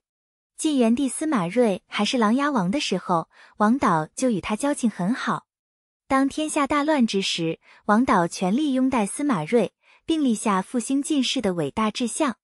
司马睿也很器重这位曾经志趣相投的挚友，两人关系十分密切。司马睿在洛阳的时候，王导请他回到封地。等到司马睿镇守邺城的时候，便请了王导做安东司马。上报的军国大计，司马睿一定要与王导商量。王导也积极筹划。后来，司马睿镇守建业时，当地的吴人不肯归附。过了一个月，也没有一个士卒拜访司马睿。对此，王导深感忧虑。这时，王敦朝见王导，对他说：“琅琊王虽然仁德，但名望还轻。兄长你的威名远扬，应该想办法匡扶时局。”恰逢三月上巳节，司马睿亲自去观看休息仪式，路上乘坐监舆，颇有威仪。王敦、王导和诸位名臣骑马跟随，吴中望族几瞻，顾荣私下观望，看到这威仪的场面，十分吃惊，于是迎拜在道旁。王导看到后，便对司马睿说：“古代王者无不礼遇遗老贤才，询问风土人情，虚心坦诚，招揽天下俊杰。”如今天下大乱，国土分崩，我们的基业还在草创之中，当务之急便是取得民心。顾荣、贺询二人是当地望族，应该先把他们吸纳过来，如此其他人必定归附。司马睿于是派王导亲自上门拜访顾荣、贺询，此二人之后又朝见司马睿。以后各地士族相继以君臣之礼尊奉司马睿。永嘉之乱后，中原人十之六七逃往江左避难。王导劝司马睿趁机笼络贤人君子，以图大事。当时北方虽乱，荆州、扬州等地却很太平，户口殷实。王导认为执政的首要便是清静，常劝谏司马睿克己勤勉，匡扶皇室，扶随宇内。司马睿也因此更加依赖王导，朝野上下也无不敬服王导，都称他为仲父。司马睿曾经对王导说：“你就是我的萧何呀。”永嘉末年，王导迁丹阳太守，加辅国将军。王导上肩推辞。东晋建国后，拜王导为丞相军资祭酒。桓义刚过江时，见朝廷势力微弱，十分忧虑。后来桓义见了王导，两人谈论时事，一番言论后，桓义感慨地说：“我见到了管仲，尽是无忧了。”一次，世人们宴饮，周感叹说：“风景一样，却不是就山河了。”众人相对流泪，只有王导变了脸色，说：“各位应该齐心协力，共扶王室，克复神州，何故在这里像楚囚一样相对饮泣？”大家这才止住悲戚。东晋草创，很多制度都不完善。王导上书提了很多有利时政的建议，司马睿深以为然。在王导的倡议下，东晋建立了学校。司马睿称帝后，曾令王导与自己同坐，王导坚决不肯，说：“如果太阳与万物同列，那么苍生要仰望谁呢？”王导曾推荐太子左卫率杨健讨伐叛乱，结果杨健大败。王导上书请求自贬，司马睿不许。王导，东晋建立以后，王导任宰相，他的堂兄王敦掌握长江中上游的军队，王室权势甚至盖过了司马氏，所以当时人们说王与马共天下，树平战乱。后来王敦起兵，以伐刘奎为由出兵建康，刘奎劝司马睿诛杀王氏满门，王导率家族子侄二十余人。每天早晨跪在宫门戴罪，司马睿素知王导的忠贞气节，便将朝服还给王导，召见了他。王导叩首谢罪说：“逆臣贼子历朝历代都有，谁想现在却出在我的家族？”司马睿光着脚扶起他说：“茂宏，我刚刚以重任托付给你，你怎么就说这样的话呢？”从此对王导更加倚重。司马睿称帝之初，王氏家族势力如日中天。王敦本人也有专权的野心，贤明的司马睿变成了他的绊脚石。王敦便想拥立他人为帝，王导却坚持拥戴司马睿。及至这次事件，王敦对王导说：“从前不听我的话，现在差点全族覆灭。”然而王导依旧秉承公正，王敦拿他也没办法。王导一向待人宽和，但有一件事令他耿耿于怀。王导一台请罪的时候，正逢周入宫。王导哀求周说：“我一家百余人的性命就拜托你了。”周当时并未理睬王导，入宫之后却对司马睿说：“王导是个忠臣，恳求司马睿宽恕他。”周出宫时，王导仍跪在那里，再次请求他，他不仅没有答应，还说：“杀了那些贼人，也换个大官当。”王导以为周见死不救，便嫌恨在心。后来王敦进了建康城。王氏家族再度得势。提到周时，王敦说：“周戴若思很有人望，应该位列三公吧？”王导沉默不语。王敦又说：“那就做个仆役吧。”王导还是不说话。最后，王敦说：“那就只能杀了他们了。”王导仍旧沉默。于是，王敦杀了周和戴若思。历经此劫后，王导重新执政。当他翻阅从前的档案，看到周请求赦免他的奏折时，不禁追悔莫及，悲痛万分。他对儿子们说：“我不杀伯仁，伯仁却因我而死，幽冥之中，我辜负了这位良友啊！”司马睿去世后，晋明帝司马绍即位，王导受命辅政，迁司徒，一切就好像当年陈群辅佐曹魏一样。王敦再次兴兵作乱，这时王敦生病。王导便带着家族子弟发丧，群臣得知后，以为王敦病死了。当时斗志高昂，司马绍讨伐王敦时，对王导毫无猜忌，授予他符节、都督诸军、领扬州刺史。平叛王敦后，司马绍赐予王导无上殊荣，王导故辞不受。不久，司马绍去世，晋成帝司马衍即位，王导再次受召为托孤大臣，同时受命的还有大臣庾亮。将军苏峻在讨伐王敦之役中立功，颇受重用。庾亮要削其兵权，苏峻起兵叛乱，杀入建康城。苏峻敬重王导德望，不敢加害，可他对司马衍却毫无君臣之礼，王导便谋划着带司马衍离开建康，可惜没能成功。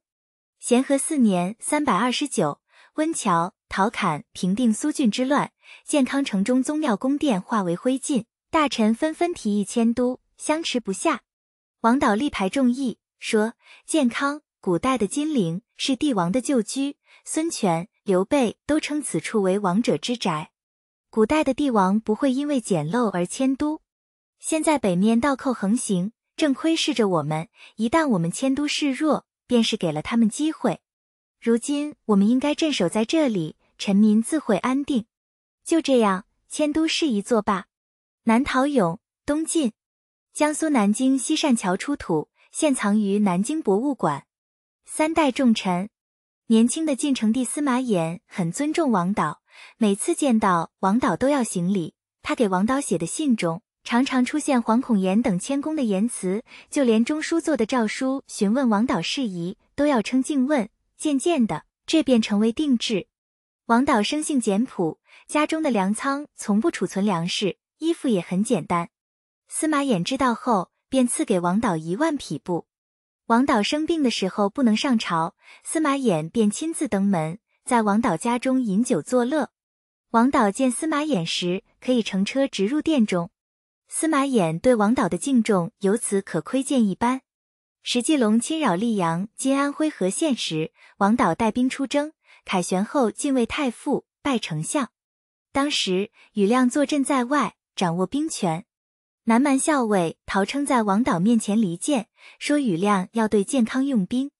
有的人劝王导秘密提防，王导义正辞严地说：“我和元归、庾亮休戚与共，悠悠之谈，当止于智者。即便真的如你所说，元归举兵而来，我便带着头巾、数人不关回家去，又有什么惧怕的？”为了平息流言，王导上书说庾亮是皇帝的舅舅，应该礼遇。于是人们再不敢诋毁庾亮。然而庾亮并未体谅王导的良苦用心，拥兵自重，很多人都依附他。王导再三忍让，却见庾亮愈发强势，心中也很不平。当时庾亮驻军建康城的上游，一次西风大作，吹起尘土，王导用扇子遮挡，缓缓地说：“元归的尘土污了人。”咸康五年（三百三十九），王导去世，终年六十四岁。司马衍在朝廷上举哀三天，丧葬礼仪极其隆重，所有中兴大臣都不能与之相比。论赞，使臣曰：飞龙之所以能在天空翱翔，是借助了云雨之势；帝王之所以能兴业，必依仗古公之臣。当时中原倾覆，尽是中兴于江左，世人不思北土，辅佐中兴帝王，何其之难！王导才智过人。复兴王业，先后经历了王敦、苏峻之乱，最终安邦定国，其忠贞之治从未改变。开设学校，原立章程，恢复制度。论及王导的功业，虽然不及萧曹、世王，也应该与管仲、孔明同筹。辅政三朝，忠心不移，重父之称正是于王导。卷六十六，陶侃列传。自曹魏时期建立了九品中正制度，中国古代低士族政治开始攀上高峰，贵族门阀把持朝政的现象屡见不鲜。所谓上品无寒门，下品无士族。然而，在这个出身决定一切的时代，寒门出身的陶侃横空而出，以震慑天下的武功折服天下士族，仕途为艰。陶侃，字世行，本为鄱阳（今江西鄱阳）人。西晋统一后，举家迁徙到庐江的浔阳（今江西九江）。父亲曾做过吴国的扬武将军。陶侃早年丧父，由母亲抚养长大。陶母高义，鄱阳孝廉范奎曾登门造访陶侃，因为仓促，陶侃家没有能款待客人的东西，陶母便剪下头发换了酒菜招待客人。范奎离开的时候，陶侃送了一百余里。临别时，范奎问陶侃有没有出仕的意图。陶侃说：“当然想出仕，只是苦于没有出路。”于是范奎将陶侃推荐给庐江太守张奎，被征召为都邮。就这样，出身贫寒的陶侃开始了宦海生涯。然而，陶侃的仕途之路走得并不顺畅，虽有升迁，但始终不能伸展志向。张奎的妻子生病，要到几百里地之外请医生。当时正是隆冬大雪，大家都不愿意去，只有陶侃说要像侍奉父亲一样侍奉君主。小君就像母亲一样，哪有父母生病不尽心照顾的呢？大家无不佩服陶侃。张奎很看重陶侃，察其为孝廉。为了仕途之路，陶侃来到洛阳，拜访了权臣张华。最初，张华对陶侃很冷淡，而陶侃却毫无不悦的表情。张华与陶侃谈话后，发现他是个人才。陶侃的同乡豫章国郎中令杨卓很看重他，曾与之同车而行。却受到世人的嘲笑。吏部郎温雅说：“你怎么能与小人同车呢？”杨卓回答说：“他不是凡人。”武库令黄庆也曾对那些瞧不起陶侃的人说：“他会有大作为的。”虽然得到很多世人的认同，但陶侃始终得不到重用。然而，乱世却给了陶侃建功立业的机会。刘宏做荆州刺史的时候，召陶侃为南蛮长史。陶侃上任伊始，便大破张昌。刘宏称叹陶侃可以继承他，扬威军旅。从此，陶侃跟随刘宏扬威荆州。他风光的将母亲迎接到官舍，乡里都以此为荣耀。陶侃为江夏太守时，出兵抵御前来侵扰的陈敏。有人在刘宏面前离间陶侃，说陶侃与陈敏是同乡，他现在为一大郡的太守，统帅强兵，如果他有意志。则荆州失了东门。刘宏回答说：“我深知陶侃的忠贞和能力，他怎么可能有异心？”陶侃听说刘宏的话后，十分感动。太子侄去荆州协助刘宏，刘宏则以兵力支持陶侃。陶侃以运船为战舰，所向披靡，打败陈敏部下，其部队军容整齐。凡是有虏获，陶侃都分给士卒，自己从不留下半分。身在军旅，陶侃屡有升迁。出任武昌太守期间，正逢天下饥荒，山夷寇盗为患，在长江上打劫商船百姓。陶侃让手下将领装成普通百姓上船诱敌，生擒了几名寇盗。经过审问，得知是西阳王司马亮的手下。陶侃立刻出兵攻打司马样，司马样惧怕，绑缚了二十多个手下的寇盗送到陶侃帐下，陶侃当即将他们斩首。从此，武昌水陆两道畅通无阻，寇盗绝迹。此外，陶侃还资助了很多避难武昌的流亡百姓，在郡东部设立了一市，方便贸易。种种惠民政策也使军中大收其利。杜涛攻袭荆州，晋元帝司马睿派陶侃统兵御敌，双方交兵之后，杜涛退守林口。陶侃料定杜涛会转攻武昌，便不食不眠，昼夜不停，三日赶回武昌。大破敌兵，斩杀无数，虏获了敌人的粮草辎重。王敦得知后赞叹：“要是没有陶侯，我们就失了荆州了。”参军王贡也说：“荆州有危难，只有陶侃能够解救。”于是王敦上表举荐陶侃为使持节、宁远将军、南蛮校尉、荆州刺史，领西阳、江夏、武昌三郡。之后，陶侃几次用兵，终于平定了杜涛起义。为司马睿巩固江南割据局面立下不可替代的功劳。清右挖文扎斗，东晋扎斗又名拓壶，用于盛装拓兔物。宴席桌上也将盛放肉骨鱼刺等食物渣子的器具叫做扎斗。扎斗在近代时开始使用，以瓷制最常见，口大眼小。陶侃的赫赫战功却引起了王敦的提防。陶侃回江陵前，想与王敦道别，手下将领劝他不要去，他却执意不听。结果，王敦真的扣留了陶侃，转任他为广州刺史、平越中郎将，而派自己的堂弟为荆州刺史。陶侃的部将不满王敦处事不公，不肯南下。王敦先入为主，认为他们受了陶侃的指使，便要杀了陶侃。陶侃正色说：“使君雄烈果决，应该裁断天下，怎么连这都裁决不了呢？”说完起身如厕。这时，王敦的左吏提醒他：“陶侃的亲家周访驻兵豫章，如果杀了陶侃，周访一定不会善罢甘休。”这样，王敦才打消了杀念，送走了陶侃。离开后，陶侃连夜赶回，途经豫章，来见周访，哭着说：“若不是有你做外援，我就死了。”陶侃到广州赴任，正逢广州盗寇肆虐，杜洪、温绍、刘审、王基谋反，陶侃率兵直扑广州，杜洪见势便退了兵。陶侃派部将斩杀王基，将其首级送往建康。这时，诸将劝陶侃乘胜攻击温绍。陶侃笑着说：“我在此地已然建立了威名，哪里还用得着派兵？一封信就足够了。”说着，便给温绍写了封信。温绍果然惧怕陶侃，随即撤兵，最终还是被陶侃擒获。身在广州，陶侃无所事事，便准备了一百多块砖，早上搬到屋子外边，晚上再搬进来。人们问他原因。他回答说：“我将致力于收复中原，现在突然过分悠闲，恐怕懈怠了。”就这样，陶侃在边远的广州闲置数年。陶侃运砖，此图出自清末民初中国著名画家马岱的《古今人物画谱》。陶侃任广州刺史后，为了磨练意志，每天搬砖于天井和书斋之间，拥兵重臣。泰宁三年（三百二十五），朝廷平定王敦之乱。明帝重用陶侃，任命他为都督京、雍、益、梁四州军事、荆州刺史。为此，荆州的百姓无不庆祝。陶侃为人聪明机敏，勤勉政务，待人恭敬有礼，每天正襟危坐，事情虽然多而繁杂，却都能处理得有条不紊，毫无疏漏。无论什么人写的信，他都会亲自回信，文笔流畅，从无滞涩，每天忙忙碌碌地接待来客。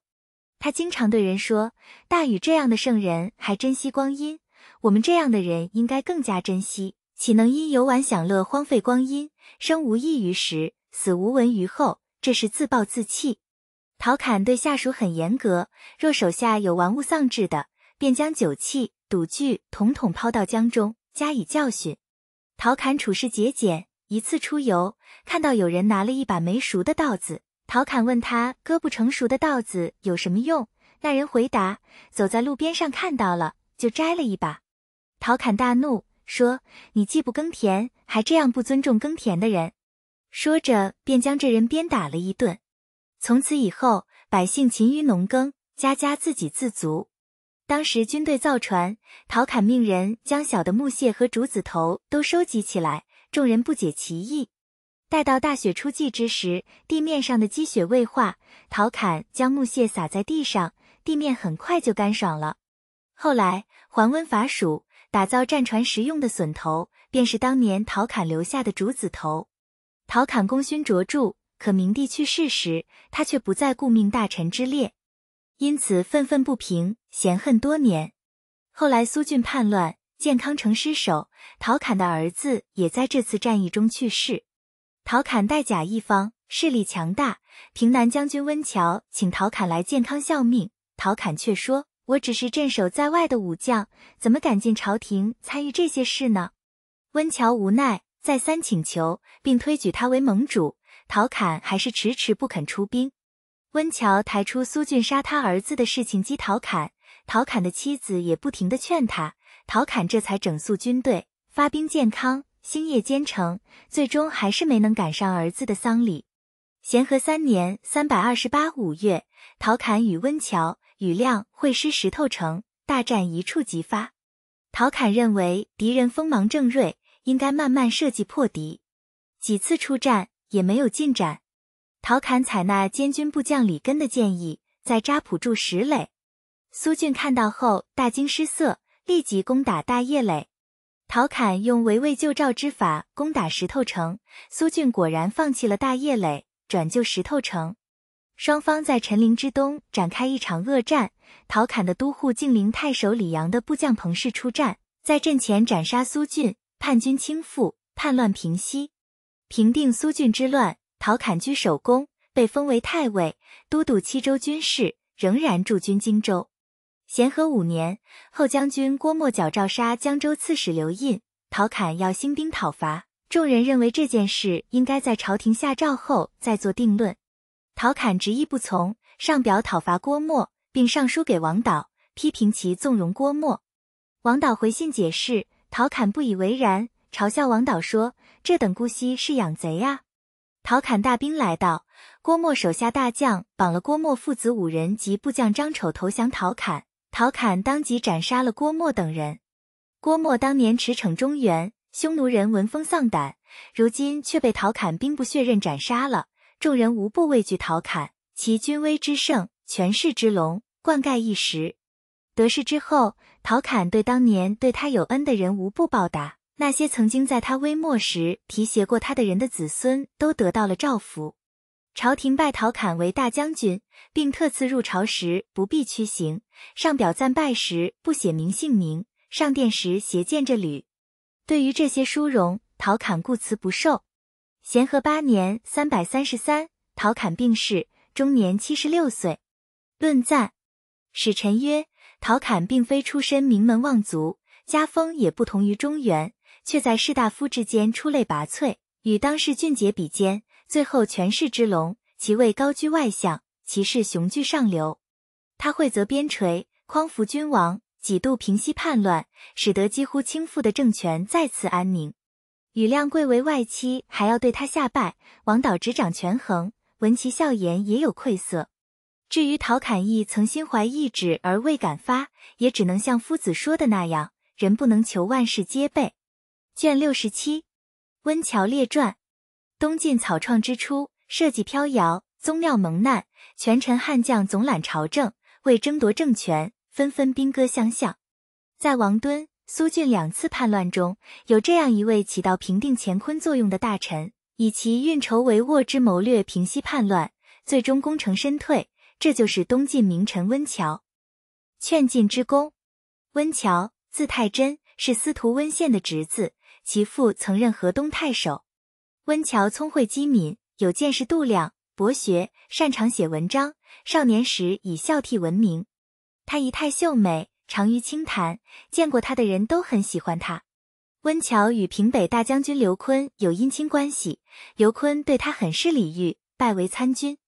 随着刘琨的不断升迁，温峤也仕途得意，在讨伐石勒的战斗中屡立战功。当时北方多战乱。田地荒芜，盗贼横行，北面又有石勒、刘聪窥视。温峤善于谋划，刘琨对战石勒，多凭借温峤之谋。永嘉之乱后，两京倾覆，温峤与刘琨推心置腹，愿辅佐刘琨匡扶社稷。刘琨、段匹敌等人上表请司马睿继承大统，委派温峤为使者。温峤到了建康后，慷慨陈词，深受司马睿赏识。王导。周宇亮、桓伊等人也很赏识他。温峤想要北归，司马睿等人却极力挽留。此时，刘琨以为段匹敌所害，温峤的母亲也亡故了。温峤苦苦请求，大臣们再三劝止，说：昔日武元为了报仇，借吴王阖闾之力，身为上将，最后终于鞭尸楚王复仇。如果你为了母亲死在北方胡虏之地，不能归葬，那就更应该用你的智谋凭借皇帝北上灭寇。你这样悲哀，岂不是弃宏图伟业于不顾？就这样，温峤告别了战火纷飞的北方，留在建康，开启了他政治生涯中全新的一页。两番平乱，温峤历任王导长史、太子中庶子，与太子司马绍私交很好，常常归见太子。司马绍大兴土木，修建楼阁。温峤上书说：“朝廷初建，北方寇盗莫灭，太子当为表率，勤俭为政，务农重兵。”司马绍采纳了他的意见。王敦之乱时，王师节节退败，司马绍要亲自出战。温峤上前抓住太子马的龙头，组谏道：“我听说善于打仗的人不轻易发怒，能够取胜的人往往不用武力。您是楚军，怎么能轻易临敌？”就这样阻止了司马绍。明帝司马绍即位后，拜温峤为侍中，凡有机要大事，都与他相商，对他十分倚重。王敦拥兵自重，表请温峤为自己的左司马。温峤曾劝谏王敦，王敦不听。温峤便知道这人已然执迷不悟，便佯装为其所用，取得王敦信任。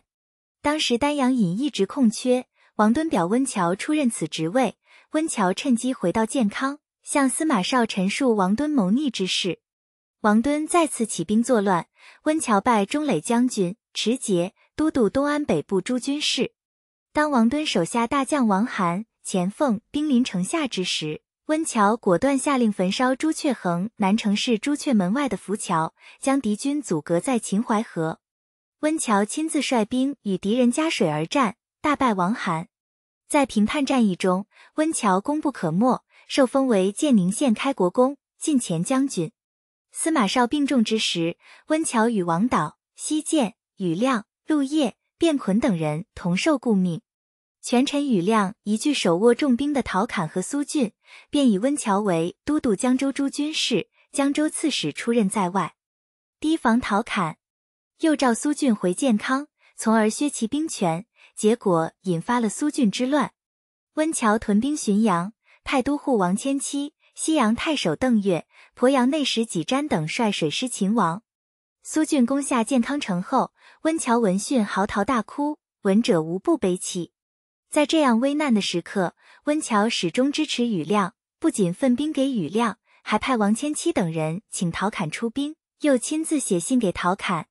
最终，陶侃被推举为盟主，出兵对抗苏峻。在讨伐苏峻的过程中，温峤起到举足轻重的作用。他创建行庙，向皇天后土、祖宗之灵祷告，三军备受鼓舞，奋勇杀敌。当时，陶侃虽为盟主。但军事规略都出自温峤的谋划。终于，苏峻之乱平定，温峤因功被晋封为骠骑将军、开府仪同三司，加散骑常侍，封始安郡公，邑三千户。温峤功勋卓著，却以大局为重。当时人们纷纷推举温峤继续辅政，温峤却因王导为先帝任命的辅政大臣而辞去辅政之位，回到封地。咸和四年（三百二十九）。温峤去世，年仅四十二岁。温峤，温峤从早年抗胡斗争，奉使劝进，到平定王敦、苏峻之乱，两次就进士于危乱，一生功绩显赫，深受百姓爱戴。论赞，使臣曰：温峤怀着忠贞之志、诚恳之心，辅佐社稷，深谋远虑，平定王敦和苏峻之乱，其高尚的气节、高洁美好的名誉流传于世。卷七十二。郭璞、葛洪列传。郭璞和葛洪，东晋的两位奇人异士。他们一个通天达命，知人间兴衰荣辱；一个坐隐山林，修道成仙。同在乱世，二人却有着截然不同的命运。郭璞横死，葛洪先逝。郭璞之兴替。郭璞，字景纯，河东闻喜（今山西闻喜）人，父亲官至尚书、都令史。郭璞喜好经学，博学而才高。虽讷于言论，但慈父却冠绝当世，精通古文字、阴阳历法。曾经师从一位精于卜筮的高人，学习五行、天文、卜筮之术，堪比昔日的经房、管路。晋惠帝、晋怀帝时，河东大乱，郭璞卜筮后说，百姓将沦落异族，家乡要成为匈奴之地了。郭璞与亲戚朋友数十家悄悄南下避难。一行路过将军照顾家时，正逢照顾的良马死了，心情不佳，不肯见客。郭璞说：“我能让马复活。”门吏大惊，回报照顾。照顾小跑着出营，询问郭璞。郭璞说：“找二三十个矫健的人，每人拿着长杆，向东三十里有一个丘陵社庙，让他们用长杆拍打，就会出现一件东西，赶快把那东西带回来，马就能复活。”照顾依计而行，得到一个像猴子一样的东西。这个东西吸吸马的鼻子。过了一会儿，那马真的活了过来。郭璞路过庐江时，喜欢上了太守胡孟康家的婢女，却苦于求之不得，便用三斗小豆散在胡孟康家周围。第二天早晨，胡孟康依稀看到数千个穿着赤色衣服的人围在他家周围，可定睛一看，却一个人也没有了。胡孟康请郭璞占卜。郭璞说：“这个婢女不适合再养在家中，可在城东南二十里处把她卖了，千万不要讲价，如此就能驱除妖孽了。”胡孟康照做，郭璞暗中派人买了这个婢女。接着，郭璞在胡孟康家的井里投下符，那数千个穿赤色衣服的人便都自己跳入井中。事后，郭璞带着婢女扬长而去。到了江南，郭璞被宣城太守召为参军。他开始为朝中显赫之人占卜，连王导、司马睿都请他卜筮。郭璞不仅精于占卜之术，还长于文赋，其所作《江赋》《南郊赋》辞藻伟丽，为世人称道。晋元帝司马睿因此征他为著作佐郎。郭璞能知人间兴衰荣辱，却终不能改变自己的命运。王敦之乱时，郭璞为温峤、庾亮等人卜卦，结果是大吉；而为王敦卜筮，结果是无成。王敦疑心郭璞心向庾亮等人，便问：“你能算一算我的寿数吗？”郭璞说：“如果您起兵，祸就不远了；如果您留在武昌，寿不可测。”王敦大怒，问：“那你的寿数如何？”郭璞说：“只到今日日中。”就这样，王敦杀了郭璞。作为东晋著名文学家，郭璞一生著作很多，数十万字流传于世。葛洪求仙道。葛洪，字志川，丹阳句容（今江苏句容）人，祖父为吴国大鸿胪，父亲入晋为少陵太守。葛洪自幼好学。家中贫寒，便亲自砍柴卖了钱换纸笔，夜间读书学习，渐渐的成为知名的儒士。他清心寡欲，没有什么特别的爱好，甚至不知道棋盘上有纵横几道，古代博戏是何物。他性情木讷，不追名逐利，常常闭门自修，不与人交往，博览群书，喜好神仙导养之法，兼修医道。泰安年间，葛洪参与了平定石兵之乱。叛乱平定后，不论功行赏，葛洪于是来到洛阳，一心只想搜寻奇书，广博学识。天下大乱，葛洪来到南方避难，曾参广州刺史饥寒军事。饥寒死后，凡是朝廷征召，葛洪一概不就。年老之后，一心只想炼丹，延年益寿。他听说交趾产丹药，便请求出任勾漏令。赴任行到广州时，刺史邓岳挽留。不肯让葛洪去交趾，葛洪便在罗浮山上炼丹，一住数年，悠然闲适，写了很多书籍文章。葛洪自号抱朴子，便以此为书名。全书分为内篇和外篇，共一百一十六篇。葛洪的才华冠绝江左，其所作篇章多于班固、司马迁，且分析入微。一日，葛洪突然给邓岳写信说：“我要远行去寻找老师，马上就出发。”邓岳匆匆赶来道别，没等他到来，葛洪竟然在睡梦中溘然长逝，终年八十一岁。当时葛洪面容如活着时一样，极致入关，身体轻盈，就好像只有衣服一样。当时的人都说葛洪是成仙而去。葛志川移居图局部，原王蒙。为了炼丹，葛洪将家搬到罗浮山。此画描绘的正是搬家路上的情景，桥上站立的人就是葛洪。此画为纸本设色，纵一百三十九厘米，长五十八厘米，现藏于北京故宫博物院。论赞，赞曰：郭璞通达灵秀，颇有宏才，精通占卜之术，不能静平国家的内乱，反倒因此而亡。葛洪安贫乐道，其文章流传千古。卷七十三，庾亮列传。自古以来，外戚之家多为荣宠，往往把持朝政，未患一时。东汉百年积习，西晋亡国之鉴，至今历历在目。而东晋的庾亮却一生谦恭自持。虽然他一生波折，几度沉浮，志向高远而缺少谋略，导致壮志未酬。可他身负国难的慷慨之情和北伐中原的忠诚之志，却得到后世嘉许。太子布衣之交，庾亮字元圭，是晋明帝穆皇后的兄长。庾亮姿容俊美，善于清谈实论。喜欢老子、庄子，为人处事风格严谨，讲究礼法。当时人们提到庾亮时，都说他可比当年的夏侯玄和陈群。庾亮跟随父亲在会稽，当时的人们都很忌惮他的正直严肃，不敢在他面前造次。司马睿为镇东将军时，听闻庾亮的贤德之名，便征召他为西曹院。两人见面时，司马睿惊诧于庾亮的风情和雅致。从此愈发器重他，还为儿子娶了庾亮的妹妹。在讨伐华裔的战役中，庾亮因功被封为都亭侯。司马睿称帝之后，拜庾亮为中书郎，侍讲东宫。他的许多言论都为当时人所称道。庾亮、温峤与太子关系很好，可谓布衣之交。王敦与庾亮交谈时，不由自主地离开坐席，身体向前靠近庾亮，并感叹说。宇元圭比裴固贤德多了。随着王敦野心的不断膨胀，他渐渐忌讳庾亮，但是表面却不动声色，反倒十分尊崇庾亮。对此，庾亮深感忧虑，以致因病辞官。王敦第一次起兵，朝廷加庾亮为左卫将军，与诸将一起抵御前锋。平息这场兵戈后，庾亮被封为永昌县开国公，赐卷五千四百匹。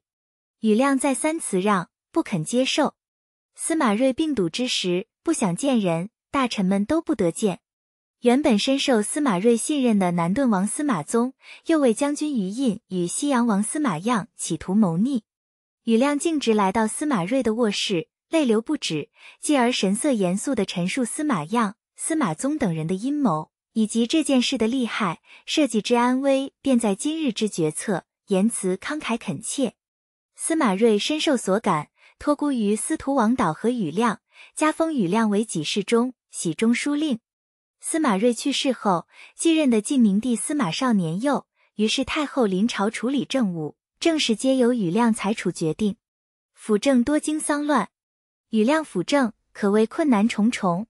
原来王导执政之时以宽和著称，而庾亮却严格依循法令，因此大失人心。另外，当时的权臣陶侃、祖约手握重兵，却不再依照褒奖晋升的大臣之列，他们甚至疑心是庾亮暗中篡改了元帝遗诏，不禁流露怨言。面对严峻的政治环境，庾亮身怀恐惧，派温峤镇守江州，声援自己，同时重修建康城外的石头城，加强京师的军事防备。就在这样一触即发的紧张局面下，南顿王司马宗谋废执政，庾亮杀了司马宗，废掉其兄司马样。作为皇室近亲、国族元老，司马宗之死导致流言四起，天下人都以为庾亮要削弱宗室。当时，阴阳将军苏峻拥兵自重，接纳了很多亡命之徒，专权放纵。庾亮知道苏峻早晚会谋反，便要削其兵权，举朝上下无不反对。温峤也多次上书劝阻，庾亮一意孤行。结果，苏峻与祖约同时举兵反叛。镇守在外的温峤听说苏祖二人谋反后，便要率兵进京擒王，庾亮却不同意。写信给温峤说：“我对西边的担忧超过溧阳，你还是坚守在那里吧。”没多久，苏峻手下大将韩晃兵临宣城，庾亮与之对阵，不能克敌。苏峻长驱直入，攻入建康城。庾亮奉诏都督征讨诸军事，在建阳门外与敌军对垒。双方尚未开战，士卒们却弃甲而逃，庾亮只得乘一只小船向西溃败。撤退途中，乱兵互相掠夺，庾亮身边的人用箭射他们，却误伤舵手。船上之人无不大惊失色，纷纷要逃走。庾亮不为所动，徐徐地说：“此等设计，怎么能射敌？”众人见他如此气定神闲，终于安心。岳瑶卿又击守湖，东晋。鸡首壶是西晋至唐初流行的一种瓷壶，因壶嘴做鸡首状而得名。魏晋南北朝时，社会经历大动荡，大批中原居民和士族地主为了避乱，纷纷南下，使得南方经济得到了发展，制瓷工艺大大提高，出现了许多著名的瓷窑。雨亮带着三个弟弟向南投奔温峤，温峤素来倾慕雨亮，即使在他兵败困窘之时，仍然尊奉他为都统。庾亮坚决推辞。为了借助陶侃的力量，庾亮和温峤拥戴陶侃为讨伐苏峻的盟主。昔日陶侃与庾亮颇有嫌隙，来到浔阳后，人们又都认为苏峻之乱祸起庾亮，纷纷建议杀了庾亮以谢天下。庾亮很害怕，见到陶侃后，十分有风度的引咎自责。目睹庾亮如此风姿，陶侃也顿时释怀长久以来的不满，便对庾亮说：“君侯为了防备我，修建了石头城。”现在怎么反过来求我啊？庾亮设宴招待陶侃，二人冰释前嫌。宴席上，庾亮吃蟹教头时留下根须，陶侃奇怪，便问他缘故。庾亮说：“留下根可以再种。”陶侃不禁感叹道：“庾亮不仅仅是有风度，他真的有执政的实力呀！”大军回到石头城，庾亮派大将王章出战张耀，却吃了败仗。庾亮派人到陶侃处谢罪。陶侃说：“古人有三拜，君后现在只拜了两次。”只是如今事态紧急，不能再拜了。同时又宽慰雨亮说，朝廷中势力太多，致使生出很多祸端。自丧乱以来，造反作乱的也不只是苏俊。雨亮以区区两千人守白石垒，抵御苏峻的一万步兵。敌人四面攻来，众将士无不恐惧。雨亮则激励将士，与战士们一起殊死作战，终于击退苏峻。平定苏峻之乱后，晋明帝司马绍登上温峤的船，看到雨亮，雨亮跪拜，以手叩地，泣不成声，请求辞官以谢天下。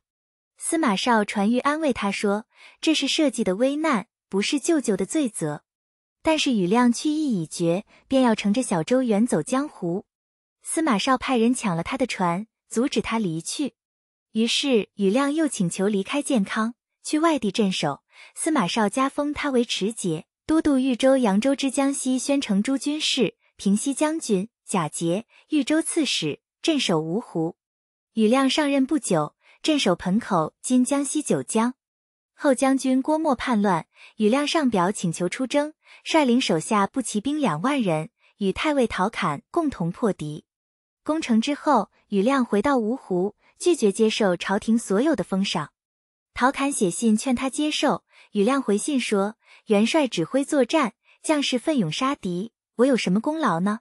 后来陶侃去世，羽亮升迁为都督江、津、豫、益。梁雍六州诸军事，领江、津、豫三州刺史，晋征西将军、开府。羽亮辞让了开府，镇守武昌。陶氏女勇，东晋北伐壮志未酬，掌控大权后，羽亮一度曾想废掉王导。原来陶侃在世时，便因王导用人不贤而欲起兵废王导，因为西晋不同意才作罢。羽亮再度以此咨询西晋时，又遭到反对。羽亮为人坦率，当初他有一匹额头有白色斑点的马，殷浩认为这种马对主人不利，就劝他卖了这匹马。雨亮说：“哪里有把自己的灾祸转嫁给他人的道理？”殷浩羞惭的离开了。雨亮在武昌时，一个秋天的夜晚，府内的左吏们登上南楼，没想到过了一会儿，羽亮也来了，大家便要离开。雨亮慢慢的说：“大家别走，我现在很有兴致。”说着，便坐在胡床上，与殷浩等人高谈阔论起来。咸和八年（三百三十三），后赵石勒去世，羽亮有了北伐中原的想法，于是开始在北方布置兵力。首先，羽亮辞去豫州刺史的职位，将之授予辅国将军毛宝，令他与西阳太守樊俊领精兵一万人驻守诸城。拜陶称为南中郎将、江夏相，率领五千人驻扎缅中。又以羽翼为南蛮校尉、南郡太守，镇守江陵；加封武昌太守陈嚣为辅国将军、扬州刺史，驻兵子午。与此同时，羽亮别遣偏师伐蜀，一路生擒自立的荆州刺史和八郡太守，送回建康。羽亮亲自率领十万大军，占据石城，为各路军队遥作支援。一切准备就绪之后，羽亮上书请求北伐。晋成帝司马衍命大臣们商议北伐事宜，王导与羽亮看法一致，支持北伐。西晋却认为准备仓促，供给资用不足，不应发动大规模战争。于是羽亮再次上书，想更换驻地。就在此时，敌人攻陷了诸城，守将毛宝战死。羽亮为此上书请罪，自贬三等为安西将军。后来官复原职。拜司空，羽亮又是一番推辞，最终没有接受。诸城失陷，对羽亮造成严重打击，他既忧虑又愤慨，终于发病。病中，王导去世，朝廷便征羽亮为司徒、扬州刺史、录尚书事。同从前一样，羽亮坚决辞让，司马衍也没勉强他。咸康六年（三百四十），羽亮去世，终年五十二岁。朝廷追赠太尉。谥号文康。丧礼那天，司马衍亲自前往悼念。下葬时，名士何冲感慨道：“将玉树埋在泥土中，叫人情何以堪？”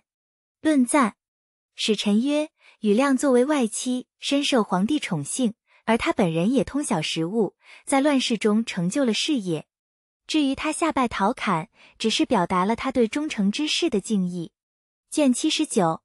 谢安列传：昔日王谢，百年望族，而巫医相中最显未尽风流的，却只有一人，他就是一朝宰相谢安。他是真正的贵族，一生流连至雅。他是最后的名士，平生志愿唯有寄情山林江湖。他是乱世的君子，挽狂澜，扶危煞，是真名士字风流。谢安，字安石，其父曾任太常。谢安四岁时，乔俊桓疑便赞叹说：“这个孩子风神秀彻，将来一定不输于王成。”稍大一些，谢安便因聪慧敏捷而愈发出众，连名臣王导都很器重他。因此，他年纪虽小，却有很高的声望。谢安之风流潇洒，堪称古今无双。朝廷多次征召他，他都以生病为由推辞，寄居于会稽，常与王羲之、许寻、芝顿等人畅游山间，或歌咏词赋，如神仙一般，毫无出世之意。谢安名声太盛，扬州刺史宇斌多次到郡县催促，谢安不得已，只能上任。结果刚刚一个月，他便辞官回到山水之间。之后不管何人征召，一概不就。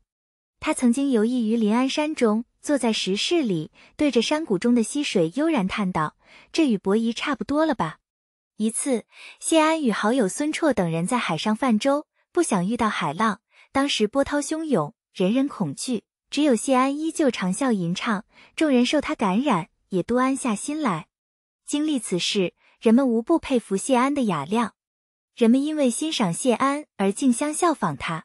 谢安因天生有疾，鼻音很重，可名流们却都喜欢他吟咏时的声音。为了模仿他，竟有人用手掩住鼻子说话。谢安虽然洒脱，却也知道自己早晚不免出事。谢氏一族是当时仅次于王室的百年望族。简文帝司马懿做宰相的时候，就曾经预言：谢安既然能与人们同乐，就不能不与人们同忧，因此征召他一定会来。当时谢安的弟弟谢万为西中郎将，大权在握。谢安虽然不出世，名望却在谢万之上，自然有望成为首辅。谢安的夫人刘氏曾经指着富贵的族人说：“你怎么不像他们一样？”谢安掩着鼻子说：“恐怕我早晚也得这样。”后来谢万失势被废，为了担负起家族的兴旺重任，谢安只得出仕。此时他已经年过四十了。谢安来到征西大将军桓温手下为司马，桓温十分高兴，两人终日畅谈。谢安先后历任吴兴太守、侍中、吏部尚书、中护军。司马懿病笃之时，桓温上书推荐任命谢安为顾命大臣。司马懿驾崩之后，桓温有了不臣之心，他率领大批将士来到山陵，叫谢安和王坦之出来，想伺机除掉他们。王坦之害怕，问计于谢安。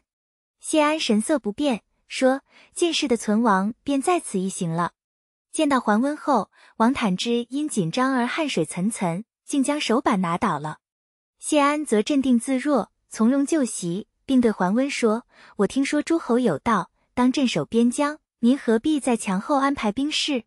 桓温笑着说：“正因为不得已才这样啊。”说着，平退了伏兵。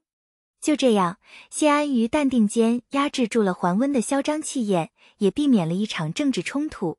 孝武帝司马曜即位时正值壮年，却要受制于桓温，幸亏谢安、王坦之尽忠辅佐。桓温病重之时，要求朝廷为他加九锡。自汉代以来，加九锡几乎成为权臣篡位的先兆。因此，谢安看到诏书后，便以修改为名，将之压下。如此反反复复几个月，直到桓温病死。桓温死后，谢安出任尚书仆射，领吏部，加后将军，成为辅政大臣后，谢安秉承忠义，辅佐司马曜。当时的东晋政治局面紧张。危如累卵，外有强敌寇边，杨毅失守，樊邓沦陷。谢安随进各处，以求长治久安，施行德政。文武官员无不尽心效命，四海咸服。人们都认为谢安为政堪比王导，而文雅犹过之。建康城战乱不断，宫室残破，谢安便要兴修宫殿。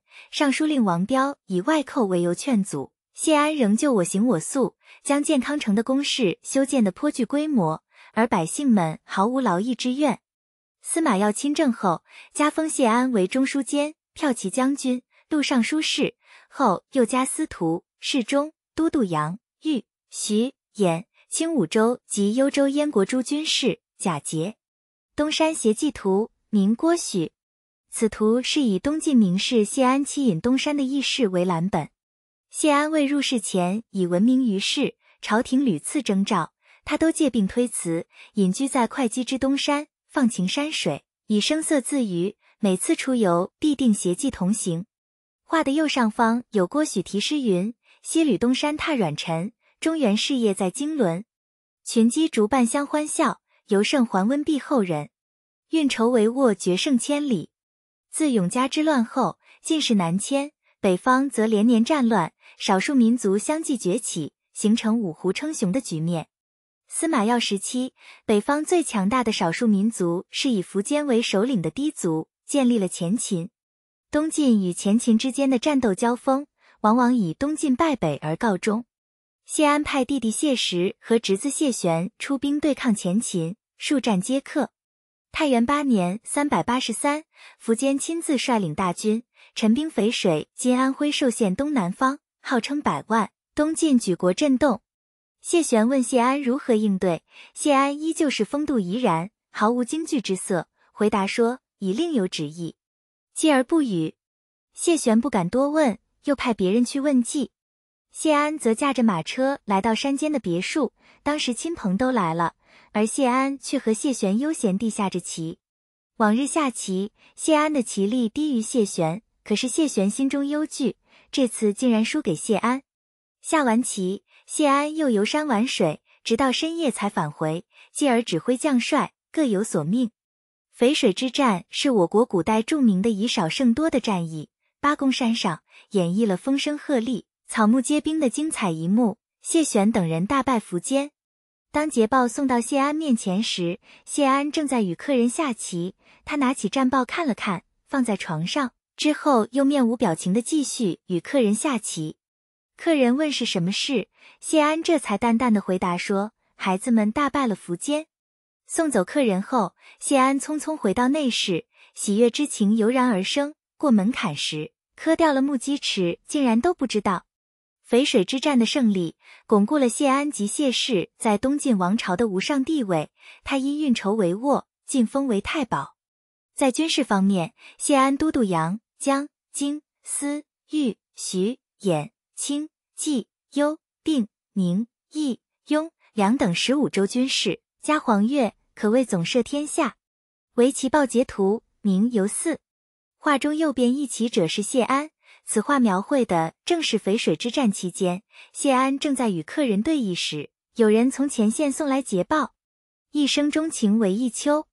谢安隐居山林时是风流名士，官居宰府后也可谓风流宰相。他自幼喜好音乐，自从弟弟谢万去世后，十年不曾听音乐。他在做了台府后，即便在丧妻中，也是丝竹长鸣。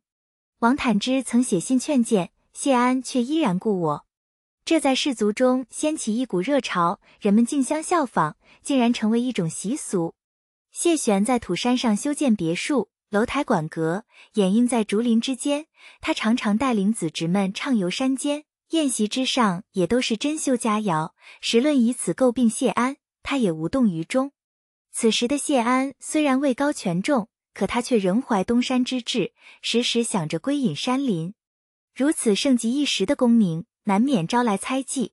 当时会稽王司马道子专权，经常在孝武帝司马曜面前进谗言，司马曜也渐渐生出提防之心。为了避其锋芒，谢安出外镇守广陵的不丘，在那里修建了一座名为新城的石垒，营造出海事宜。结果泛海之志未遂，谢安却生了重病。病中，谢安为家人及朝廷做了最后的规划。他召回官拜征虏将军的儿子，命其解甲而归，又命龙骧将军朱旭进据洛阳，前锋都督谢玄出兵彭沛，将一切军事防备布置妥当后，谢安回到建康城。当车驾路过西周门的时候，谢安想起往事，念及自己最终未能实现归隐乐土的夙愿，怅然若失，对亲友们说：“当年桓温在时，我常常害怕难以保全。”有一天，忽然梦到我坐着桓温的车行了十六里，看到一只白色的鸡儿停下来，乘桓温的车，预示我将取代桓温。行了十六里，从我做宰相至今正好十六年。白鸡主有，今年太岁再有，看来我的病好不了了。于是谢安上书辞官，不久便去世了，终年六十六岁，谥号文静。谢安年少时便有盛名，人们无不倾慕他。及至去世，世人深深追悼。泰山名士杨谭在谢安去世后辍乐多年，行路时从不经由西周门。有一次，他大醉后边唱边行，不知不觉便走到了周门。当听到身边人告诉他这就是西周门时，杨谭悲痛不已，感伤难以释怀，用马鞭扣着门，吟诵曹植的诗：“生存华屋处，零落归山丘。”吟罢，痛哭而去。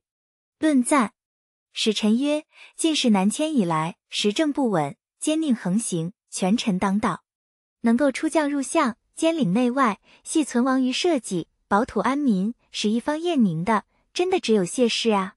谢上言论公正，傅红以堕之丧礼，完备那些缺失的雅乐。所谓君子，就是这样的人。而谢安的志向只在笑吟山间，泛舟海上。然而当此乱世，苻坚百万之众觊于吴江，桓温九五之心窥视尽作，而谢安却能从容面对，宴罢而肃清群寇。隐居而使泰山稳固。谢安固然风流，却因一掷千金、极尽奢华而助长颓然之风，致使雅道沦丧。国家的威仪行典岂是如此？卷八十，王羲之、王献之列传。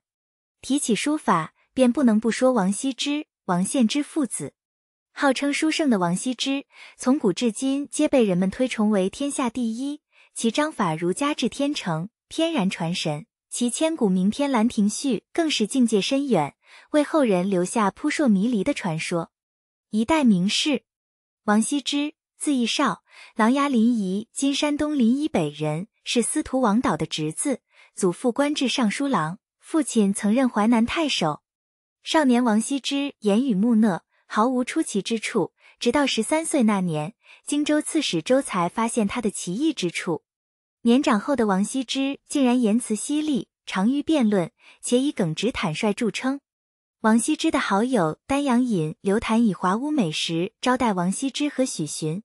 许寻说：“如果这样终老的话，当胜似隐居。”刘谭说：“吉凶祸福不由人，不知道我能不能如此。”王羲之则尖刻地说：“朝父、许由就不会和气，气说这样的话。”说的刘、许二人面有愧色。王羲之擅长隶书，其书法堪称古今之冠，笔势飘逸若浮云，矫健如金龙。王敦和王导都很器重他，称赞他说：“你是我家最优秀的子弟，堪比阮主簿阮玉。”而阮玉本人也很欣赏王羲之，将他和王成、王悦并称为王氏三少。关于王羲之，还有一段东床快婿的佳话。太尉西涧曾派门生到王导家求一子弟为女婿，王导便让这个门生到东乡遍观王氏子弟。门生回去后向西涧回报说，王家的子弟们个个出众，但听他们说话都有些矜持，只有一个人在东床上躺着，袒腹而食，好像没听到大家说话一样。西涧说：“这就是我的女婿啊。”西涧询问之后，才知道这个袒腹东床的人就是王羲之，于是就将女儿嫁给了他。王羲之出世时为秘书郎，后来被征西将军庾亮召为参军，累迁长史。庾亮很赏识王羲之，去世前上书推荐他，称赞他清贵而有见识。王羲之年少时便有美誉，朝廷中的王公贵胄都欣赏他的才气，频频征召他，他皆不就任。扬州刺史殷浩素来敬重王羲之，亲笔写信劝他出仕。再次出仕，王羲之被拜为护军、右军将军、会稽内史。当时殷浩与桓温不睦，王羲之认为一个国家的安危在于内外和睦、上下一心，便写信劝殷浩，殷浩却不纳良言。及至殷浩北伐时，王羲之持反对意见，写信阻谏，言辞恳切，却仍不被采纳。千古书圣王羲之生性恬淡，喜好养生，他并不喜欢健康城市换生活。刚刚渡江到浙江时，便钟情于这里，竟然有在此地终老的念头。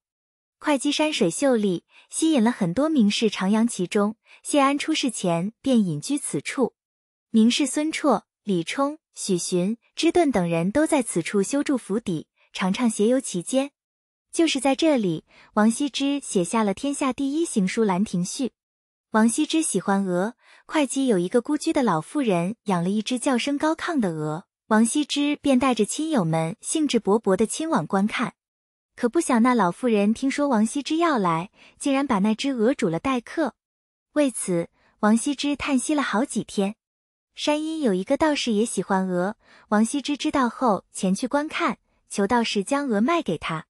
那道士说：“请您写一篇《道德经》吧，我便把这群鹅都送给你。”王羲之欣然提笔，写完后带着鹅回家，十分喜乐。还有一次，王羲之在山里遇到一个卖六角竹扇的老太太，他拿起扇子，在上面各题了五个字。卖扇子的老太太不高兴了。王羲之说：“你就说是王右军写的字，卖一百钱好了。”老太太果然将扇子卖到一百钱，结果人们竞相购买。在书法造诣方面，王羲之可谓大器晚成。他早年的书法不及羽翼、惜音，将近晚年才登峰造极。王羲之最终实现归隐的夙愿，但其过程却是无可奈何的。这件事源自王羲之和骠骑将军王树之间的嫌隙。王树少年有才名，与王羲之齐名，可王羲之却总是轻慢王树，两个人的关系日渐紧张。王树先为会稽内史，丁母忧去职，王羲之便顶替了他。《兰亭序》唐摹本，这幅作品是王羲之在东晋穆帝永和九年（三百五十三）所书，是一部书法史上具有划时代意义的作品，有“天下第一行书”的美誉。历代学书法者几乎无人不临摹学习，期望从中悟出书法的真谛。王树居丧住在郡内，王羲之只前去吊唁其母一次。后来每次听闻号角之声，王树以为王羲之会来，都要打扫一番恭候。可王羲之一直也没去。如此几年，王树深以为恨。王树复职后，升为扬州刺史，上任前遍行各郡，唯独不到王羲之处。王羲之先前以为王树当作尚书，到老可官至仆射，没想到他现今即如此显赫，更成为自己的上司，因此感到莫大的耻辱。便请求朝廷将其所在的会稽郡分出，朝廷未予理会。一时间，这件事竟然成为笑柄。其后，王树又费尽心思的寻找王羲之的把柄，郡中主管行政的官吏都应对不暇。王羲之又惭愧又懊恼，连自己的儿子也不如王树的儿子。王树之子王坦之当时官至侍中，羞愤之余，王羲之称病辞官。不仅如此，他还到父母墓前发誓永生不仕。辞官之后，王羲之每日与世人游山玩水，逍遥自在，又与道士一起炼丹服药。为了采药时，他常常不辞奔走千里，历尽名山大川，时而也泛舟沧海，每每叹道：“我一定是安乐至死的。”王羲之五十九岁去世，儿子们遵从他生前的嘱托。坚决辞去了朝廷给予的金子光禄大夫的追赠。风流才子王献之，字子敬，是王羲之的第七个儿子。他少年时便声名远播，为人脱俗不羁，即使每日闲居，形容举止也毫不懈怠，堪称当世的风流翘楚。王献之曾与兄长王徽之、王操之一同拜谒谢安。王献之少言寡语。后来有人问谢安这兄弟三人的优劣。谢安说：“小的最优秀。”那人问缘故，谢安回答说：“吉人都是寡于言辞的，他的话少，所以最优秀。”王献之性格沉稳。一次，他和王徽之一起在房间里，忽然房间起火，王徽之急忙奔逃，连鞋子都顾不上穿，王献之却神色如常，叫左右人将自己扶出。曾有小偷潜入王献之卧室，盗走所有财物。刚要离开，却听见主人徐徐地说：“偷，詹青是我家旧物，麻烦你把它留下来吧。”吓得小偷仓皇逃窜。中秋帖，王献之。这幅作品堪称东晋书坛最大气的书法作品。书帖原为五行三十二字，后被割去二行十字，现于三行二十二字。此帖墨迹绵延不绝，势如滔滔江水，一泻千里，层层波浪相逐不断，在不大的尺寸间展现了一种大气象。王献之雅善丹青，长于草书和隶书。七八岁刚刚学习书法的时候，父亲王羲之偷偷在背后抽他手中的笔而不得，不禁赞叹：这个孩子将来一定成大名。长大之后，其书法成就得到父亲的赞赏。刚刚出世时，王献之先后担任过主簿、秘书郎，迎娶新安公主后又有升迁。一次，王献之路经吴郡，听说名士顾辟强有一座名园，便想去观看。他之前并不认识顾辟强，却乘坐监舆，大摇大摆地进了园子。当时顾辟强正与朋友集会，而王献之却旁若无人的自顾自游览。顾辟强大怒，说：“你这样辱慢主人，不合礼数，小视世人，不符合道理。”说着便要将他逐出。王献之却傲慢如故，丝毫不以为意。谢安十分欣赏王献之，召其为长史。太元年间。建康城新建太极殿，谢安想让王献之题写匾额作为万世之宝，却又不好意思开口，便试着说：“曹魏时修凌云殿，匾额未题，就被工匠们粗心的钉了上去，结果取不下来，只好让韦仲将蹬着梯子题写。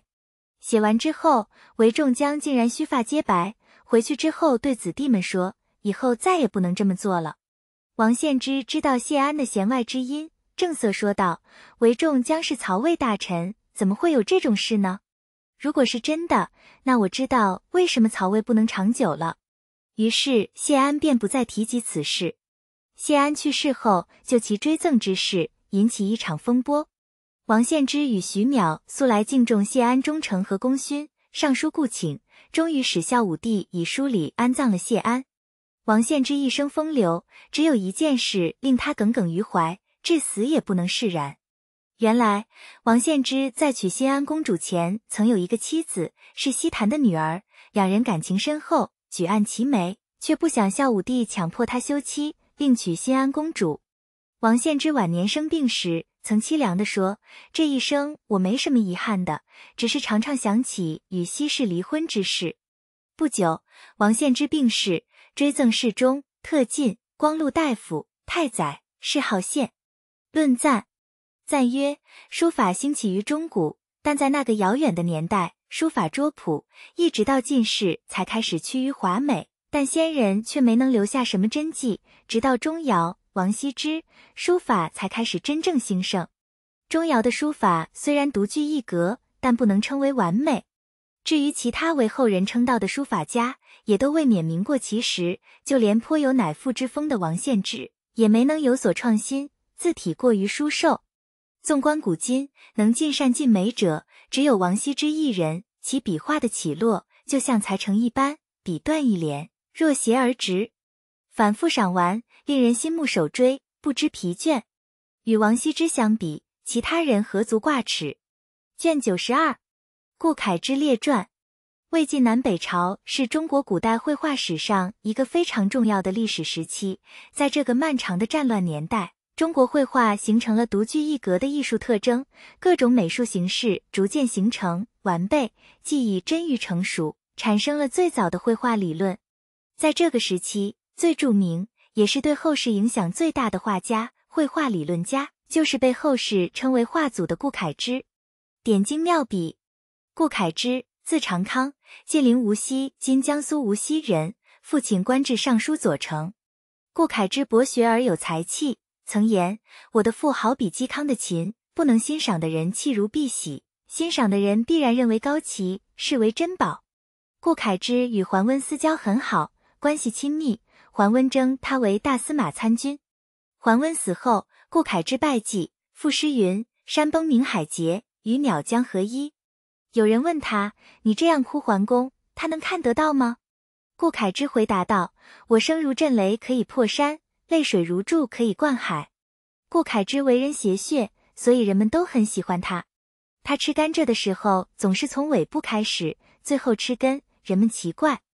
顾恺之则说：“这叫渐入佳境。”顾恺之雅善丹青，深得谢安器重，认为他是亘古以来从未有过的人才。关于顾恺之作画，自古以来便有很多美丽的传奇故事。他画人物，往往画好了几年也不画眼睛。人们不解，顾恺之说：“人身体的美丑对画作影响不大，只有眼睛才能传神。”传说顾恺之爱慕邻家的一个女子，结果却是落花有意，流水无情。他便画了这女子的像挂在墙上，用钉子钉画中女子的心，结果邻家女便得了心痛的病。然后顾恺之向女子表白，终于得到回应，于是拔去钉子，那女子的病变好了。顾恺之的人物画冠绝古今，他常常吟诵嵇康的四言诗，并为之配图，并说画他弹琴的姿态容易。画他目送归鸿的眼神难。他为裴凯画像时，在裴凯的脸颊上加了三缕须发，人们立刻便觉得这人物传神了。为谢坤画像，先画了山石，又在山石间勾勒出人形，并说此人适合置身丘壑之间。顾恺之曾想为好友殷仲堪作画，可殷仲堪担心自己有眼病，影响作画效果，因而拒绝了。顾恺之再三向他保证能够画好。最后，他用飞白书法中的一种特殊笔法的画法，巧妙地处理了画像的眼部。一次，顾恺之将一橱柜他最珍爱的画作寄放在桓玄处，请他代为保管。桓玄趁顾恺之不在，偷偷拿走了那些画，然后又把柜子封好，就像从来没开启过一样。顾恺之回来后，看到封皮完好，但里边的画却都没了，便说这些画通神。因此，画中的人物也都化作仙人，登临仙境了。对桓玄竟毫无责怪之意。《洛神赋图》局部，宋摹本。顾恺之根据曹植所写的名篇《洛神赋》绘画而成，表现了曹植与翩若惊鸿、宛若游龙的洛神在洛水相遇分离的景象。三绝之美。顾恺之素有三绝之称：才绝、画绝、痴绝。他虽然精才绝艳。却偏信一些小伎俩。一次，桓玄与他开玩笑，拿了一片柳叶，说：“这是蝉用来藏身的叶子，用它挡住自己，别人就看不到你了。”顾恺之非常高兴，拿叶子挡住自己，桓玄便佯装看不到他。顾恺之居然信以为真，把那片叶子当做宝贝一样珍藏起来。不仅如此，顾恺之的吃还很有情趣。有一次，顾恺之与桓玄、殷仲堪等人聚会，大家先做了雨。顾恺之说：“火烧平原无医疗。”桓玄说：“白布缠根树留照。”殷仲堪说：“投鱼深泉放飞鸟。”之后又作微雨。在座的一个参军说：“盲人骑瞎马临深池。”此话一出，举座皆惊，在座的人都认为这个太危险了。这就是成语“盲人瞎马”的来历。后来，顾恺之官至散骑常侍，六十二岁时死在任上。其所著收录在《文集启蒙记》中。顾恺之的绘画理论对中国古代绘画产生了深远影响。他一生画作颇多，相传有《贵阳王美人图》《当州图》等，可惜到了今天却没有他的传世真迹。流传至今的《女史箴图》《洛神赋图》《列女人志图》等，都是唐宋时期的摹本，但其写意传神的风采。也可多少窥见当年顾恺之的风范。论赞，使臣曰：顾恺之矜持而有实学，其绘画人物六神兼备，才气纵横，故有三绝之美誉。卷九十六，王凝之妻谢氏列传。魏晋风流多名士，也不乏才高八斗、志节高雅的女子，清扬婉约，犹如畅游林下的名流隐士。他们中的杰出代表。就是堪怜永续才的著名才女谢道韫。这位出身名门的奇女子，不仅才华出众，更兼举止从容，颇有叔父谢安之风。永续之才，王凝之妻谢氏，字道韫，是安西将军谢毅的女儿。谢道韫出身魏晋最显赫的家族谢家，她的叔父就是大名鼎鼎的风流宰相谢安。少年谢道韫聪明而才华横溢，辩才出众。谢安曾问毛诗中哪一句最佳？谢道韫回答：“吉甫作颂，目如清风，众山俯咏怀，以慰其心。”谢安深以为然，从而深知谢道韫性情高远，且有雅量，一次，谢家人聚会，正逢天降大雪，谢安便考子侄们，让他们形容这大雪。侄子谢朗答道：“伞言空中差可拟。”谢道韫则说道：“未若柳絮因风起。”谢安大喜，赞赏不已。从此，人们便用永续形容女子有才华。成年后，谢道韫嫁给了王凝之。王凝之是王羲之的次子，擅长草书和隶书，历任江州刺史、左将军、会稽内史。最初，谢道韫对这段婚姻并不满意。新婚归宁回到家后，他闷闷不乐。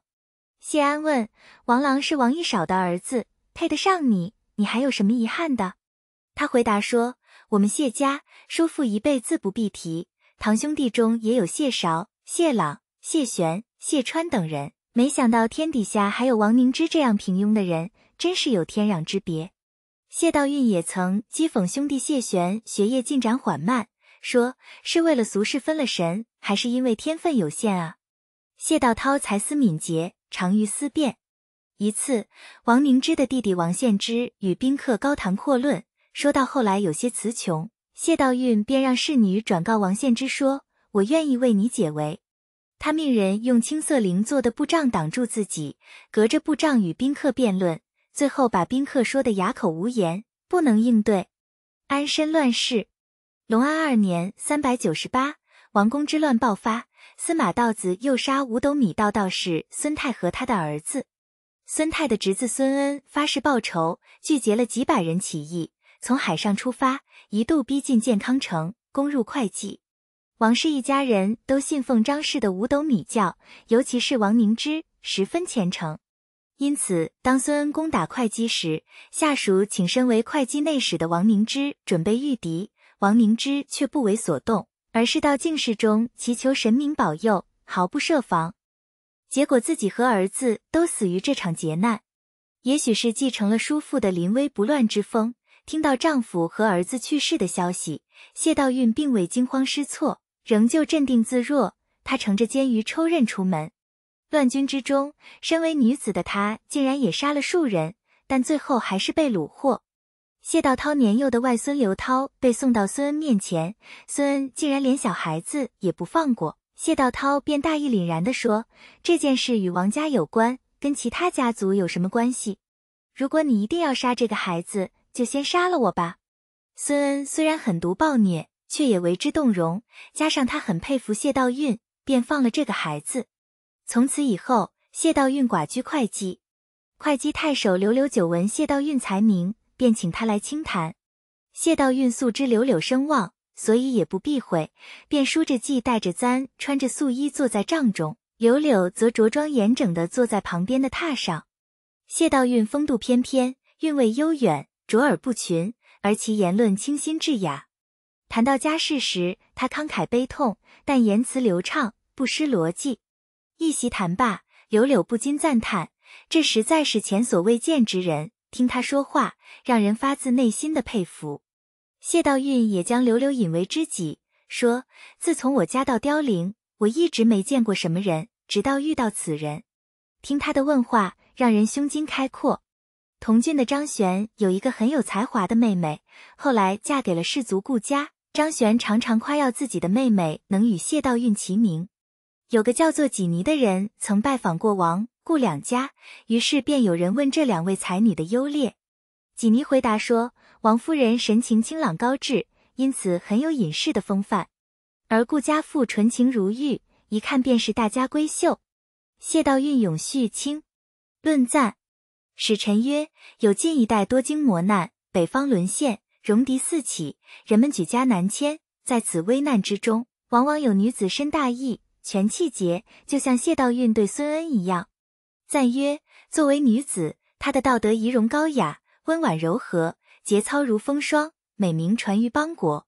卷九十八，王敦桓温列传。自古权臣多以功勋论著，或有辅政之劳。”或有秦王之勋，然而人们往往为权力所惑，迷失在权柄的争夺中，浮浮沉沉。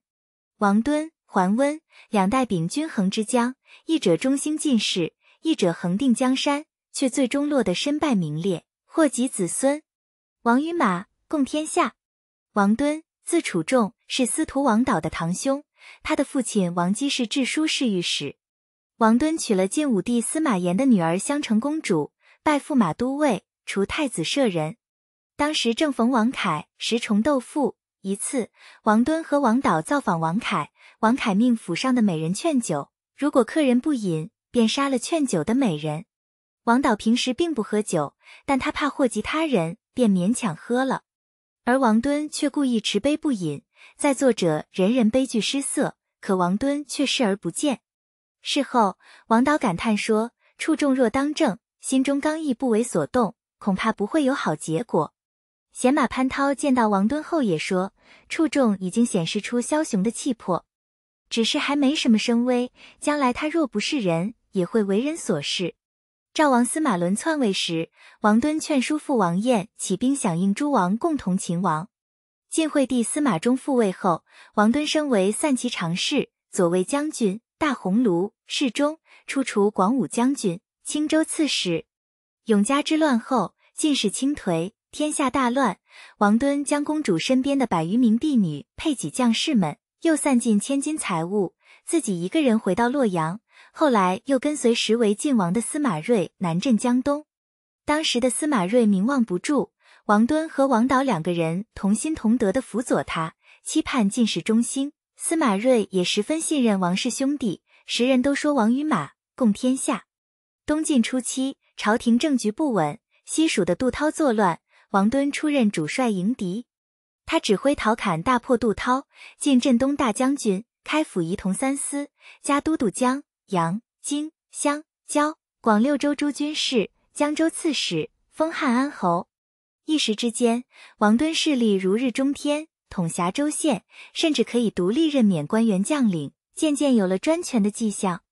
随着琅琊王氏一族的势力日渐强大，晋元帝司马睿也开始暗自提防，就连对曾经的至交好友王导也有了猜忌之心。司马睿任用刘奎制衡王室的权力。并慢慢的疏远王导。王敦上书为王导鸣不平，结果这道奏书并未送到司马睿面前，就被王导原封不动的退回。王敦便再次上奏。王敦为人雅善清谈，不言财色，颇有威名，在进士南迁和拥立司马睿的过程中立了大功，拥兵在外，掌控了东晋的军事命脉，拥有至高无上的权力，于是独断专行，甚至有了不臣之心。这自然引起司马睿的不满，司马睿便重用刘奎、刁协等人。王敦自然心生怨恨，他常常在酒后咏唱曹操的《龟虽寿》。王敦想让从事中郎臣班为襄州刺史，司马睿却另派他人。王敦与司马睿之间的嫌隙日深，便上表陈述，自古以来忠臣往往因小人之故见疑于君主。结果这道奏表非但没能消除君臣之间的隔阂，反倒令司马睿更加忌惮他。为了牵制王敦，司马睿任命刘奎为镇北将军，戴若思为征西将军，表面上是为了对抗北方少数民族。两度兵变，永昌元年（三百二十二），面对司马睿的种种猜忌，王敦为了保住自己的地位，以清君侧为名，大举进兵建康城，矛头直指刘奎。王敦兵至芜湖，又上表陈述刁协罪状。司马睿大怒，下诏说：“王敦恃宠叛逆，是可忍孰不可忍。如今我要亲率大军迎敌，凡有杀王敦者，封五千户侯，并立刻召集戴若思、刘奎入京，抵御王敦。”王敦兵至石头城，便想直接攻打刘奎所部，其部将杜洪劝谏说：“刘奎手下有很多死士。”未必能轻易攻克，不如先攻取石头城。一旦得到石头城，刘奎不战自败。王敦采纳了这个建议，果然大败王师。进入石头城后，他并不去朝见天子，反而放任手下兵士抢掠，结果健康的官员四散奔走。最后，司马睿身边只剩下两名侍中。司马睿脱了铠甲，穿上朝服，对着王敦说道：“想得到我的位置，就早点说。”我自己回琅琊去，何苦连累了百姓？王敦进了建康城，再次掌控了朝廷，杀了周戴若思等人。司马睿无奈，只得委曲求全，封王敦为丞相、江州牧，进爵武昌郡公，亿万户。王敦乘势剪除异己，培植亲党，以兄长王涵为卫将军、都督缅南军事，领南蛮校尉、荆州刺史；以益阳太守任阴都河北诸军事、南中郎将。王敦亲自督宁、益二州，将军事权力牢牢控制在掌中。司马睿去世后，对于王敦的不臣之心，继位的晋明帝司马绍只得隐忍，又对王敦大加封赏。王敦位高权重，日渐暴虐骄慢，任用心腹钱凤等人，在朝堂上不断排除异己，凡有忤逆者，一定除之而后快。后来，王敦的侄子王允之得知了王敦的夺权计划。王允之的父亲王叔与王导一同将这件事告诉了司马绍，提醒朝廷早日防备王敦。泰宁二年（三百二十四），王敦患病，其手下大将钱凤等人商议王敦死后，便起兵作乱。在病中，王敦铲除了一己周札，终于将自己推向了斗争的风口浪尖。司马绍暗中准备讨伐王敦，王敦任命温峤为丹阳尹，本来是想收为己用。没想到温峤回到建康后，却向司马绍告发了王敦谋反之事。司马绍下令征讨王敦，并谎称王敦已经病逝。这无疑削除了战士们的恐惧心理，激发了他们必胜的决心和斗志。钱凤率兵来到建康城，屯兵秦淮河之南。司马绍亲率六军抵御钱凤，几经大战，终于打败叛军。病重的王敦对部将杨建、养子王英说。我死之后，王英便可即位，先建立百官制度，然后再办理我的丧事。不久，王敦去世，终年五十九岁。王英密不发丧，用席子裹住尸体，外边涂蜡。王敦一死，叛军大势已去。不久，朝廷就平息了叛乱，钱凤、沈冲等人俱被斩首。有官员上奏说，王敦罪恶滔天，应该将其开棺录尸。司马绍准奏。就这样，王敦被从墓中挖出，焚烧了衣冠，斩下头颅，悬于城门。观者莫不称快。东晋风流图原方从义画中，王羲之坐在岸边水榭之上，西山环抱，景色宜人。王羲之的家族是东晋的望族，他的两个伯父是拥立司马睿建立东晋的功臣，一位是宰相王导，另一位是大将军王敦。王马共天下是西晋八王之乱和永嘉之乱的结果，也是晋朝名门大族势力发展，直到超越皇权的产物。桓温伐蜀。桓温，字元子，父亲是宣城太守桓仪。桓温出生不久，温峤就曾说这个小儿有奇骨，是个英才胚子。因为得到温峤赏识，所以父亲便给他起名为温。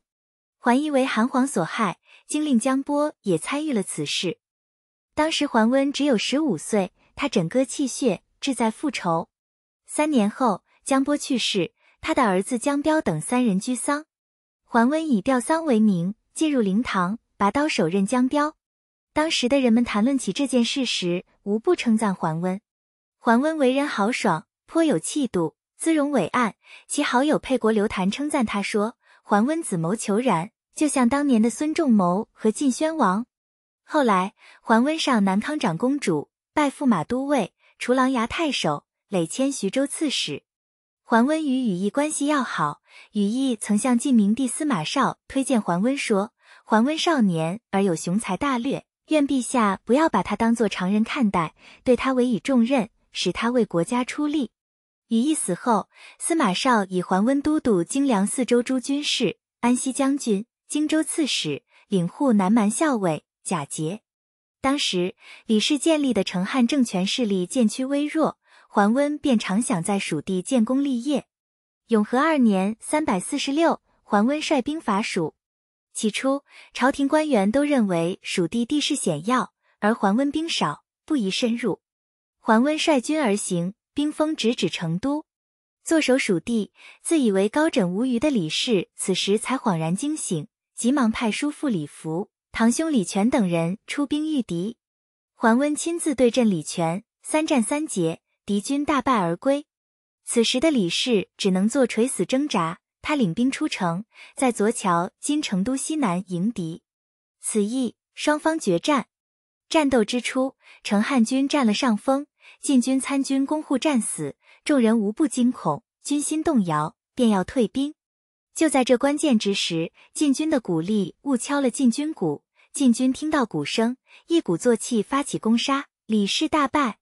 桓温乘胜追击，驱兵长驱直入成都，焚烧了成都小城，逼得李氏连夜遁逃九十里。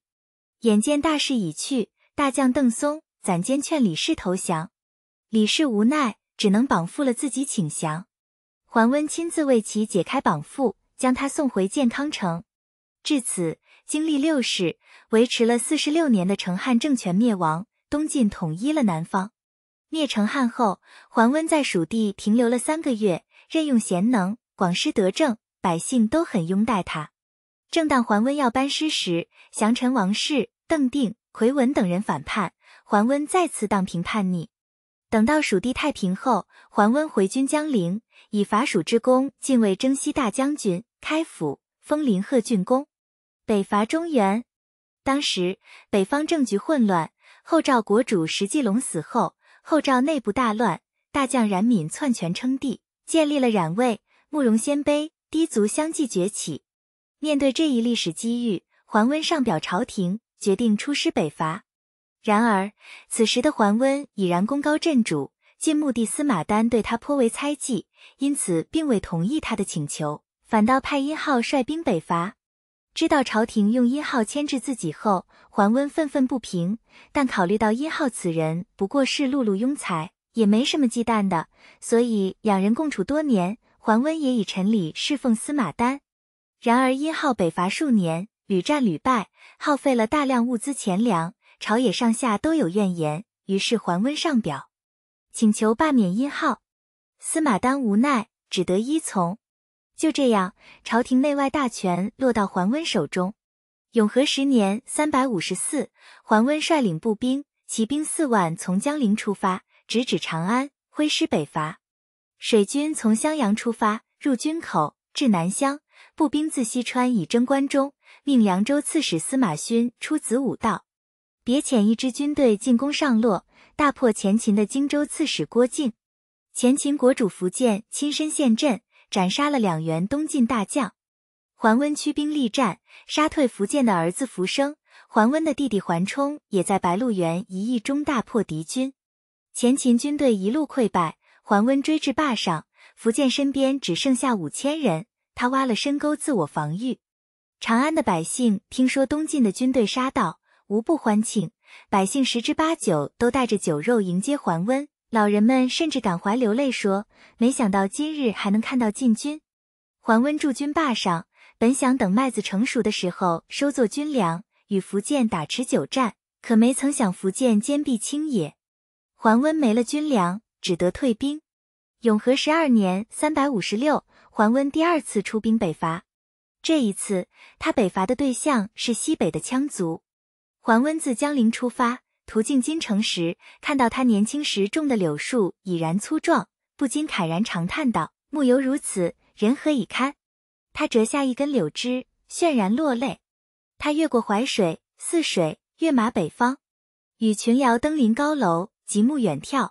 桓温慷慨而言：“神州陆沉，致使百年基业沦为废墟，王衍难辞其咎。”桓温军队到达伊水时，羌族首领姚襄屯兵北岸。双方隔水相距，对阵之时，桓温亲自披挂上阵，其弟桓冲身先士卒，打败姚襄。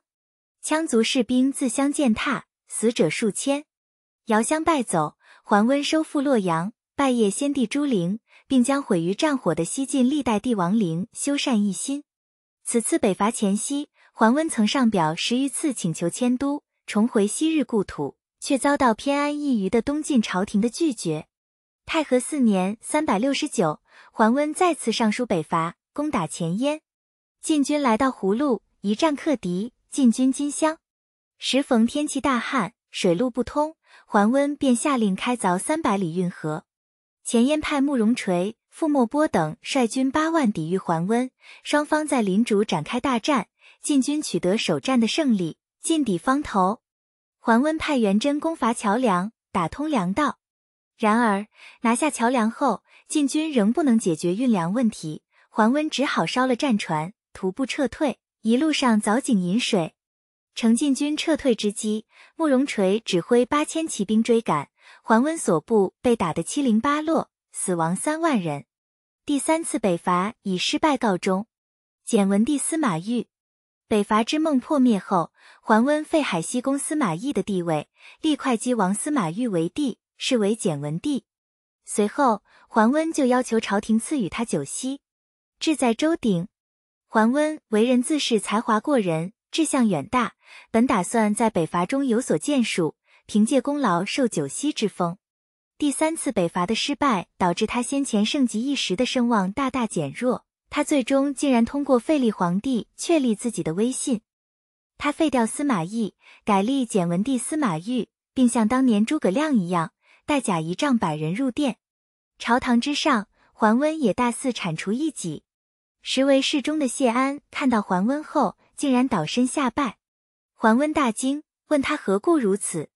谢安说：“没听说过君王败于前，而臣子作揖于后的。”毫不留情地讥讽了桓温的不臣之心。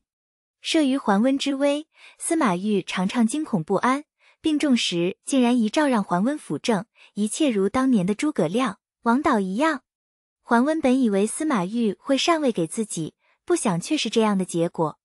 孝武帝司马曜即位后，桓温带兵入朝，直入山陵。司马曜派尚书谢安在新亭迎接，当时百官皆拜于道路两侧，无不惊恐失措，甚至有人说桓温会杀了王坦之和谢安。危难之际，谢安镇定自若地化解了这件事情。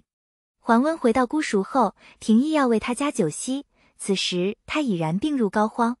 听说这个消息后，谢安和王坦之便故意拖延这件事，直到桓温病死，终于平息了这场篡位风波。论赞，使臣曰：王敦靠对外征伐树立权威，倚仗兵权而对内压主，最终落得枭首戮师的下场，祸及身后。桓温文韬武略，雄迈才高。当时的东晋王朝，北有戎狄肆虐，西有李氏之患，他以恢弘气略平定西蜀，功高可叹。其后，桓温用兵洛阳，修复武陵，又挥军西向，威怀三府，虽然未能剪除敌人。但也足以扬威，抚慰先王之灵。然而此后的桓温大权在握，挟威镇主，觊觎神器，废主立威，诛杀忠良，这实在是罪大恶极，抚越一家，人神同气。卷一百一，刘元海载记：匈奴曾是北方最强大的少数民族，跨越欧亚草原，濒及流沙。自西汉末毒单于盛极一时，汉室不得已。每每求和，直到汉武帝时期，一举大破匈奴。进入东汉，匈奴势力渐弱，战争、天灾不断的侵蚀着曾经强大不可一世的马背民族。最后，匈奴内讧，分裂为南北两庭。随着北匈奴的西迁，南匈奴的依附，匈奴逐渐没落。然而，随着中原王朝的衰落，北方民族的兴起，匈奴迎来了历史上的第二次辉煌。伪至中原，刘元海名刘渊，这里称其表字为刘元海，因晋书成书于唐代，魏必高祖李渊会，不称刘渊。他是新兴匈奴人，自称冒毒单于的后代。汉初，汉高祖刘邦将宗亲的女儿封为公主，嫁给单于为妻，所以其后代以刘为姓。东汉建武初年，匈奴分裂为南北两部分。中平年间，南匈奴单于羌渠派其子于弗罗率兵协助东汉王朝讨平黄巾叛乱。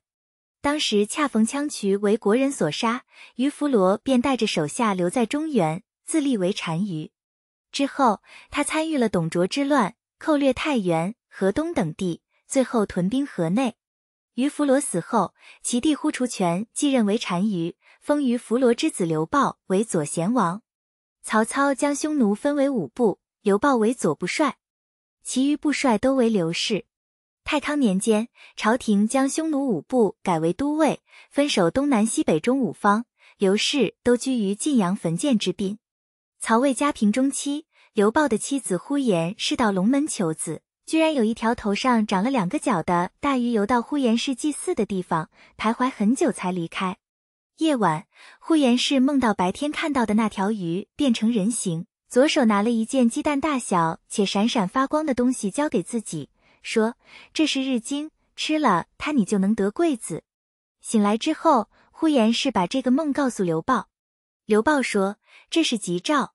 当年我跟随司徒氏学相术的时候，他就说我将来会有富贵的子孙，刘氏三代之后必定昌盛。这与你的梦正好相符。”十三个月后，呼延氏生下了刘元海。出生时左手中便有一个渊字，因而以此为名。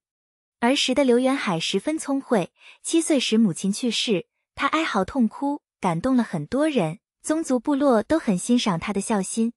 刘元海很好学，师从上党崔游，学习毛诗、经世义、马氏尚书，尤其喜欢《春秋左氏传》《孙吴兵法》，几乎能够背诵。至于《史记》《汉书》《诸子》等，无不涉猎。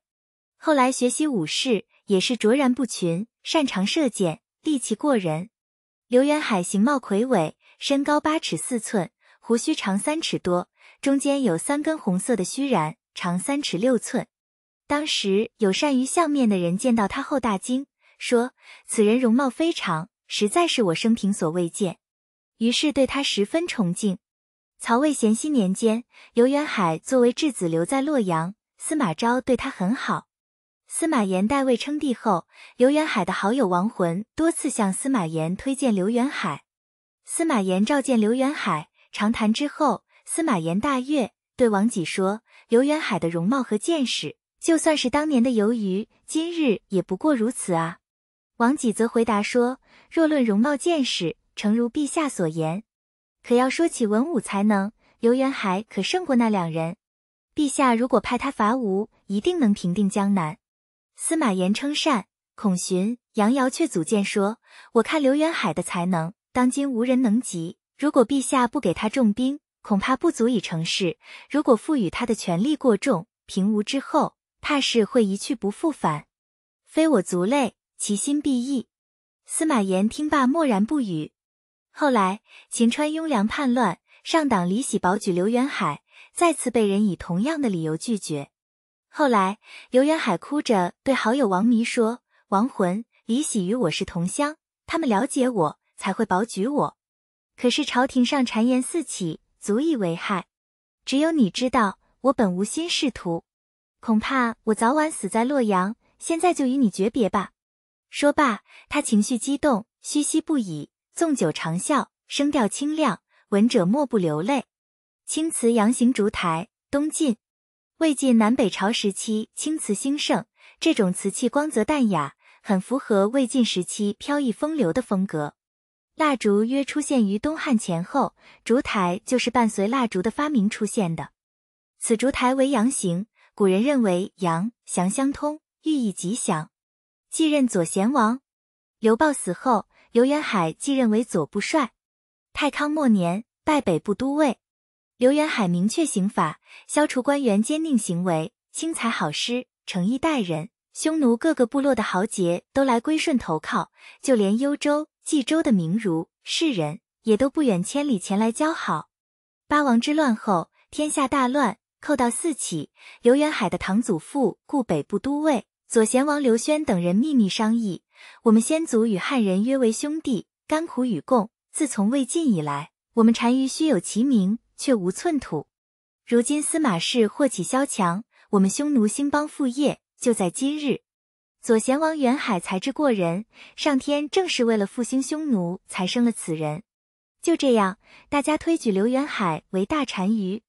司马颖为皇太帝的时候，任命刘元海为冠军将军，封为卢奴伯。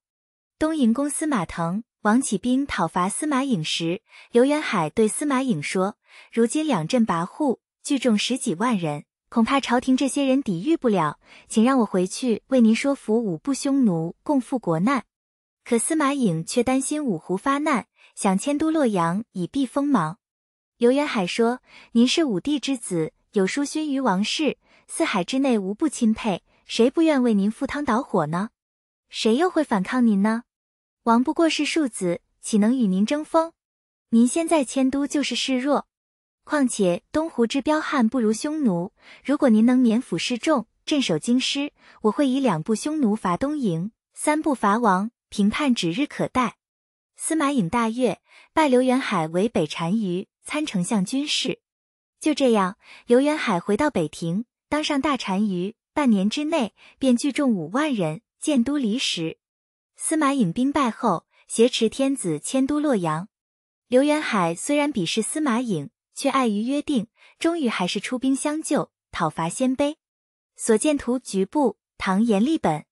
刘元海死后，太子刘和继位。之后，一向以汉勇闻名的刘渊第四子刘聪杀死兄长刘和，自立为大单于、大司徒。刘聪荒淫奢侈，性情残暴。此图表现的是匈奴汉国的廷尉陈元达向刘聪冒死进谏的情景。称帝建国，永兴元年（三百零四），刘元海在左国城（今山西离石东北南郊）修建祭坛，称汉王，大赦境内，改年号为元熙，自称继承汉统，追尊刘禅为孝怀皇帝，立庙祭祀汉高祖以下的三祖五宗，立妻子呼延氏为王后，设置百官，封刘轩为丞相，崔由为御史大夫，刘弘为太尉，其余官员各有封赏。司马腾派部将聂玄讨伐刘元海，双方在大陵开战，结果聂玄兵败。司马腾害怕，率领滨州的两万户南下山东。刘元海又派建武将军刘耀出兵太原、宣氏、屯留、长子、中都，进阶攻克。一年，司马腾再次出兵，双方战于离石汾城。刘元海的部将再度连战连捷。这一年，刘元海以前将军刘景为使持节，征讨大都督、大将军，在板桥攻伐刘琨，结果被刘琨所败，还被刘琨占领了晋阳。刘元海的侍中刘殷、王玉进谏说：“殿下您起兵以来已有数年，但是却偏安一方，威名未振。如果能派将而出，与晋士一决胜负，杀刘琨，定河东，成帝业，再挥师南下，克定长安。”以之为都，再凭借关中之势席卷洛阳，就不难了。这便是高皇帝汉高祖刘邦当年的宏基伟业。刘元海说：“我也是这样想的。”于是出兵进据洛阳，然后攻袭蒲坂、平阳、蒲子、河东、平阳属县，望风而降，威震北方。上郡四部鲜卑陆竹言、低求大善于征，东莱王弥及石勒等也相继归附。刘元海盛极一时。称雄朔北，永嘉二年（三百零八），刘元海称帝，大赦境内，改元永凤，以大将军刘和为大司马，封梁王；尚书令刘欢乐为大司徒，封陈留王；御史大夫呼延义为大司空，封燕州郡公；宗室以亲疏为等，西封郡县王；异姓以勋谋为差，皆封郡县公侯。迁都平阳（今山西临汾西南金殿）。称帝后的刘元海雄心万丈，令儿子刘聪与王弥进攻洛阳，令刘耀、赵固为后援。此时西晋执政的是东海王司马越，他派遣平北将军曹武、将军宋抽、彭默等迎敌，交锋之后大败而归。刘聪等人长驱直入，兵进宜阳。平昌公司马模派将军淳于定、吕毅等自长安出兵增援宜阳，结果还是战败。然而，面对节节胜利，刘聪等人日渐大意，不设防备，中了弘农太守袁岩的诈降之计，大败而回。刘元海则素服迎接班师的将士。刘元海并不甘于兵败，这年冬天，他再次发兵，以刘聪、王弥、刘耀、刘景等人率骑兵五万人进攻洛阳，在黄河之南大败晋军。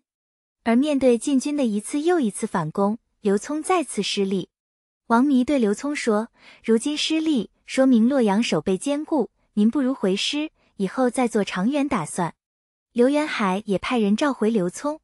刘元海以刘欢乐为太傅，刘聪为大司徒，刘延年为大司空，刘阳为大司马，在境内实行大赦，立其妻单氏为皇后，立子刘和为皇太子，封子刘义为北海王。刘元海病笃之时，将身后之事托付给太宰刘欢乐和太傅刘阳。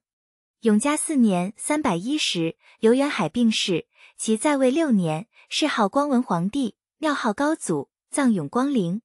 卷一百四至卷一百五，石勒载记。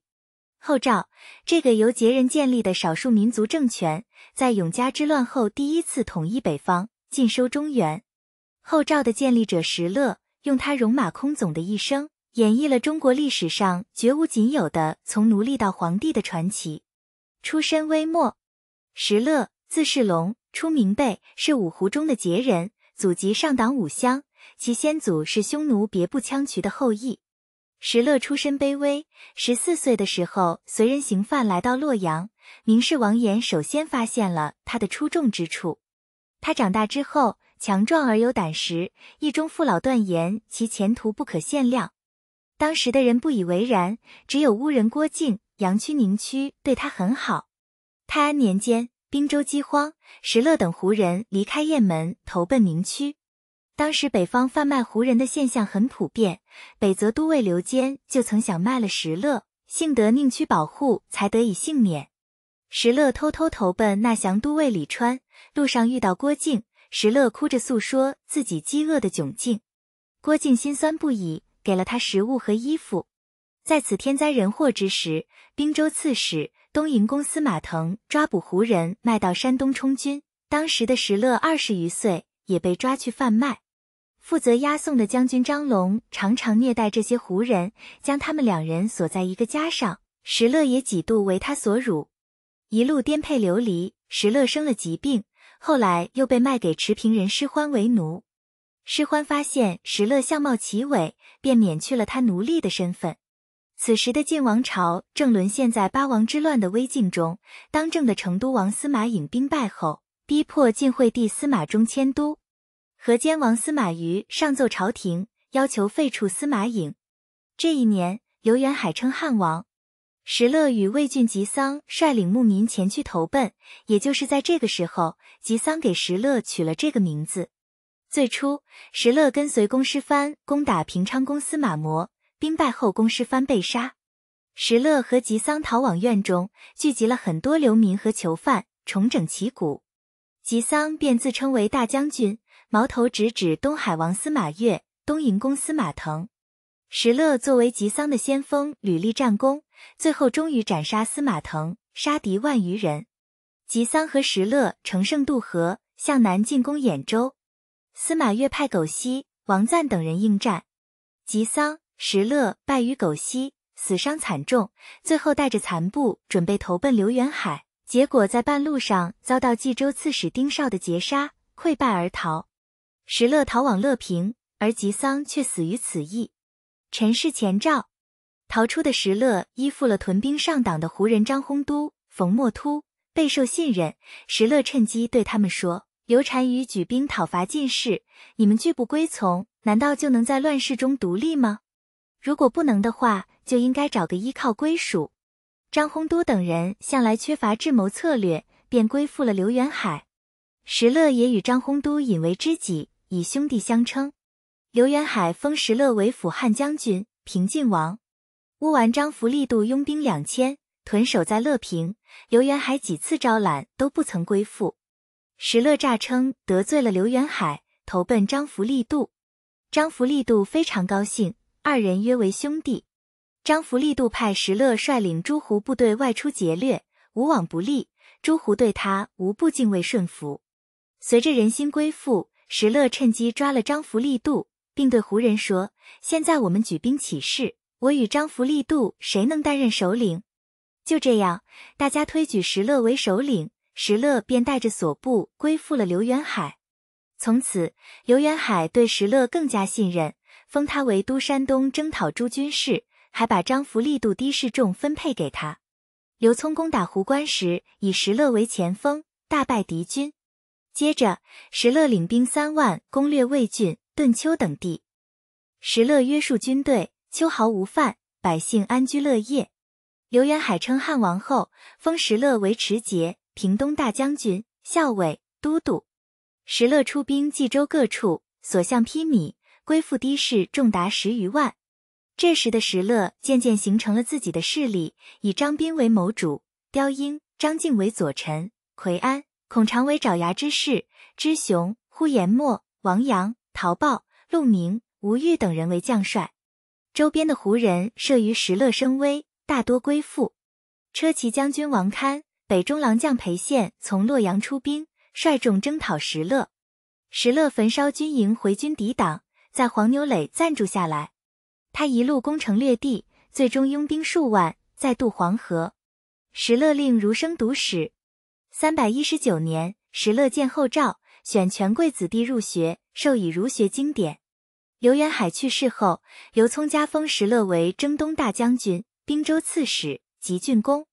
石勒从刘民手中攻下宛城，势力更加强大，向南攻略襄阳，攻陷江西三十余座壁垒。他不听从谋士张斌的劝阻，率兵南下。晋元帝司马睿派王导率众抵挡，结果孤军深入的石勒不仅粮草供应不上，北方士卒到了南方又遭遇疫病，死亡大半。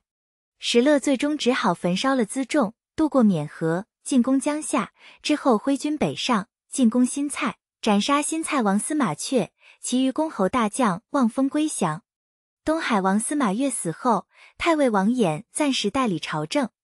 石勒率兵来袭，生擒王衍等人，杀尽西晋旧臣，然后会同刘耀和王弥攻陷了洛阳。石勒将功绩归于这两人，自己带着兵进驻许昌。进军谷阳，斩杀了冠军将军王资，后召才官将军印。才官将军为武官名，始建于西汉，掌兵事。魏晋时，才官为中级武力，晋时位列六品。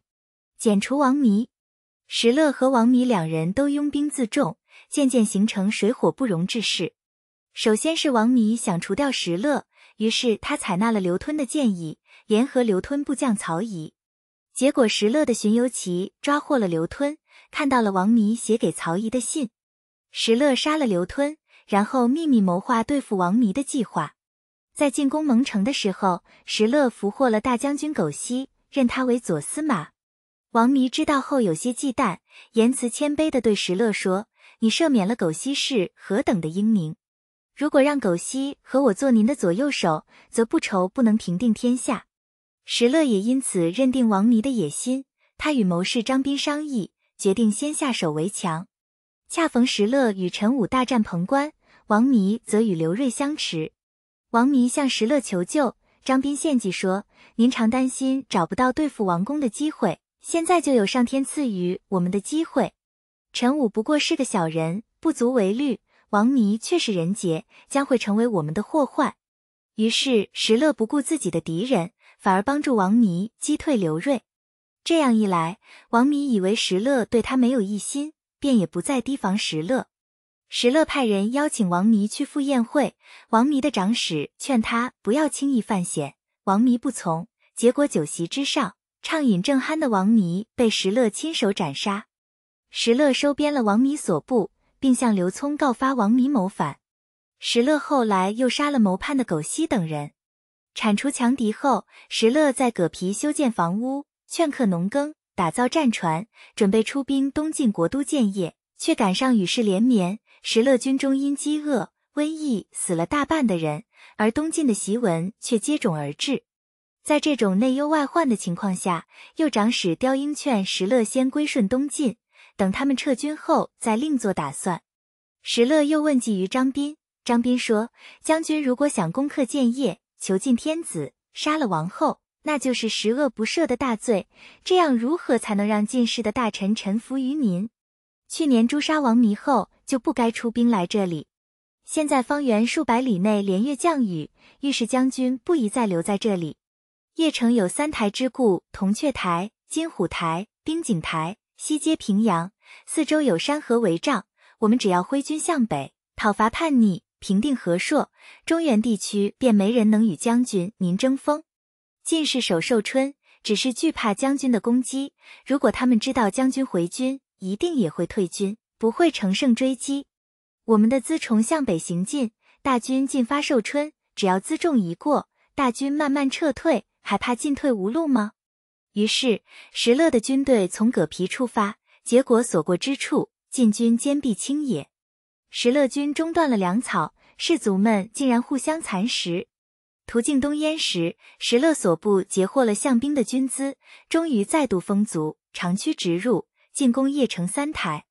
三台易守难攻，张斌劝说石勒暂时放弃攻打邺城，转而占据北方的邯郸、襄国。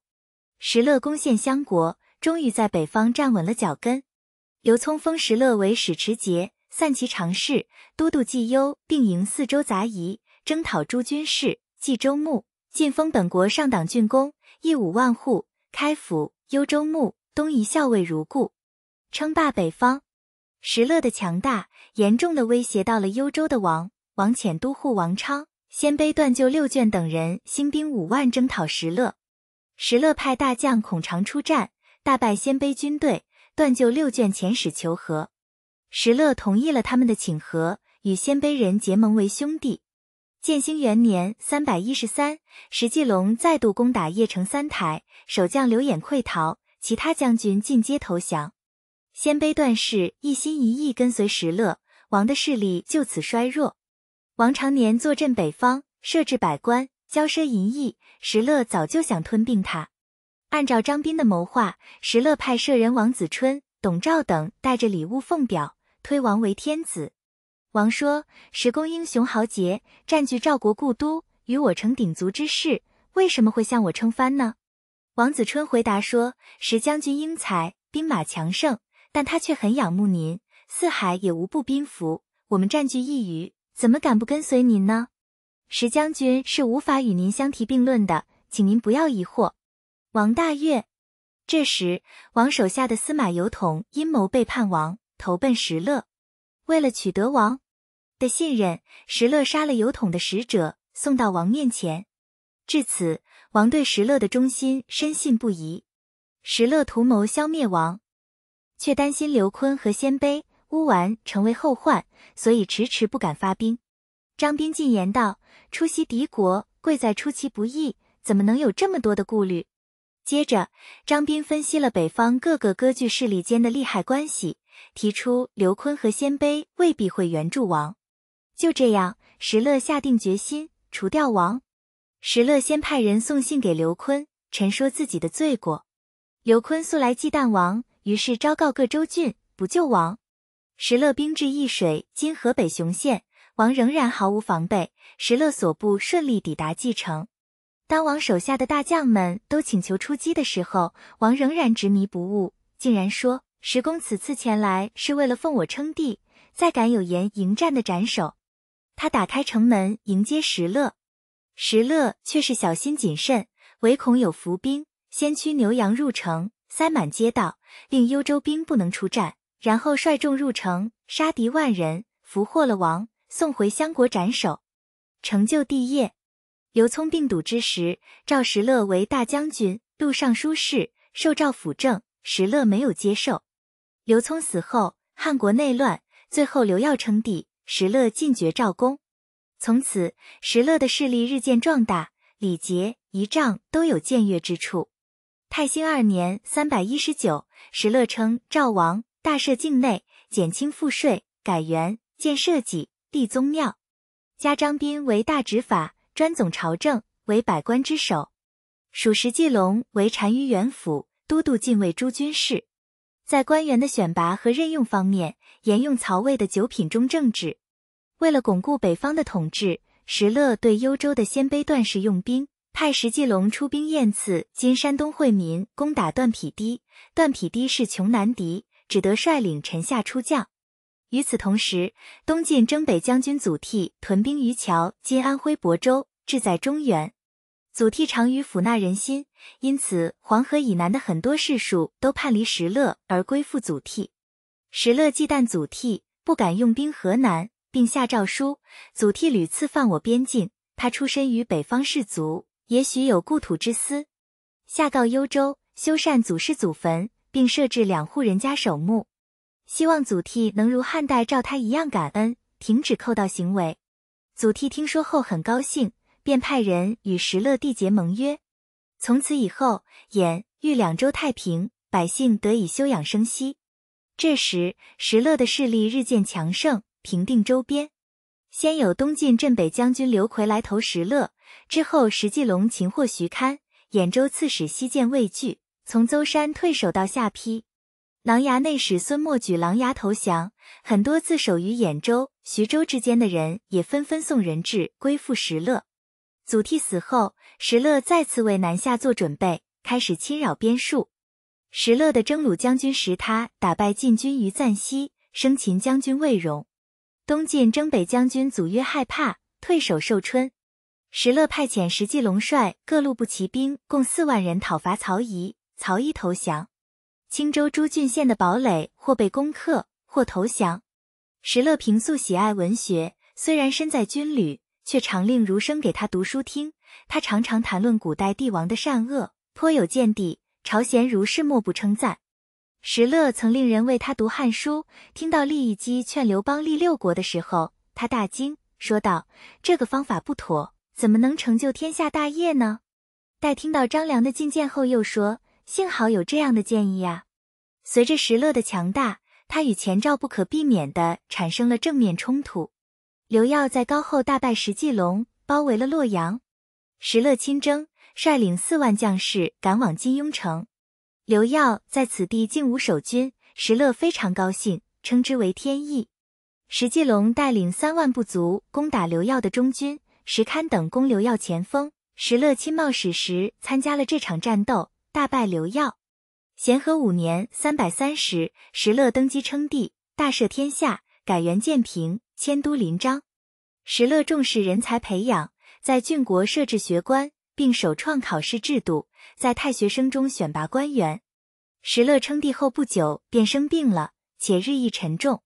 咸和七年（三百三十二），石勒病逝，时年六十岁，谥号明皇帝，庙号高祖。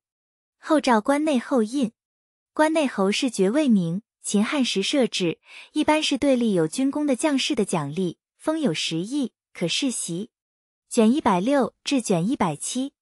石季龙载记，后赵君王石季龙是中国古代著名的暴君，他篡权夺位，自立称王，平视武力，横征暴敛，极度骄奢淫逸。不止如此，他不仅杀光了他的叔叔石勒的后人，还让中原几十万汉人死于非命，连自己的儿子和孙子也死在他的屠刀之下。建位称王，石季龙是石勒的侄子，原名石虎。为了避讳，这里只称他的表字。石季龙年幼的时候，石勒的父亲收他为养子，故而也有人说他是石勒的弟弟。石季龙到六七岁的时候，就有善于看相的人说他贵不可言。西晋永兴年间，石季龙与石勒失散，后来刘琨将石勒的母亲和年仅十七岁的石季龙送还至葛皮。石继龙生性残忍，终日游荡，擅长弹弓。经常以此伤人，军中都以他为毒患。石勒恼怒，竟向母亲提议杀了石继龙。其母说：“矫健的牛年幼时拉车，总是能把车子弄坏，你还是多包容他一下吧。”石继龙十八岁时，不再如先前那样自虽放任，他矫健而弓马娴熟，勇冠当时，将领和亲贵们对他都是又敬重又忌惮。石勒也很喜欢他，拜他为征虏将军。然而石季龙残暴的性格却没有改变，他宠幸幽灵郑樱桃，便杀了妻子郭氏，后来再娶崔氏，又因郑樱桃而杀了他。军中若是有武艺和谋略与自己相当的人，石季龙就要乘机加害，前前后后杀了很多人。他带兵在外，每攻陷一座城池，便将城中男女一律坑杀或斩首。为此，石勒多次谴责他，他依旧故我。只是他治军有方，作战英勇，石勒很宠幸他，最后便对他的暴行听之任之。石勒称赵王时，封石季龙为单于元辅，都督禁卫诸军事，迁侍中、开府，晋封中山公。石勒称帝后，授石季龙太尉，守尚书令，晋封为王，亿万户。石季龙自命功高一时。认为石勒登基后会封自己为大单于，没想到石勒却将此位授予石弘。石季龙深以为恨，私下对儿子石岁说：“自从主上建都相国以来，没有战事，我都亲冒矢石。二十年来，我南秦刘越，北走索头，东平齐鲁，西定秦雍，平定十三州，成就后赵大业的人是我。”本来大单于之位应该是我的，现在却落在石弘之手。每当想到这件事，我都不能安心寝食。等到主上宴驾，我一定不会饶过石弘。咸康元年（三百三十五），石季龙废掉石弘。群臣劝他进尊号，他考虑到石勒刚刚去世，不便称帝，便自称居摄赵天王，大赦境内，改元建武，立子十岁为太子。重装甲马画像砖，西晋。给战马罩上重装铠甲，是为了使它得到保护，但沉重的铠甲也减慢了战马的奔跑速度，削弱了骑兵的冲杀力。此画像砖出土于河南省邓州市，表现了东晋十六国时期北方重甲骑兵出征的场面。穷奢极欲，石继龙权倾朝野，独断专行，奢侈无度。他要迁都邺城，便派衙门将张弥将洛阳的钟、九龙、翁仲。铜驼飞廉徙至邺城，途中一口钟落到河里，石继龙便派了三百人潜入水中搜寻，再用一百头牛将之拉出，然后用船将这些东西运到邺城。为此，石继龙非常高兴，下令囚犯减轻两年的刑罚。他在襄国修建太武殿，在邺城建造东西宫。太武殿的基台高二丈八尺，下有密室，其中安置了五百名士兵。太武殿巍峨恢宏，富丽堂皇，东西七十五步，南北六十五步，七瓦、金当、银楹、金柱、珠帘、玉璧都是巧夺天工。他又在阳殿后修建凌风台酒店，广泽天下美女充实其中。这些美女衣服华丽，竟有一万余人，内置女官十八等，教工人们星占、马步骑射等技艺。还在于灵台设置女太史，仰观吉凶灾变的征兆。来考察外太史。此外，宫中还配备女鼓吹羽仪、杂技工巧，一切都与外廷相同。咸康三年（三百三十七），石勒称大赵天王，立儿子十岁为天王皇太子，并将原来的亲王都贬为郡公，藩王为县侯。十岁被立为太子后，荒淫无度，沉湎酒色，骄恣无道，四处游荡，甚至夜间出没官宦之家，奸淫其妻妾。更令人发指的是，他生性暴虐，不下其父。他看到装扮美丽的工人，便会将其斩首，将头盛在盘子上传给大家看。看到有姿色的尼姑，他便与之交谢，然后再杀了尼姑，将其肉与牛羊肉放在一起煮了吃，还分给左右的人。石继龙荒淫，耽于游玩，渐渐失了威信。十岁将那些可以呈给他看的文件呈上，石继龙生气地说。这种小事何足呈报？但十岁不呈报，而又被他知道时，他也生气。为什么不呈报给我看？然后杖责十岁。这种事情一个月会发生两三次。十岁深以为狠，便悄悄对长从无穷、长生、钟庶子李严等说：“无论做什么，总是触怒大王。我想效法当年的默毒杀了父亲，你们愿意跟随我吗？”李严等人拜伏于地。都不敢答话，于是十岁称病不理事，暗中带了宫中五百余人来到李严的别院，说：“我要去冀州杀了石宣，不跟我去的人立即斩首。”人马行了几里地，大家便纷纷逃散。李严叩头阻止他，十岁便昏昏醉醉的回去了。十岁的母亲正是听说这件事后，暗中派人责备十岁，十岁大怒，杀了来人。石继龙听说十岁生病，便派心腹的女尚书前去探查。十岁竟然拔剑刺这个女尚书。石继龙知道后大怒，叫来李岩等人诘问。李岩据实相告。石继龙诛杀李岩等三十多人，将十岁幽禁在东宫。不久，石继龙又放了十岁。十岁临朝时并不谢罪，过了一会儿就出来了。石继龙派使者问十岁说：“太子应该回去。”怎么现在就离开了？十岁毫不理睬，径直而出。石继龙大怒，将十岁废为庶人。当天晚上就派人杀了十岁和他的妻儿，共二十六人，埋到同一口棺中，并改立石宣为太子。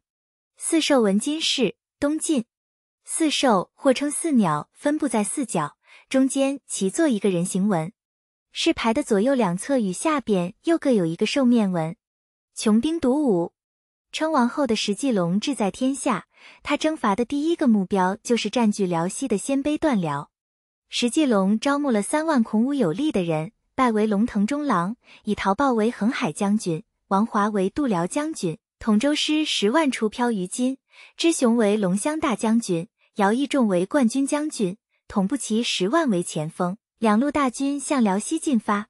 骑步兵、骑兵长驱直入，来到蓟段辽的渔阳太守马报代相张牧、北平相杨玉、上谷相侯堪等四十余城守将率众投降。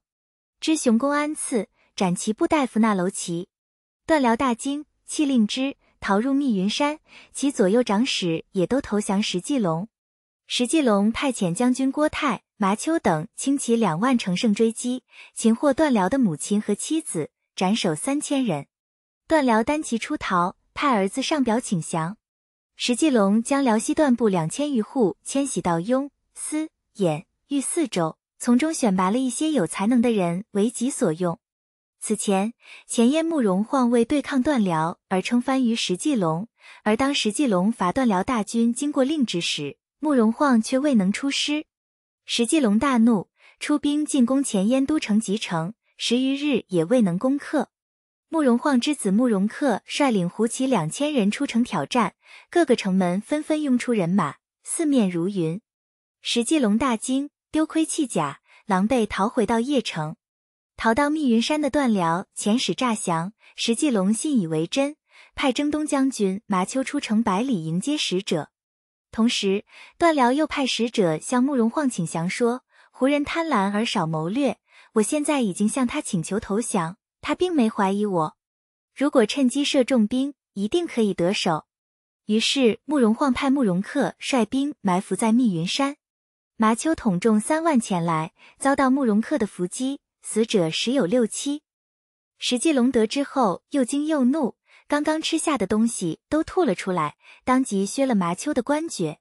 石继龙将矛头指向慕容晃，为了讨伐前燕，石继龙令司、纪、清、徐、幽、定、雍各州人家每五丁抽三人，每四丁抽两人，另有邺城原本的人马，共五十万人，船只一万艘，自黄河入海，向安乐城运送一千一百万斛谷豆作为军粮，又将辽西、北平。渔阳三郡居民一万户徙往豫、雍、洛四州之地。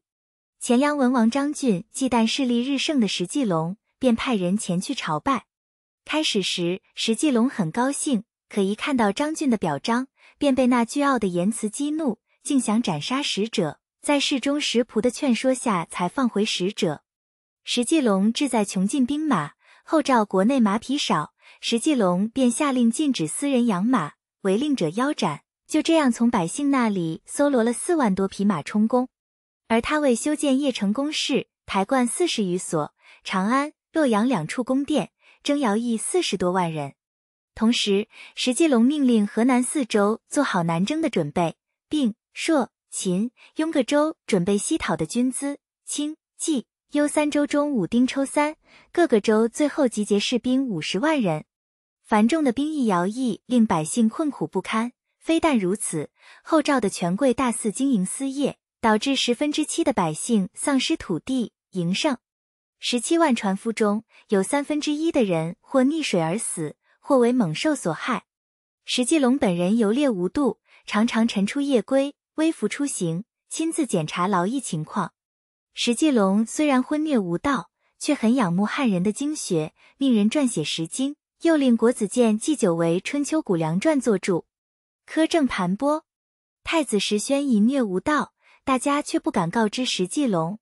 领军王朗则直言不讳地告发石宣，石宣嫌恨在心，便寻找机会加害王朗。石继龙喜欢打猎，但是后来身体发胖，不能跨鞍，便打造了一千辆列车，四十辆格兽车。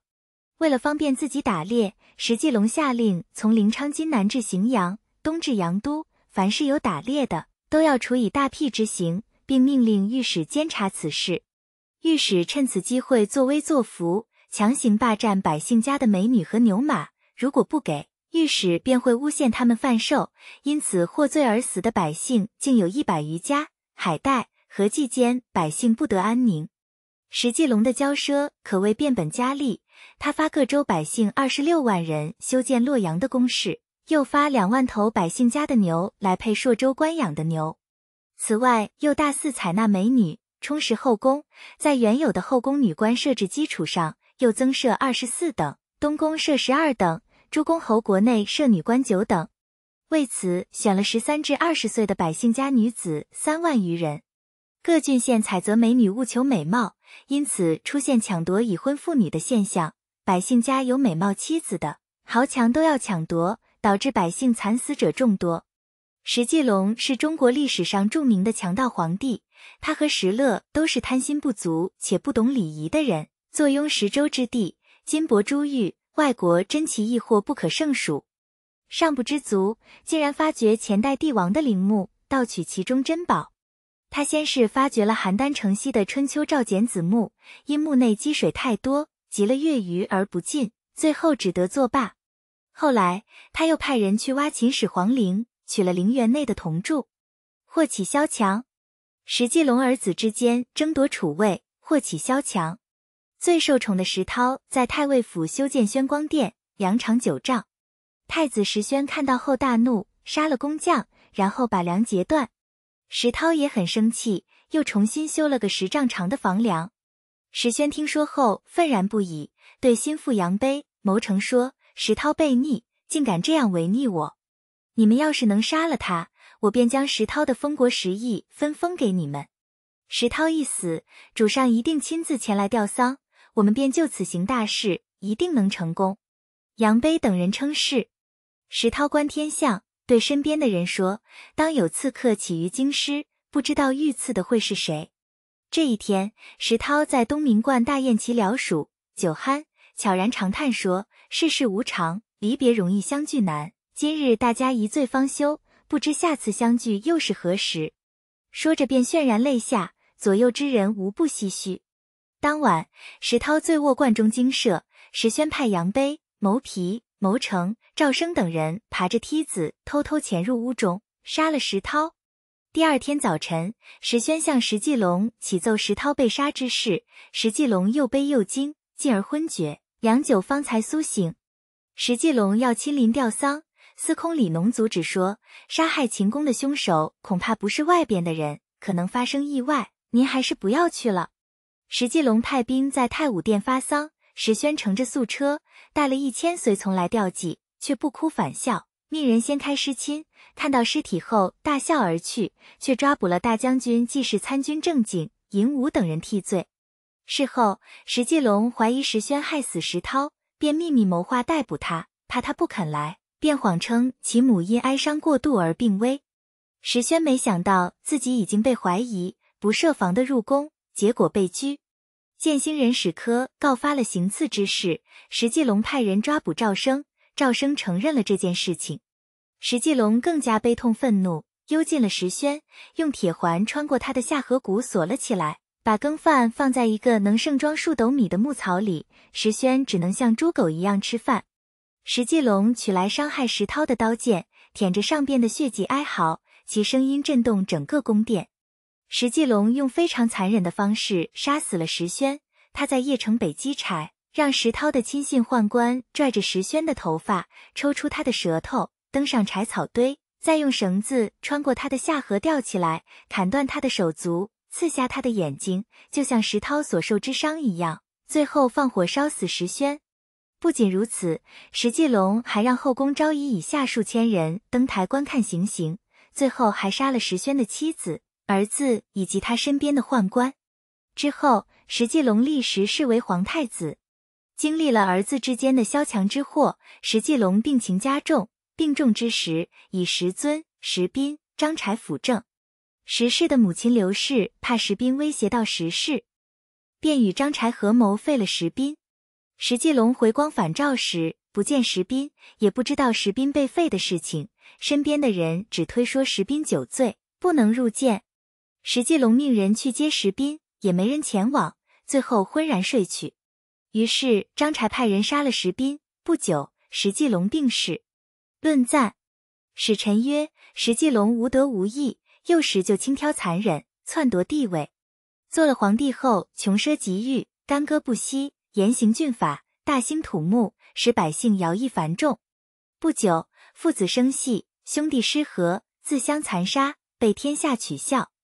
赞曰：晋世衰微，各少数民族争衡，时势狡诈，穷兵黩武，祸乱中原，略陷屠城。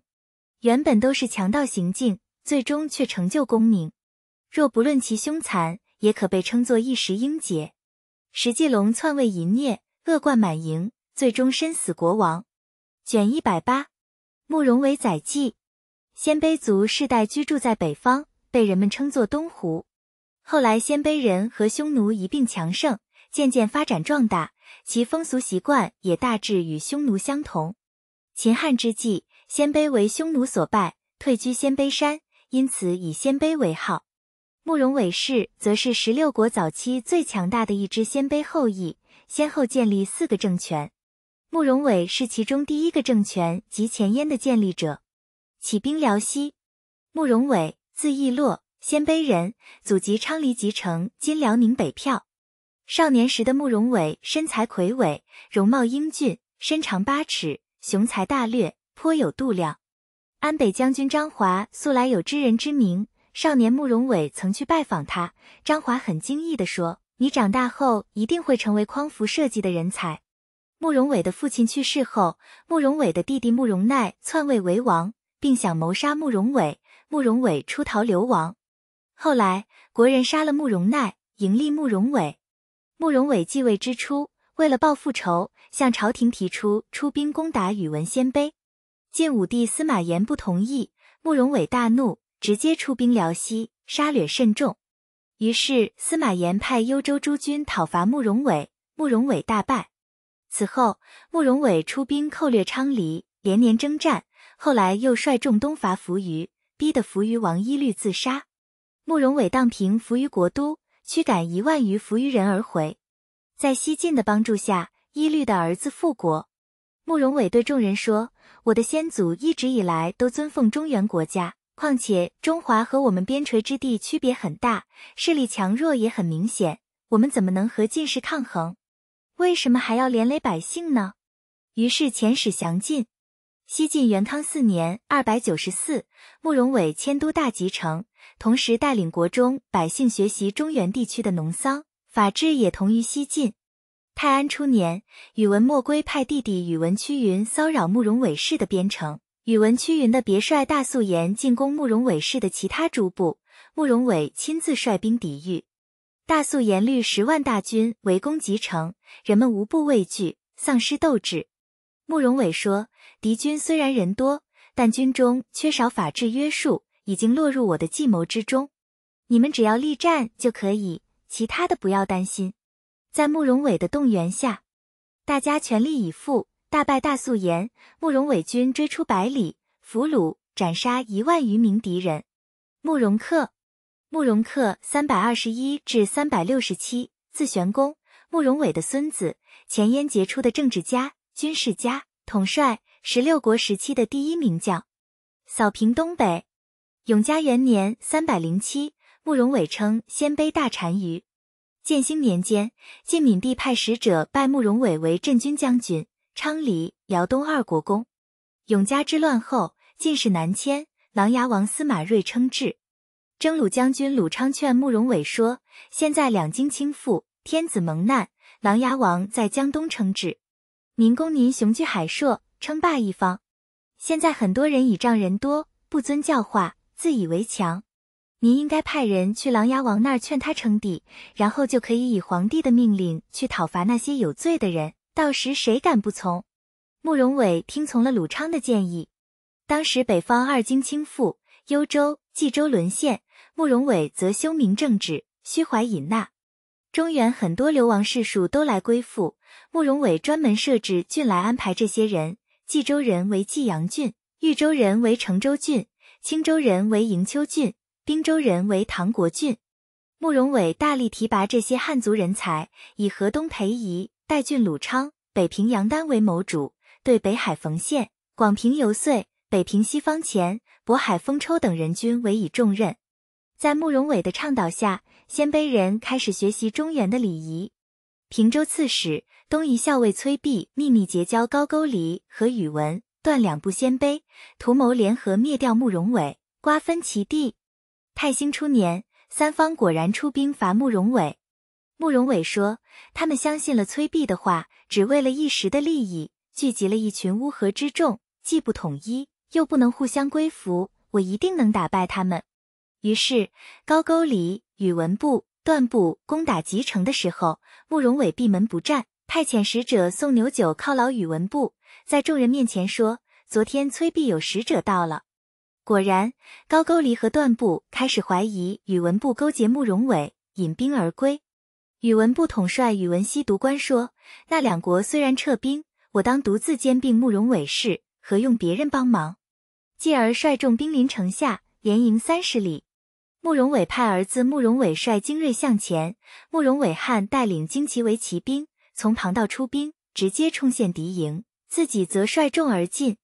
宇文熙独官自恃兵多，并不设防，见慕容伟的军队到了，才率兵出击。前锋刚刚交战，慕容伟汉已经进入其后营，纵火焚烧。宇文氏众人无不震惊，不知所措。宇文熙独官独身逃脱，其余部曲尽皆被俘。晋元帝司马睿派使者加封慕容伟兼平州诸军事、安北将军、平州刺史，增邑二千户。后加使持节都督幽州东夷诸军事、车骑将军、平州牧，晋封辽东郡公，邑一万户，常侍。单于病如故，丹书铁券，呈至海东。咸和八年（三百三十三），慕容伟去世，时年六十五岁，在位四十九年，世乡。慕容伟称帝后，追谥他为武宣皇帝。卷一百十三至卷一百十四，苻坚载记，永嘉之乱结束了西晋王朝短暂的统一，北方再度陷入战火之中。北方少数民族的兴起，将华夏历史带入一个新的时代——五胡十六国时期。在这些政权分立的少数民族中，一统五胡的就是第一人建立的前秦。实现统一的苻坚是中国古代杰出的政治家、军事家。他的文治武功足以光耀后世，却在淝水之战兵败后一蹶不振，最终英雄末路，凄然去世。励精图治，苻坚。字永固，其祖父是前秦的建立者苻弘。苻坚出生时，庭院中隆起一道奇异的光芒，他背上隐隐可见文字：“草覆尘，又土王咸阳。”他相貌奇伟，长臂过膝，眼睛是紫色的，幼时便卓尔不群。七岁聪明好诗，行为举止中规中矩，常常陪在苻弘身边，为祖父出谋划策。高平人徐统会看相，有一次他在途中邂逅苻坚，大感惊讶，拉着苻坚的手说：“苻郎，这是官家的御街，你一个小孩子怎么能在这里玩耍？不怕司隶校尉抓你吗？”苻坚说：“司隶校尉抓的是罪人，不抓玩耍的小孩。”徐统对身边的人说：“这个孩子有霸王之相。”事后，徐统又悄悄对苻坚说：“你的骨骼不俗，日后一定大贵。”苻坚回答：“如果真如您所说，我不敢忘记您的大德。”八岁时，苻坚自己请求找老师教授学问。苻弘非常高兴，说：“戎狄之人只知道饮酒，难得你居然能想到学习。”苻弘去世后，苻坚的伯父苻建继承王位，拜苻坚为龙骧将军。此时的苻坚威信日著，他为人孝顺，博学多才，志向远大，结交了很多豪杰。王猛、吕婆楼、强汪、梁平老等王佐之才聚集在他麾下。苻建死后，其子苻生继位。苻生是历史上著名的暴君，姓氏杀人，凡有归建的人，他都残忍的将其杀害。太原薛赞、岳阳权益等人对苻坚说：“今上昏庸暴虐，尽失人心。自古以来，有德者昌，无德者殃。皇位重任不能被他人窃取。”愿您像汤武那样诛杀暴君，顺应天意民心。苻坚深以为然，接纳心腹，杀了苻生。在众人的推举下，苻坚登上大秦王位，诛杀奸佞，大赦境内，改元永兴。甫登大位，苻坚便显示出非凡的政治才华。他励精图治，劝课农桑，设立学校，凡是那些鳏寡孤独、年高不能自理的人，皆赐予粮食布帛。一时之间，苻坚的才华、品格、功业为人们传颂。苻坚迁都长安，治国兢兢业业。时逢大旱，苻坚命令裁剪王室膳食，金玉罗绮等财物都分给战士们，后宫不得穿着罗纨，衣裙不可垂地。同时，他实行休养生息的政策，与民休整，开垦山泽，所获之利也分于百姓。在用人方面，苻坚破格提拔了王猛，对之亲厚无比，信任有加。当王猛遭到亲贵排挤甚至侮辱时，苻坚毫不犹豫地站在王猛这一边，惩治权贵，为王猛树立了威信。终于，在王猛的治理下，前秦上下秩序井然，路不拾遗，夜不闭户。宣文君受经徒，名陈洪寿。宣文君是前秦女经学家，苻坚赐号宣文君。宣文君出身于儒学世家，是中国古代历史上第一位女博士。苻坚曾令一百二十名学生从他授业，使周官学得以保存流传。画中，苻坚请宣文君传授礼乐，平灭前燕。兴明三年（三百六十五），前燕少帝慕容派太宰慕容恪进攻洛阳，攻占小免，这严重的威胁了前秦。苻坚亲自率兵屯于陕城，以拒前燕。这时，匈奴、乌延等也纷纷起兵叛乱，苻坚派兵出击，将其一一平叛。又派王猛、杨安率众两万人出兵荆州北边诸郡。太和四年（三百六十九），权臣桓温第三次北伐，攻打前燕，大败慕容。慕容以割地为条件，向苻坚求救。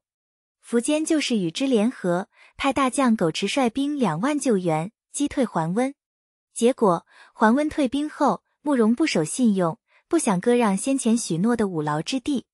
苻坚大怒，派王猛等人率步兵、骑兵三万人，以投降的前燕贵族慕容垂为向导，出兵讨伐前燕。在王猛的指挥下，前秦军队在荥阳大败前燕。一年，苻坚再次以王猛为帅，率领杨安、张豪、邓羌等十位大将，以步兵、骑兵六万人讨伐前燕。出征前，苻坚亲自将王猛送到霸东，对他说：“我将精兵重任授予你，你可以带兵从壶关上党出陆川，这是一举破敌的良机。正所谓迅雷不及掩耳。我当亲自率领大军支援你，你我在邺城前燕国都相会。我已经派漕运督办物资了，你不必有后顾之忧。”王猛说：“臣才智平庸，又无德性，蒙陛下隆恩，侍奉驾前。”统领兵马，仰仗祖先的庇佑和陛下的神机妙算，区区残虏不足为虑。但愿不劳动陛下的大驾。臣虽然没什么本事，但也会不日攻克前燕。就这样，大军出发，杨安进攻晋阳，生擒兵州刺史慕容庄王猛亲自攻壶关，活捉上党太守慕容越。所过之处，敌军望风投降。前燕前来增援的慕容平也因忌惮王猛而不敢进兵。只能屯兵陆川。王猛派游击将军郭庆率领精锐五千人，趁着夜色绕到慕容平军营之后，在山上放火，烧毁了前燕的粮草辎重。火势之猛，连远在邺城的慕容都能看到。慕容害怕，遣使责备慕容平，并催促他出兵。王猛知道慕容平在卖水育心，封山进泉，把潞城的马鞍山和新庄泉封住卖水，发国难财。使得民心尽失，均无斗志。王猛知道这是可乘之机，加上慕容平又求战，于是，在十月二十三日于阵前誓师。之后，前秦将士破釜沉舟，勇不可当，大败慕容平，斩获敌军五万人。王猛乘胜追击，围困邺城。捷报传到长安，苻坚刘太子坐镇长安，芙蓉守洛阳。他亲率大军十万赶赴邺城，大军所至。如摧枯拉朽，不日攻陷邺城，慕容逃跑，被大将郭庆捉回。自此，苻坚平灭了北方最强的前燕。大秦隆兴化谋古圣瓦当，前秦瓦当是屋檐最前端的一片瓦，瓦面上带有花纹，垂挂圆形的挡片，起保护木质飞檐和美化屋面轮廓的作用。这块陶瓦当上的文字内容是称颂前秦工业，应当是官府用瓦。直径十七点五厘米，现藏于陕西历史博物馆。统一北方，灭掉前燕后，前秦再一次休养生息。之后，苻坚的兵锋指向其西方的前凉。东晋太元元年（三百七十六），苻坚以梁王张天锡表面臣服，却派兵进犯河西，而出兵讨伐前凉。前凉上下同仇敌忾，苻坚派大将梁奚王统从青石津渡河，大败前凉骁将梁粲。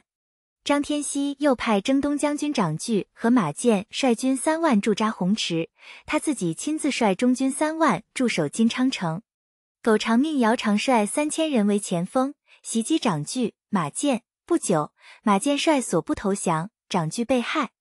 张天锡又派私兵赵冲哲为前锋，率众五万与姚长展开大战，结果大败而归。张天锡惧怕前秦势力，上表请降。姚长兵至孤臧，张天锡自负出降。继前燕之后，前秦再次剿灭前凉。前凉覆灭后，苻坚马不停蹄，又派安北将军、幽州刺史弗洛为北讨大都督，率领十万幽州兵出兵征讨北方代国的十亿间。又派后将军巨南与邓羌等率步兵、骑兵二十万东出合龙，西出上郡，直取代国国都。十邑间战败。顺水路逃跑，苻坚一路追赶，将石义坚赶入阴山。在走投无路的情况下，石义坚的儿子绑缚了父亲，出将苻坚。代国为鲜卑人所立，风俗落后。苻坚平灭其土后，在那里建立了衙署、官员，令当地百姓都从事营生、征调徭役，还特别免除了百姓三年的税租。不仅如此，苻坚还将石义坚带到长安，令他进入太学学习礼仪。随着前秦的不断壮大，苻坚逐渐平定了北方的各个少数民族政权。在永嘉之乱后，北方第一次统一。这时的前秦国力殷实，苻坚也日渐骄奢起来。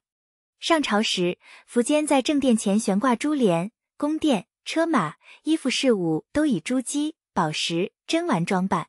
尚书郎裴元略进谏道：“臣听说尧舜住的都是茅草屋子，而鄙夷雕栏画栋的宫殿；轻见金玉珍宝金帛，而体恤民力，劝客农桑，抛弃那些华而不实的器皿，修身得正，以怀纳天下，终于九州一统，天下归心，百姓安居乐业，天下一统，这是臣的心愿。”苻坚听罢，十分高兴，从谏如流。淝水兵败。就这样，前秦国力强大，周边四夷小国纷纷来朝，无形中助长了苻坚的野心。于是，苻坚召集群臣，商议南征平灭东晋。朝堂上下只有秘书监朱仝支持他。左仆射权义谏阻说：“以商纣王的无道，武王才兴兵讨伐。如今晋士虽然衰微，但还没听说他们有什么丧德的行径，反而他们君臣和睦，上下一心。”而且谢安、桓冲等人都是江表的人才，他们内外和睦，不可以图谋。太子左卫帅石越也说，晋士有长江之险，皇帝又没有昏聩之处，难以撼动。我们应该内修德政，不可轻易出兵。虽然反对的人很多，苻坚还是坚持伐晋。他说：“我听说武王伐纣时，也是天象有逆，夫差丧国，最终为勾践所灭。孙权具有江左。”孙浩还是一朝亡国，就算有长江之险，又有什么用？我率大军投边江中，便能阻断江流。大家众说纷纭，苻坚只好留下芙蓉单独商议。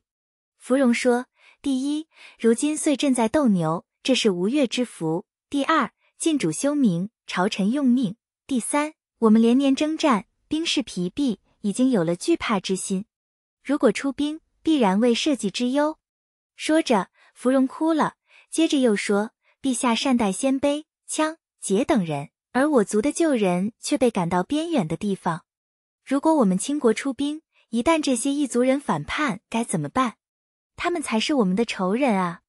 我智术短浅，说的话不足采纳。可王景略、王猛临终前也是这么说的。然而此时的苻坚已然听不进这些相左的意见，他一意孤行。于前秦建元十八年（三百八十二）出兵南征，苻坚征调壮丁，派征南将军伏荣、骠骑将军张豪、辅军将军伏方、卫军将军梁成、平南将军慕容、冠军将军慕容垂率步骑二十五万为前锋。苻坚亲率戎卒六十余万，骑兵二十七万，从长安出发，队伍前后千里，旗鼓遮天蔽日。战事之初，前秦势如破竹。芙蓉攻陷了寿春，活捉东晋平鲁将军徐元喜，安封太守王先。慕容垂攻陷了云城，斩杀东晋将军王太丘。其他诸将也各有斩获。东晋派都督谢石、徐州刺史谢玄、豫州刺史桓伊、辅国将军谢琰等率领水陆军七万人，与前秦大军隔水相望。苻坚与芙蓉登临高处，观望东晋军容，只见阵列整齐，将士精锐，抬头望向八公山，草木高而密，仿佛人形。苻坚草木皆兵，惊讶地说：“那边也有劲敌，怎么能说他们兵少呢？”这个戎马半生、无往不利的前秦帝王，竟然隐隐生出惧意。苻坚派原襄阳守将朱旭劝降谢石。朱旭见到谢石后，非但没有劝降，反而将前秦的军情透露给晋军，并建议趁着前秦的大军尚未集结之时，速战速决，只要挫败他们的前锋，就能取得胜利。这时，前秦的张豪陈兵逼近淝水，阻断晋军去路，使得晋军不能渡河。谢玄便派使者对芙蓉说：“您带兵深入。”在水边布阵，这是打持久战的方式。如果您能率部稍稍退后一点，让我们的队伍渡河，再一决胜负，这样不是很好吗？芙蓉中计，下令全军后退。没想到刚刚撤退，朱旭便在后军大喊：“秦军失败了！”秦军士卒无不惊恐，后退一下子变成溃败，任凭芙蓉如何遏制，都不能阻止士卒的溃逃。芙蓉本人也死在乱军之中。晋军乘胜追击，一直追到青冈，秦军伤亡惨重，死者相枕。在这场战斗中，苻坚为流矢射中，单骑逃回淮北，狼狈不堪。他对夫人张氏说：“朕若是听大臣们的劝说，怎么会有今日之事？如今叫我有何颜面对天下？”说罢，苻坚潸然泪下。忽闻风声鹤唳，以为又是禁军杀到，英雄末路。正史中还有这样一个关于苻坚的爱情故事：当年苻坚兵克邺城，灭掉前燕的时候，前燕皇帝慕容之弟中山王大司马慕容冲年仅十二岁，相貌清秀。他十四岁的姐姐清河公主也是美貌异常。苻坚竟然将两人同时收入后宫，姐弟专宠，其他的宫人不能与之相争。当时长安曾有这样的民谣：一雌负一雄，双飞入子宫。王猛担心这早晚会成为祸乱，便力劝苻坚将慕容冲遣出宫。慕容冲小字凤凰，他离开皇宫后，苻坚很思念他。传说中的凤凰即凤凰，非梧桐不栖，非竹子不食。苻坚便在阿房城中种了十万株桐竹，以寄托对慕容冲的思念之情。淝水之战后，前秦元气大伤，先前收服的鲜卑、羌等少数民族纷纷反叛。首先是慕容垂逃回前燕故地，羌族首领姚苌也起兵崛起，北方再度陷入四分五裂的局面。最后，苻坚陷入困守孤城的境地，而那个兵临城下的人就是慕容冲。十年未见，苻坚犹忆当年的情谊，派使者送慕容冲一领锦袍，说：“你远路而来，应该很劳顿吧？如今送你锦袍一领，表明我的心意。朕与你是何等情分？”怎么一朝之间变至如此？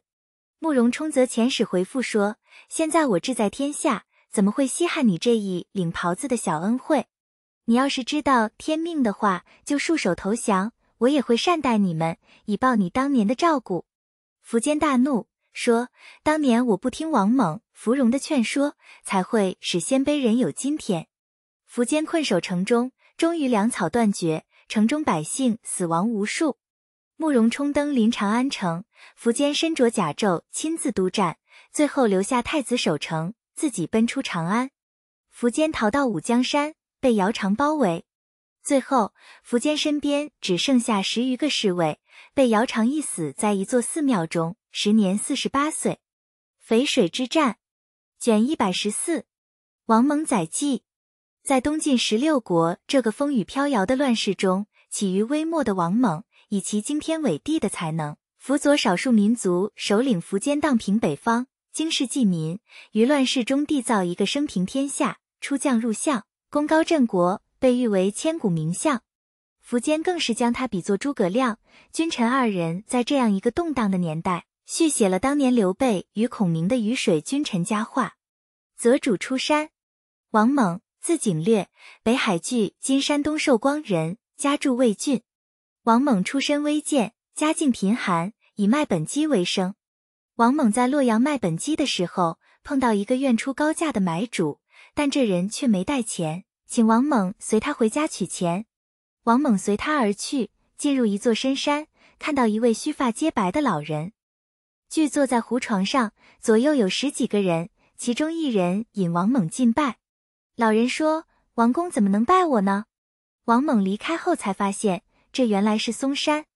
王猛姿容伟岸英俊，博学，喜好兵法，性格谨慎严肃，气度恢宏，从不关注细枝末节的小事，也不与志趣相异的人交往。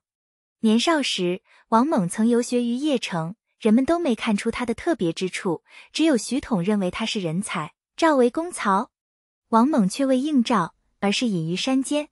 王猛有王佐之志，希望能得到一位明主。所以深深蛰伏，等待时机。桓温入关后，召王猛谈话。王猛一面口若悬河的谈论天下大事，一面旁若无人的捉狮子。桓温知道他非同寻常，便问：“我奉天子之命，率领精锐之师十万，秉承大义而讨贼，为百姓清除残贼。但是三秦的豪杰却不归附我，这是为什么？”王猛说：“您不远数千里来到敌人的府邸。”长安近在咫尺，可您却不渡过灞水攻取长安，百姓们看不穿您的心思，所以不敢轻易前来。听了王猛暗含玄机的话，桓温默然，不知道该说什么好。桓温离开之前，赐给王猛车马，拜他为高官都护，请他一道南下。王猛回到山中咨询师傅，他的师傅说：“你与桓温怎么可能同列？这里自然有富贵，何必远行？”就这样。王猛没有跟随桓温，前秦苻坚素有远大志向，听说王猛的才名后，派吕婆楼前去招他。结果苻坚对王猛一见如故。谈话中提到国家兴废大事的时候，两人十分契合，就好像当年刘备遇到诸葛亮一样。苻坚称帝后，以王猛为中书侍郎。当时前秦境内有很多西归的人，盗贼肆虐横行，苻坚转王猛为使平令。甫一上任，王猛雷厉风行，以严刑峻法严惩豪强。为了警示豪强，王猛鞭杀了一名官吏。结果下边有人联名上书，有官吏便弹劾了王猛，王猛被投入监狱。苻坚亲自审理这件事情，他对王猛说：“为政之体，德化为先。你到任不久，却杀了那么多人，何其残酷啊！”王猛说：“臣听说宰相用礼制来维持国家安宁。”用法治来治理乱邦，陛下不嫌弃我没有才能，而让我管理地方。我只想为明君剪除凶残狡猾的恶徒。现在刚刚杀了一个奸佞之人，剩下数以万计。陛下若认为臣不能将这些残暴的人尽皆铲除，肃清法度，那我甘愿受死，以此谢罪。但是酷政这个罪名，臣实在不敢接受。听了王猛的话，苻坚大为感动。他对群臣说：“王景略就好像昔日的管仲、子产。”于是赦免了王猛。王猛，关中良相为王猛，天下苍生望谢安。王猛是一代奇才，有人甚至认为他超过了诸葛亮。出将入相，再次启用王猛后，苻坚加封王猛为尚书左丞、咸阳内史、京兆尹。没过多久，再次加封吏部尚书。太子詹事之后，又迁尚书左仆射、辅国将军、司隶校尉，加骑都尉、居中宿卫。这一年，王猛只有三十六岁。一年之间五次升迁，王猛权倾内外。那些宗亲贵戚、老臣旧部无不震惊妒忌，对苻坚过度宠信王猛表示不满。尚书裘腾、丞相长史喜宝多次在苻坚面前诋毁王猛，苻坚大怒。罢黜裘腾为甘松护军，喜宝以白衣的身份领长史。氐族豪强孤臧侯樊氏自恃功劳，当众侮辱王猛说：“我们这些人随着先帝共创大业，尚无大权，你无汗马之劳，怎敢专管大任？难道是我种好庄稼让你来吃吗？”王猛针锋相对地说：“还要你当屠户，岂止只是种地的？”樊氏大怒说：“我一定让你的头颅悬在长安城的城门上，如果做不到，我就枉活于世。”王猛将这话告诉了苻坚，苻坚怒道：“我一定杀了这个老爹，这样百官才能整肃。”后来樊氏入朝奏事时，苻坚对王猛说：“我想把公主嫁给杨弼，不知道杨弼这个人怎么样？”樊氏勃然大怒，说：“杨弼是我的女婿，婚姻已定，陛下怎么能把公主嫁给他？”王猛责备樊氏说：“陛下富有四海，你竟然敢与陛下争这场婚姻，真是不分上下尊卑。”樊氏气得一跃而起，就要打王猛，左右的人连忙止住。樊氏骂了王猛很多难听的话，苻坚怒不可遏，便斩了樊氏。那些低族权贵纷纷抗议，争说王猛的不是。苻坚更加生气，便大骂这些人，甚至在大殿上鞭打诋毁王猛的人。大臣权益进谏说：“陛下宽宏大度，善于驾驭英豪，应该记住他们的功劳，忽视他们的过失，这才有汉高祖的风范。”苻坚笑道：“这是我的过失。”此后，朝廷上下没有人敢不服从，谁也不敢再说什么，都很忌惮王猛。不久，苻坚再次升王猛为尚书令、太子太傅，加散骑常侍。王猛多次上表辞让，苻坚坚持不许。而后又转司徒、录尚书事，其他官职如故。王猛以无功劳，坚持不肯接受。讨伐辽西慕容鲜卑的时候，苻坚以王猛统帅诸军。王猛军纪严明。对百姓秋毫无犯。王猛的队伍未到邺城前，那里盗贼横行无忌。王猛大军一到，远近无不服从，前燕百姓也因此过上安宁的日子。凯旋之后，苻坚晋封王猛为清河郡侯，赐以美妾五人，上等女妓十二人，中等女妓三十八人，马一百匹，车十乘。王猛上书故辞不受。灭掉前燕后，苻坚留镇冀州。派遣王猛在六州境内见机行事，于各地召集人才，出任关东地方官吏。回朝后，王猛被任命为丞相、中书监、尚书令、太子太傅、司隶校尉、持节、常侍、将军。王猛上表辞让了很久。苻坚说：“卿早年为布衣的时候，就有惊天伟地之才。朕那时刚刚弱冠，时值乱世，朕第一次见到卿。”就看到卿的过人之处，认为你就是卧龙。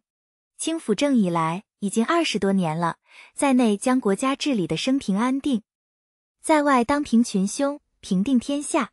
朕从容的看着卿发挥才能，济世建功，舍你其谁？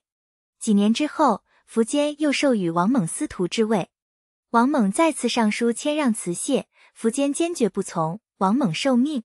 此时，前秦内外一切军机国务、事无巨细，都由王猛一人统领。王猛见桓温，亲马代。桓温北伐入关，王猛着破山拜见，一面门捉狮子，一面与桓温纵论天下大事，权倾一朝。王猛身为宰相，执政期间免去那些工作不尽职尽责的人，选举贤才，对外整顿军务，对内推行儒学，劝课农桑。教化百姓知廉明耻，没有罪过的人不会加以刑罚，没有才能的人不会予以任用，人才都能加以任用。前秦兵强国富，安定太平，都是王猛治国的结果。苻坚曾对王猛说：“你这样勤政，日理万机，我得到你就好像文王得到太公一样，我将安然悠闲的度过余年。”王猛说：“想不到陛下竟然这样作比。”太言过了，臣怎么能跟古人相比？苻坚说，在我看来，将你比作太公，不足为过。他还常常对太子苻弘、儿子长乐公苻丕等人说：“你们对王公，就要像对我一样。”王猛做事严谨，事无留滞，性格刚明清肃，善分善恶。然而早年对他有恩或是有过的人，无论大小，他都要报复。当时的人常常以此批评他。王猛生病时，苻坚亲自在南北交谈宗庙，设计祭祀，还派侍臣祭祀山河，一应礼仪，无不周全。而王猛的病情不见好转，苻坚便大赦境内。王猛的病情愈来愈重，他上书谢恩，却不忘谈及时政，许多言论都避议政务。苻坚看后，感动的流眼泪。见此情景，苻坚身边的人也为之动容。到王猛病危时，苻坚亲自探病，询问他的身后事。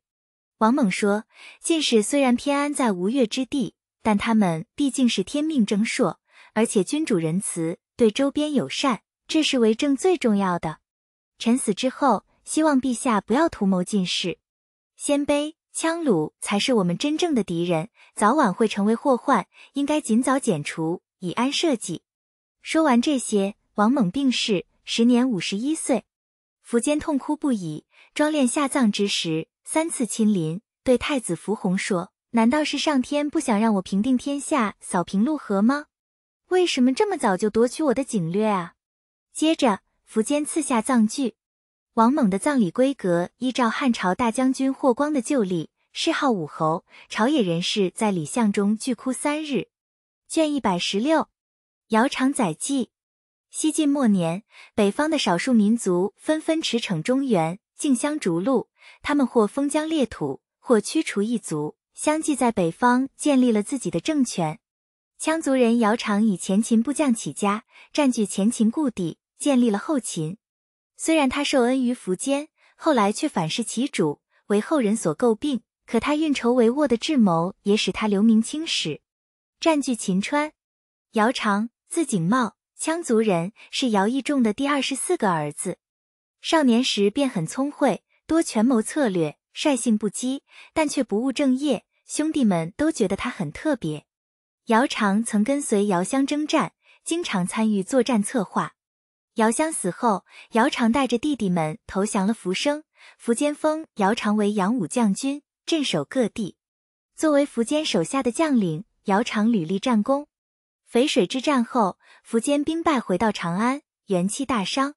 鲜卑慕容氏首先起来反叛，姚苌奉命拒敌，吃了败仗。苻坚大怒，杀了姚苌的使者。姚苌害怕，叛逃到渭北，在西周豪族的推举下当了盟主。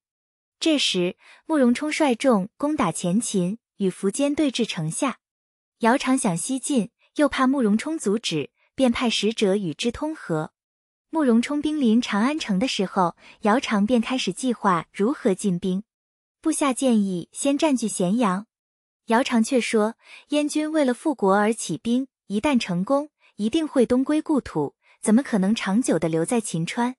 我想移兵临北，充实军备物资，等到前秦疲弊，燕军东回，则秦川唾手可得，兵不血刃，就能坐定天下。”慕容冲大败苻坚，苻坚被逼得弃城而逃，遁入武将山。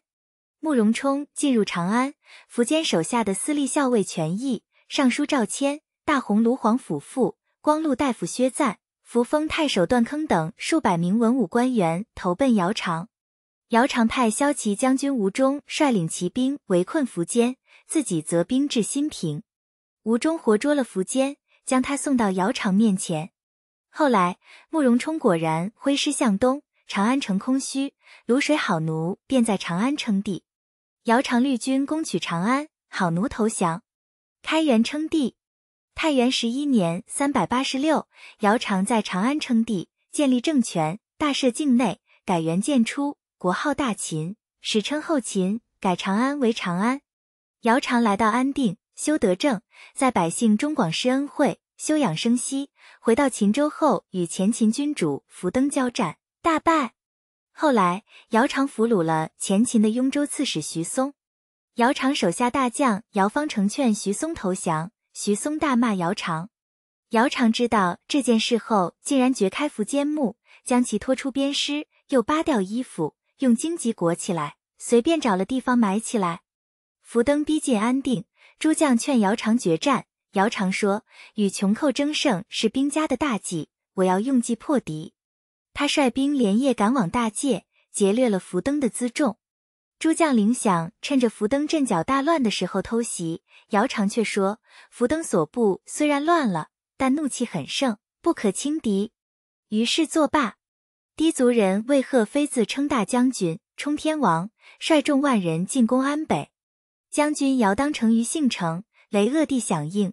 攻镇东将军姚汉得于李润，姚常与众人商议退敌。大家说：“陛下不担心近在六十里的福登，怎么反而忧虑远在六百里以外的魏鹤飞？”姚常说：“福登不是一时之间可以剿灭的，我的城池也不是福登能攻破的。但雷恶地南引鹤飞，东结董承，如果得到信城，则长安东北之地必然沦丧。结果，姚常用骄兵之计。”出其不意攻打魏贺飞后方，以少胜多，大败敌军，斩贺飞，扼地请降。姚常与福登多次交战，屡战屡胜，最后终于在安定东大败福登。在回长安途中，姚常生了重病，梦到苻坚带领数百名天官使者、鬼兵冲入他的营中，姚常又惊又惧。慌忙逃入宫中，宫中守卫持矛要去刺鬼，却误中姚长阴部。鬼兵说：“正好刺中要害。”说完拔出矛，姚长血流如注，整整流了一担血。姚长惊醒，阴部肿胀，医生用针刺，流出脓血，就如梦中一样。姚长开始胡言乱语，说：“臣是姚长，杀陛下的是我兄长姚襄，不是我的罪过，您不要冤枉臣啊。”姚长病重，自知命在旦夕，回到长安后，便召来太尉姚民、尚书左仆射尹伟、右仆射姚晃、尚书狄伯之等人，一命辅政。死前，他对儿子姚兴说：“如果有说这些人坏话的，你不要轻易相信。用仁德对待子嗣，用礼遇对待大臣，对事情要以诚信为本，对百姓要施以恩惠。如果你能做到这四点，我就没什么担心的了。”太元十八年（三百九十三），姚常病逝，时年六十四岁，谥号武昭皇帝，庙号太祖，葬于园陵。前秦雁门太守印，后秦朔方护军印。卷一百二十，李特载记。西晋永嘉之乱后，北方少数民族大举南下，晋士内忧外患，被迫南迁，各个少数民族纷纷建立自己的政权。从四世纪初到北魏统一北方，与东晋对峙的一共有十六个政权，他们浮沉于乱世，留名于青史。成汉是十六国中唯一一个南方割据政权。李特虽然不是成汉的开国君王，却是这个政权真正的缔造者。统帅流民，李特，字玄修，从人，祖籍巴西荡渠（今四川渠县东北）。少年李特在州郡做官。身高八尺，雄武而擅长骑射，性格沉稳弘毅，很有度量。当时的人都觉得他与众不同。西晋元康年间，氐族人齐万年反叛，又逢饥荒，百姓流离失所。李特随着流民入蜀，来到剑阁，看着气象万千的险要地势，他感慨地说：“刘禅有这样的险关，居然投降于人，真是庸才。”李特的弟弟李祥通晓兵法。治军有方，遭到益州刺史赵新的猜忌。赵新借口李祥劝其称帝自立，将李祥杀害。李特嫌恨在心，率兵回到绵竹。赵鑫害怕朝廷因此责怪他，便派长史费远等人沿途阻截。李特带领七千余人夜袭费远，杀敌无数。继而李特兵进成都。听闻这个消息，赵惊慌失措，其手下部将长官出走，各自逃散。赵鑫带着妻子儿女乘小船逃往广州，路上被下人朱竹所杀。李特进入成都，纵兵大肆抢掠，杀害赵新旧部。晋惠帝司马衷派凉州刺史罗尚、都衙门将王敦、广汉太守辛冉等七千余人入蜀。李特十分害怕，派弟弟李襄奉迎，并上贡宝物。李特亲自在绵竹劳军。王敦、辛冉劝罗尚在宴会上杀了李特。可罗尚没有接受这个建议，罗尚下令遣送流民返乡，限期七月。辛冉性情贪婪暴虐，想杀了流民的首领，抢夺其财物。李特为流民请命，请求过了秋收再上路。这些流民在凉州、益州做佣工，听说州郡强制迁徙，人人仇怨；又听说李特兄弟为他们请命，无不感激。当时正值雨季，庄稼没有成熟。流民没有盘子上路，便相携投奔李特。为了安置流民，李特在绵竹结营。辛冉大怒，发布榜文，重金悬赏捉拿李特兄弟。李特收回这些榜文，与弟弟李湘修改了内容：凡是能斩杀六郡豪强李氏、任氏、严氏、赵氏、杨氏、上官氏及低叟首领的，赏布百匹。流民不愿迁徙。都来归顺李特，转眼之间便聚集了两万余人。纵横蜀中，六郡的流民推举李特为首领，李特委派六郡豪强为地方长官，进兵讨伐辛冉，在广汉大破冉军。占据广汉后，李特以李超为太守，进兵攻打成都，多次大败罗尚。河间王司马懿派兵增援罗尚，讨伐李特。李特命李当、李雄迎战，他亲自领兵抗击罗尚的都护张规，三人都克敌大胜。李当进攻加盟关，司马懿的都护牙伯落荒而逃，其所部全部投降。泰安元年（三百零二），李特自称益州牧。都督梁益二州诸军事，大将军、大都督，改年号为建初，大赦境内，然后出兵攻打张征。张征依仗地势险要，与李特相持多日。部下劝李特退兵，李特估计李当会来增援，因此坚守不退。蜀中地势险峻，山道狭窄，只能通过一两个人。李当大军行军困难，但想到父亲受困于敌，他愤然而起，身着重甲。手持长矛，大声呼喊，直冲向前。凡当其锋芒者必死，杀得张征兵败溃逃。李特想放过张征，李当与王欣劝阻说：“张征连年征战，士卒伤亡很重，智勇俱竭。现在正是擒拿他的好时机，一旦放过他，给他休整的机会，便再难打败他了。”于是李特再次征伐张征，生擒其子。在李特大战张征的同时，李湘等人与罗尚之间也展开战斗，李湘大胜。罗尚派人诈降，见李湘兵少，连夜袭营，结果被杀的大败。罗尚听从益州从事人民的计策，派人民诈降。李特向人民询问成都城中虚实，人民说城中粮食已尽，只有买卖的布帛。人民回到成都后，劝降朱屯，回报罗尚。相约共同出兵。一年，司马衷派荆州刺史宋代、建平太守孙富增援罗尚，罗尚派军偷袭李特大营，连续两天，双方展开一场恶战。李特兵少败阵，收拾余部退军。罗尚回师，李特引兵追赶，转战三十余里。罗尚派出大队人马迎战，李特终于寡不敌众，战败而死。后来，李特的儿子李雄称帝。建立成汉政权，追谥李特为景皇帝，庙号始祖。桓温妾李氏，李氏是成汉末帝李氏之女。李氏在位五年，成汉被桓温所灭。据南朝于通之的杜记记载，桓温纳李氏为妾。桓温的妻子南康长公主妒火中烧，欲杀李氏。公主冲入房中，见李氏正在窗前梳头，黑发如丝垂地，姿容绝美，竟扔下刀说。我见犹怜，何况老奴桓温？卷一百二十三，慕容垂载记。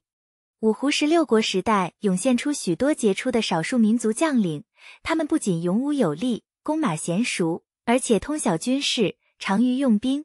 后燕开国君主慕容垂便是其中的佼佼者。慕容垂以其天才般的军事才能完成慕容鲜卑的中兴大业，开疆拓土，傲视关中，中兴复国。慕容垂，字道明，前燕慕容晃的第五个儿子。年幼时便聪慧异常，气度宏大，身高七尺七寸，长臂过膝。慕容晃对他很是宠爱，甚至超过世子慕容俊。慕容晃去世后，慕容俊继位为燕王。时值后赵石纪龙去世，后赵大乱。慕容垂劝慕容俊趁机出兵攻打后赵。慕容俊任命慕容垂为前锋都督，平定幽州。慕容俊称帝后，封慕容垂为吴王。十六国时期最著名的将领慕容恪很推崇慕容垂，他曾对慕容俊说：“吴王的将相之才高我十倍，先帝按照长幼之序才把我排在前边。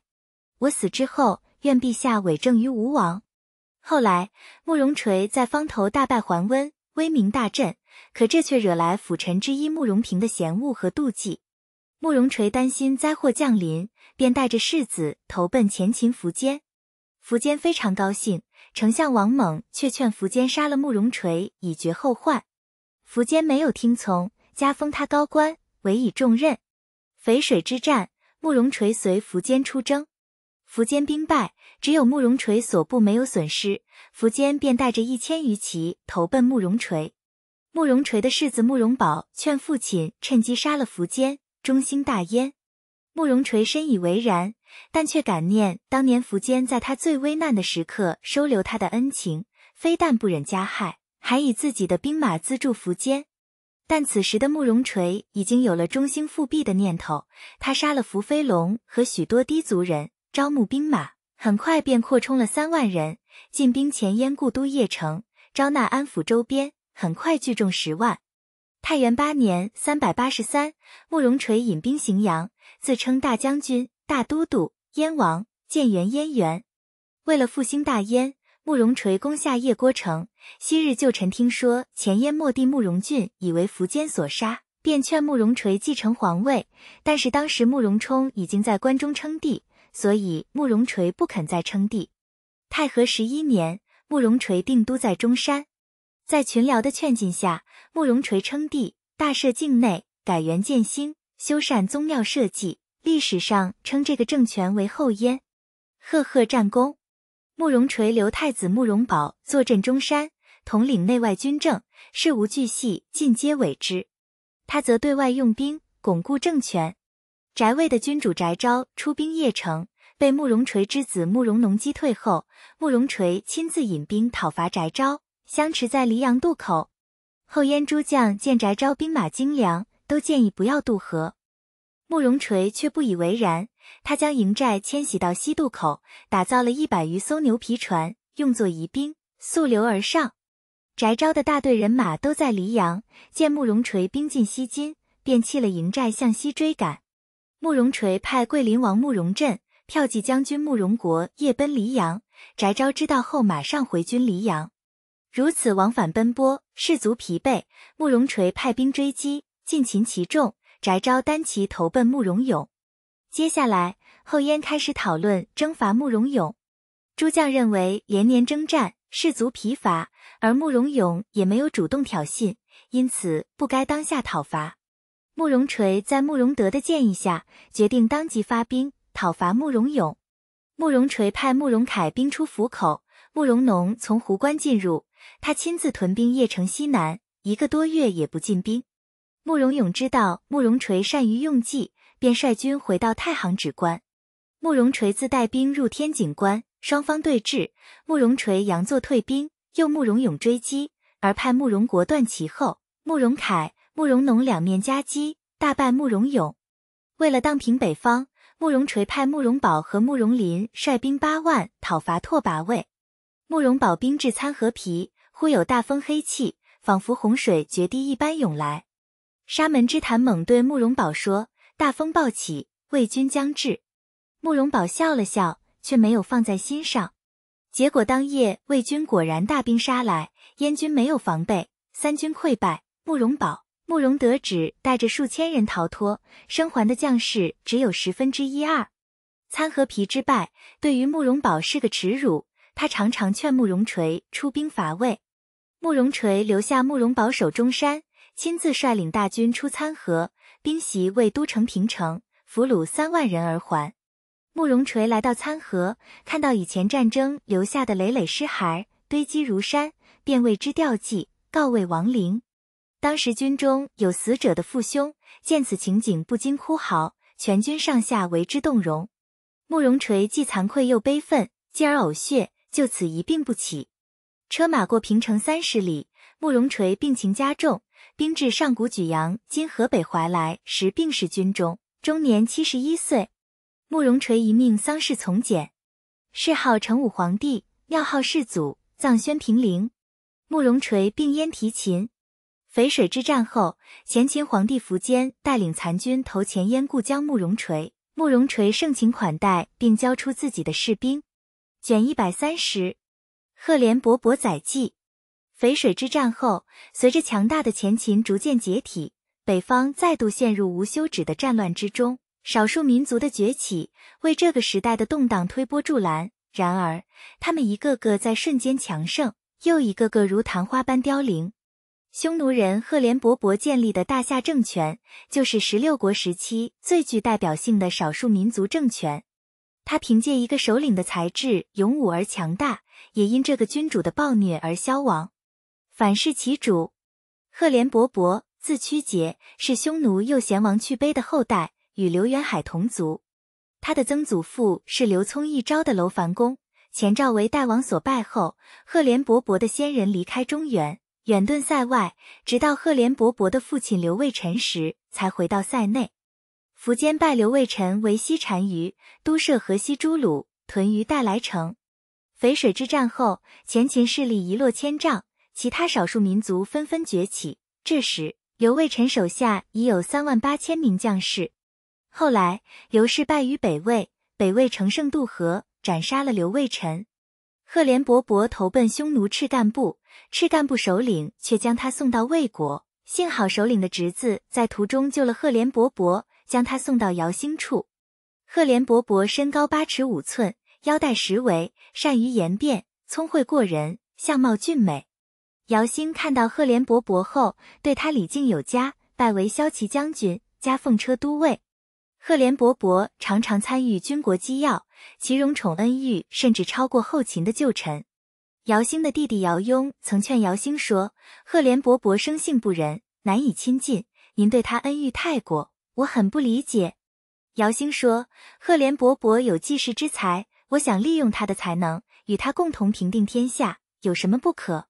于是以赫连勃勃为安远将军，封阳川侯，令他协助梅邑于镇守高平，以待将来伐魏之用。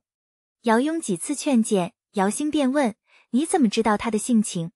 姚雍说：“赫连勃勃对待尊者长辈轻慢，对待百姓残忍，贪婪暴虐，轻易去留，对他过分恩宠，早晚成为祸害。”听了这话，姚兴才对赫连勃勃有所保留。结果，赫连勃勃杀了梅邑余，自己聚众数万人，拥兵自重。义熙三年（四百零七），赫连勃勃称天王，大单于，大赦境内。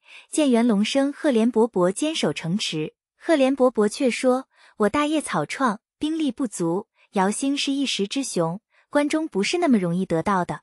况且他的大将个个英勇。”奋不顾身，我若固守一个城池，他一定会集中全力对付我。我兵力没他多，只能坐以待毙。而我这样出其不意的用骑兵攻击他，他就前军；我就攻击他后军，他就后军；我就攻击他前军，使他疲于奔命。我却一切如故，不用十年，岭北、河东便可尽归于我。等到姚兴死后，我再慢慢图取长安。姚宏资质平庸，早在我的掌控之中。当年轩辕氏迁徙二十年，居无定所，怎么我就不能呢？于是赫连勃勃采取这种游击的战术，侵扰后秦。姚兴懊悔不已，感叹道：“我不听皇姚雍小字之言，以至于此啊！”统万城遗址，统万城位于陕西省榆林市靖边县东北约八十千米，是赫连勃勃建立的大夏国的都城，俗称白城子。此城建造于四百一十三年，是目前唯一遗存的匈奴都城。它依地势而筑，虽然是土城，但有着石城一样的抗毁性。到唐朝后期，统万城被沙漠掩埋，直到清朝后期才被人们发现。百战不殆。赫连勃勃称王之初，曾向突发怒檀求婚，被对方拒绝了。赫连勃勃大怒，率领骑兵两万人讨伐突发怒檀，劫掠了大批人口。牲畜，突发怒檀率众追赶，中了赫连勃勃的埋伏，死伤无数。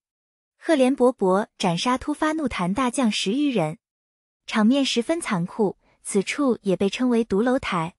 赫连勃勃不断的用游泳侵略后秦边境，劫掠人口。姚兴忍无可忍，亲自出兵讨伐。赫连勃勃乘姚兴大兵刚到，还未集结，率骑兵突袭，姚兴大惧。派大将姚文宗拒敌，赫连勃勃佯败撤退，诱敌深入，设置埋伏，将之一举擒获。姚兴的部将王熙在赤旗堡聚集了三千户，赫连勃勃攻克了这里。王熙骁勇有臂力，双方交战时，赫连勃勃手下将士很多都为他所伤，只好切断王熙的水源。堡中的人困窘难当，便捉了王熙投降。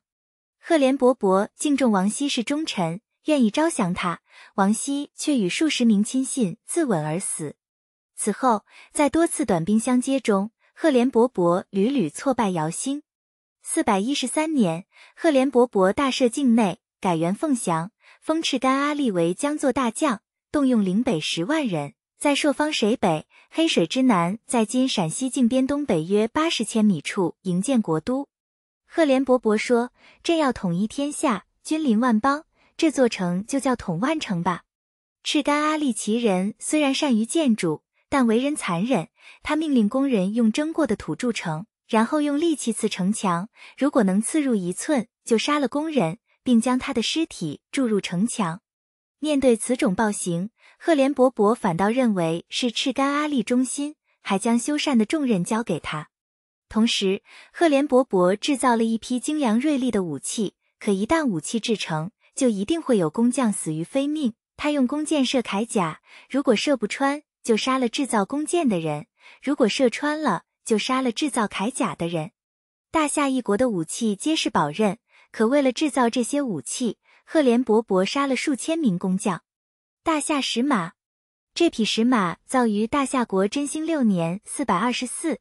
高二百厘米，长二百五十五厘米，原立于陕西省西安市长安县查家寨，今藏于西安碑林博物馆。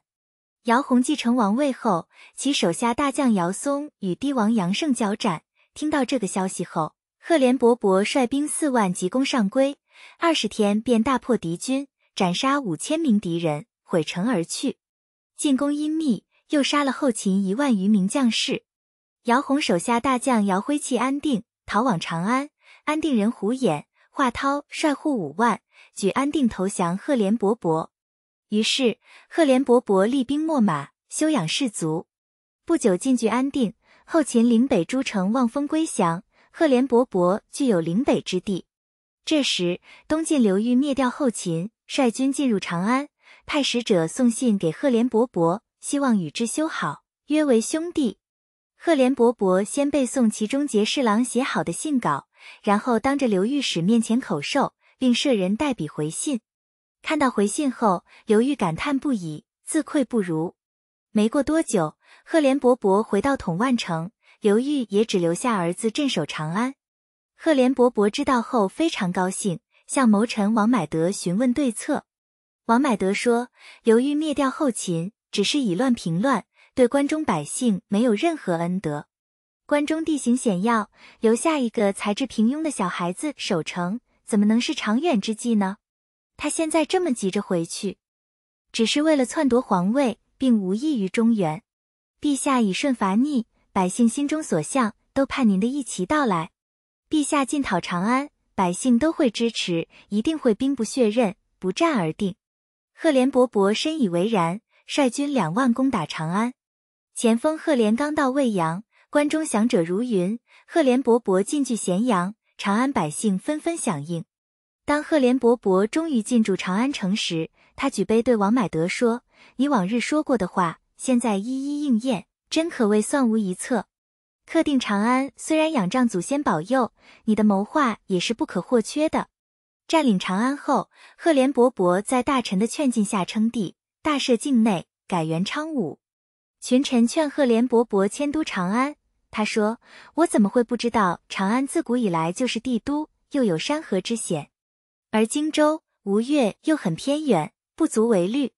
但魏却离我们很近，如果我定都长安，那统万城就很难守住。如果我在统万城，那魏人终究还是不敢进来的。”于是赫连勃勃又回到统万城，并大赦境内，改元真兴。凶残暴虐。赫连勃勃生性凶暴好杀，从不遵守常规。赫连勃勃在长安时，曾征召隐士为祖司，见到赫连勃勃的韦祖斯恭敬畏惧，礼数颇多。赫连勃勃怒道：“我以国事征你做官，你怎么对我像对待异类一样？你从前不拜姚兴，为什么现在又来拜我？我现在没死，你们就不拿我当皇帝；一旦我死了，你们这些舞文弄墨的一定会贬低我。”说完就杀了韦祖斯。他还常常拿着弓箭在城上巡视，一旦看到嫌隙或不喜欢的人，就亲手杀之。大臣中如果有忤逆者，便弄瞎这人的眼睛；有嘲笑他的人，便割伤那人的嘴唇。凡是劝谏的，他就称之为毁谤，先割了那人的舌头，再斩首。无论是汉人还是少数民族人，无不恐慌。刘宋元嘉二年（四百二十五），赫连勃勃去世。